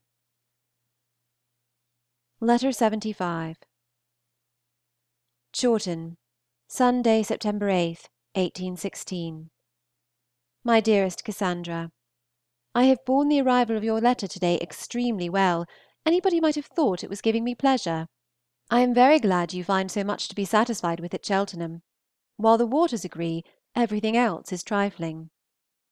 A letter arrived for you from Charles last Thursday. They are all safe and pretty well in Keppel Street, the children decidedly better for Broadstairs and he writes principally to ask when it will be convenient to us to receive Miss P., the little girls, and himself. They would be ready to set off in ten days from the time of his writing, to pay their visits in Hampshire and Berkshire, and he would prefer coming to Chawton first.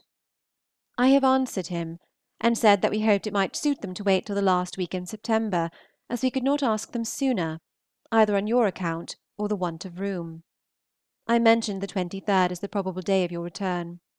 When you have once left Cheltenham, I shall grudge every half day wasted on the road. If there were but a coach from Hungerford to Chawton! I have desired him to let me hear again soon. He does not include a maid in the list to be accommodated, but if they bring one, as I suppose they will, we shall have no bed in the house even then for Charles himself, let alone Henry.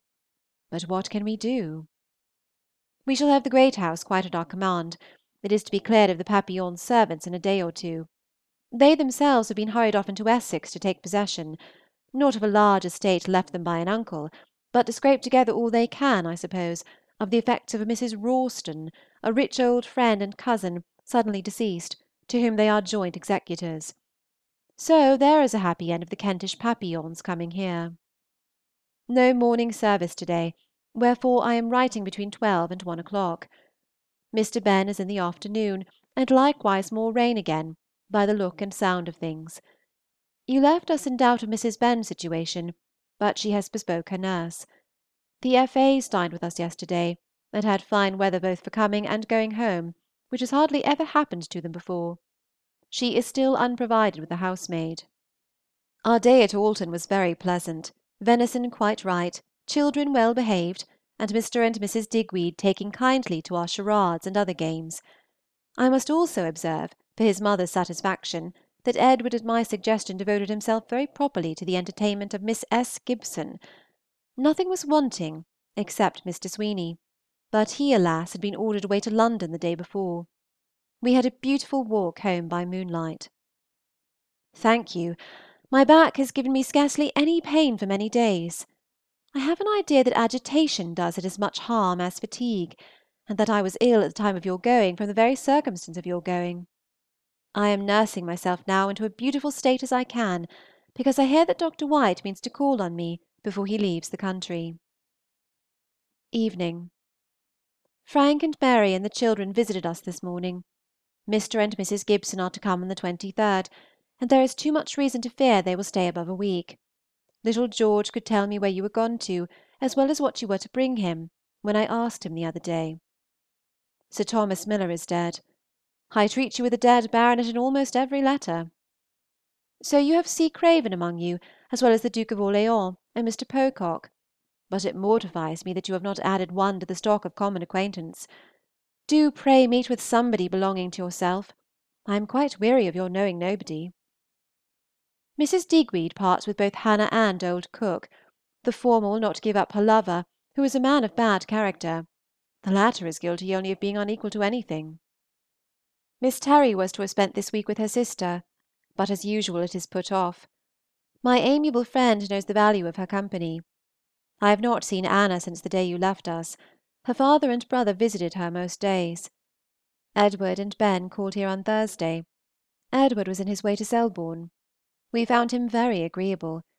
He has come back from France, thinking of the French as one could wish, disappointed in everything. He did not go beyond Paris. I have had a letter from Mrs. Perigord; she and her mother are in London again. She speaks of France as a scene of general poverty and misery; no money, no trade, nothing to be got but by the innkeepers, and as to her own present prospects, she is not much less melancholy than before. I have also a letter from Miss Sharpe, quite one of her letters. She has been again obliged to exert herself more than ever, in a more distressing, more harassed state, and has met with another excellent old physician and his wife, with every virtue under heaven, who takes to her and cures her from pure love and benevolence. Dr. and Mrs. Storer are their Mrs. and Miss Palmer, for they are at Bridlington. I am happy to say, however, that the sum of the account is better than usual. Sir William is returned; from Bridlington they go to Chevet, and she is to have a young governess under her. I enjoyed Edward's company very much, as I said before, and yet I was not sorry when Friday came. It had been a busy week, and I wanted a few days' quiet and exemption from the thought and contrivancy which any sort of company gives. I often wonder how you can find time for what you do, in addition to the care of the house, and how good Mrs. West could have written such books and collected so many hard words, with all her family cares, is still more a matter of astonishment. Composition seems to me impossible with a head full of joints of mutton and doses of rhubarb. Monday. Here is a sad morning. I fear you may have not been able to get to the pump. The two last days were very pleasant. I enjoyed them the more for your sake. But to day it is really bad enough to make you all cross. I hope Mary will change her lodgings at the fortnight's end. I am sure if you looked about well, you would find others in some odd corner to suit you better. Mrs. Potter changes for the name of the High Street. Success to the pianoforte. I trust it will drive you away. We now hear that there is no honey this year. Bad news for us. We must husband our present stock of mead, and I am sorry to perceive that our twenty gallons is very nearly out. I cannot comprehend how the fourteen gallons could last so long.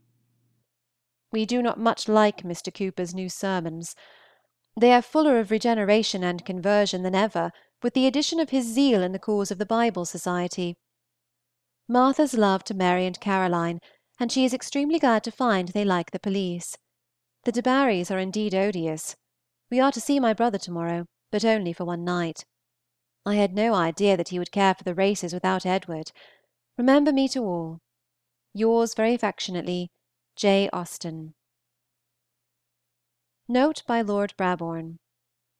I insert here a letter of Jane Austen's written backwards, addressed to her niece Cassy, daughter of Captain Charles Austen, afterwards Admiral, when a little girl. Letter 76. My dear Cassy, I wish you a happy New Year. Your six cousins came here yesterday, and had each a piece of cake.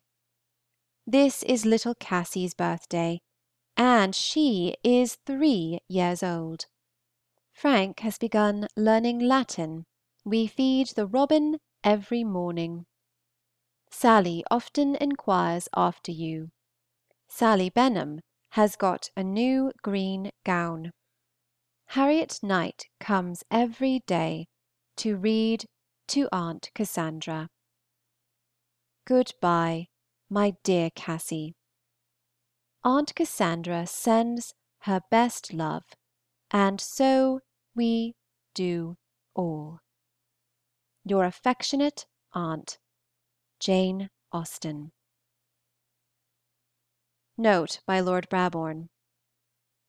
In January 1817 she wrote of herself as better and able to walk into Alton, and hoped in the summer she should be able to walk back. In April her father in a note to Mrs. Lefroy says, "I was happy to have a good account of herself written by her own hand, in a letter from your Aunt Jane, but all who love, and that is all who know her, must be anxious on her account." We all know how well grounded that anxiety was and how soon her relations had to lament over the loss of the dearest and brightest member of their family. And now I come to the saddest letters of all, those which tell us of the end of that bright life, cut short just at the time when the world might have hoped that unabated intellectual vigor, supplemented by the experience brought by maturer years, would have produced works if possible even more fascinating than those with which she had already embellished the literature of her country. But it was not to be. The fiat had gone forth, the ties which bound that sweet spirit to earth were to be severed, and a blank left, never to be filled in the family which her loved and loving presence had blessed, and where she had been so well and fondly appreciated. In the early spring of 1817 the unfavorable symptoms increased, and the failure of her health was too visible to be neglected. Still no apprehensions of immediate danger were entertained, and it is probable that when she left Chawton for Winchester in May she did not recognize the fact that she was bidding a last farewell to home.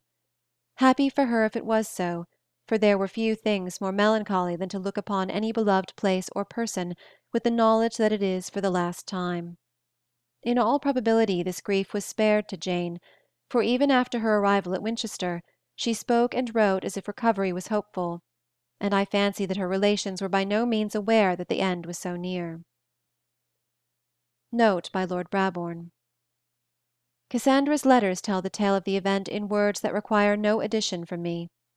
They are simple and affecting, the words of one who had been stricken by a great grief, but whose religion stood her in good stead, and enabled her to bear it with fortitude. The firm and loving bond of union which had ever united the Austen family naturally intensified their sorrow at the loss of one of their number, and that the one of whom they had been so proud as well as so fond. They laid her within the walls of the old cathedral which she had loved so much, and went sorrowfully back to their homes, with the feeling that nothing could replace to them the treasure they had lost. And most heavily of all must the blow have fallen upon the only sister, the correspondent, the companion, the other self of Jane, who had to return alone to the desolate home, and to the mother to whose comforts the two had hitherto ministered together, but who would henceforward have her alone on whom to rely. Letter from Miss Cassandra Austen to her niece Miss Knight, after the death of her sister Jane, July 18, 1817. Letter 77. Winchester, Sunday. My dearest Fanny, Doubly dear to me now for her dear sake whom we have lost. She did love you most sincerely, and never shall I forget the proofs of love you gave her during her illness in writing those kind, amusing letters, at a time when I know your feelings would have dictated so different a style. Take the only reward I can give you in the assurance that your benevolent purpose was answered; you did contribute to her enjoyment. Even your last letter afforded pleasure. I merely cut the seal and gave it to her; she opened it and read it herself. Afterwards she gave it to me to read and then talked to me a little, and not uncheerfully, of its contents. But there was then a languor about her which prevented her taking the same interest in anything that she had been used to do. Since Tuesday evening, when her complaint returned, there was a visible change. She slept more and much more comfortably. Indeed, during the last eight and forty hours she was more asleep than awake. Her looks altered, and she fell away but I perceived no material diminution of strength, and though I was then hopeless of a recovery, I had no suspicion how rapidly my loss was approaching. I have lost a treasure, such a sister, such a friend as never can have been surpassed. She was the sun of my life, the gilder of every pleasure, the soother of every sorrow. I had not a thought concealed from her and it is as if I had lost a part of myself. I loved her only too well, no better than she deserved, but I am conscious that my affection for her made me sometimes unjust to and negligent of others, and I can acknowledge, more than as a general principle, the justice of the hand which has struck this blow. You know me too well to be at all afraid that I should suffer materially from my feelings. I am perfectly conscious of the extent of my irreparable loss, but I am not at all overpowered, and very little indisposed. Nothing but what a short time, with rest and change of air, will remove. I thank God that I was enabled to attend her to the last, and amongst my many causes of self reproach I have not to add any wilful neglect of her comfort. She felt herself to be dying about half an hour before she became tranquil and apparently unconscious. During that half hour was her struggle, poor soul! She said she could not tell us what she suffered, though she complained of little fixed pain. When I asked her if there was anything she wanted, Her answer was that she wanted nothing but death, and some of her words were, "God grant me patience. Pray for me, oh, pray for me!" Her voice was affected, but as long as she spoke she was intelligible. I hope I do not break your heart, my dearest Fanny, by these particulars. I mean to afford you gratification whilst I am relieving my own feelings.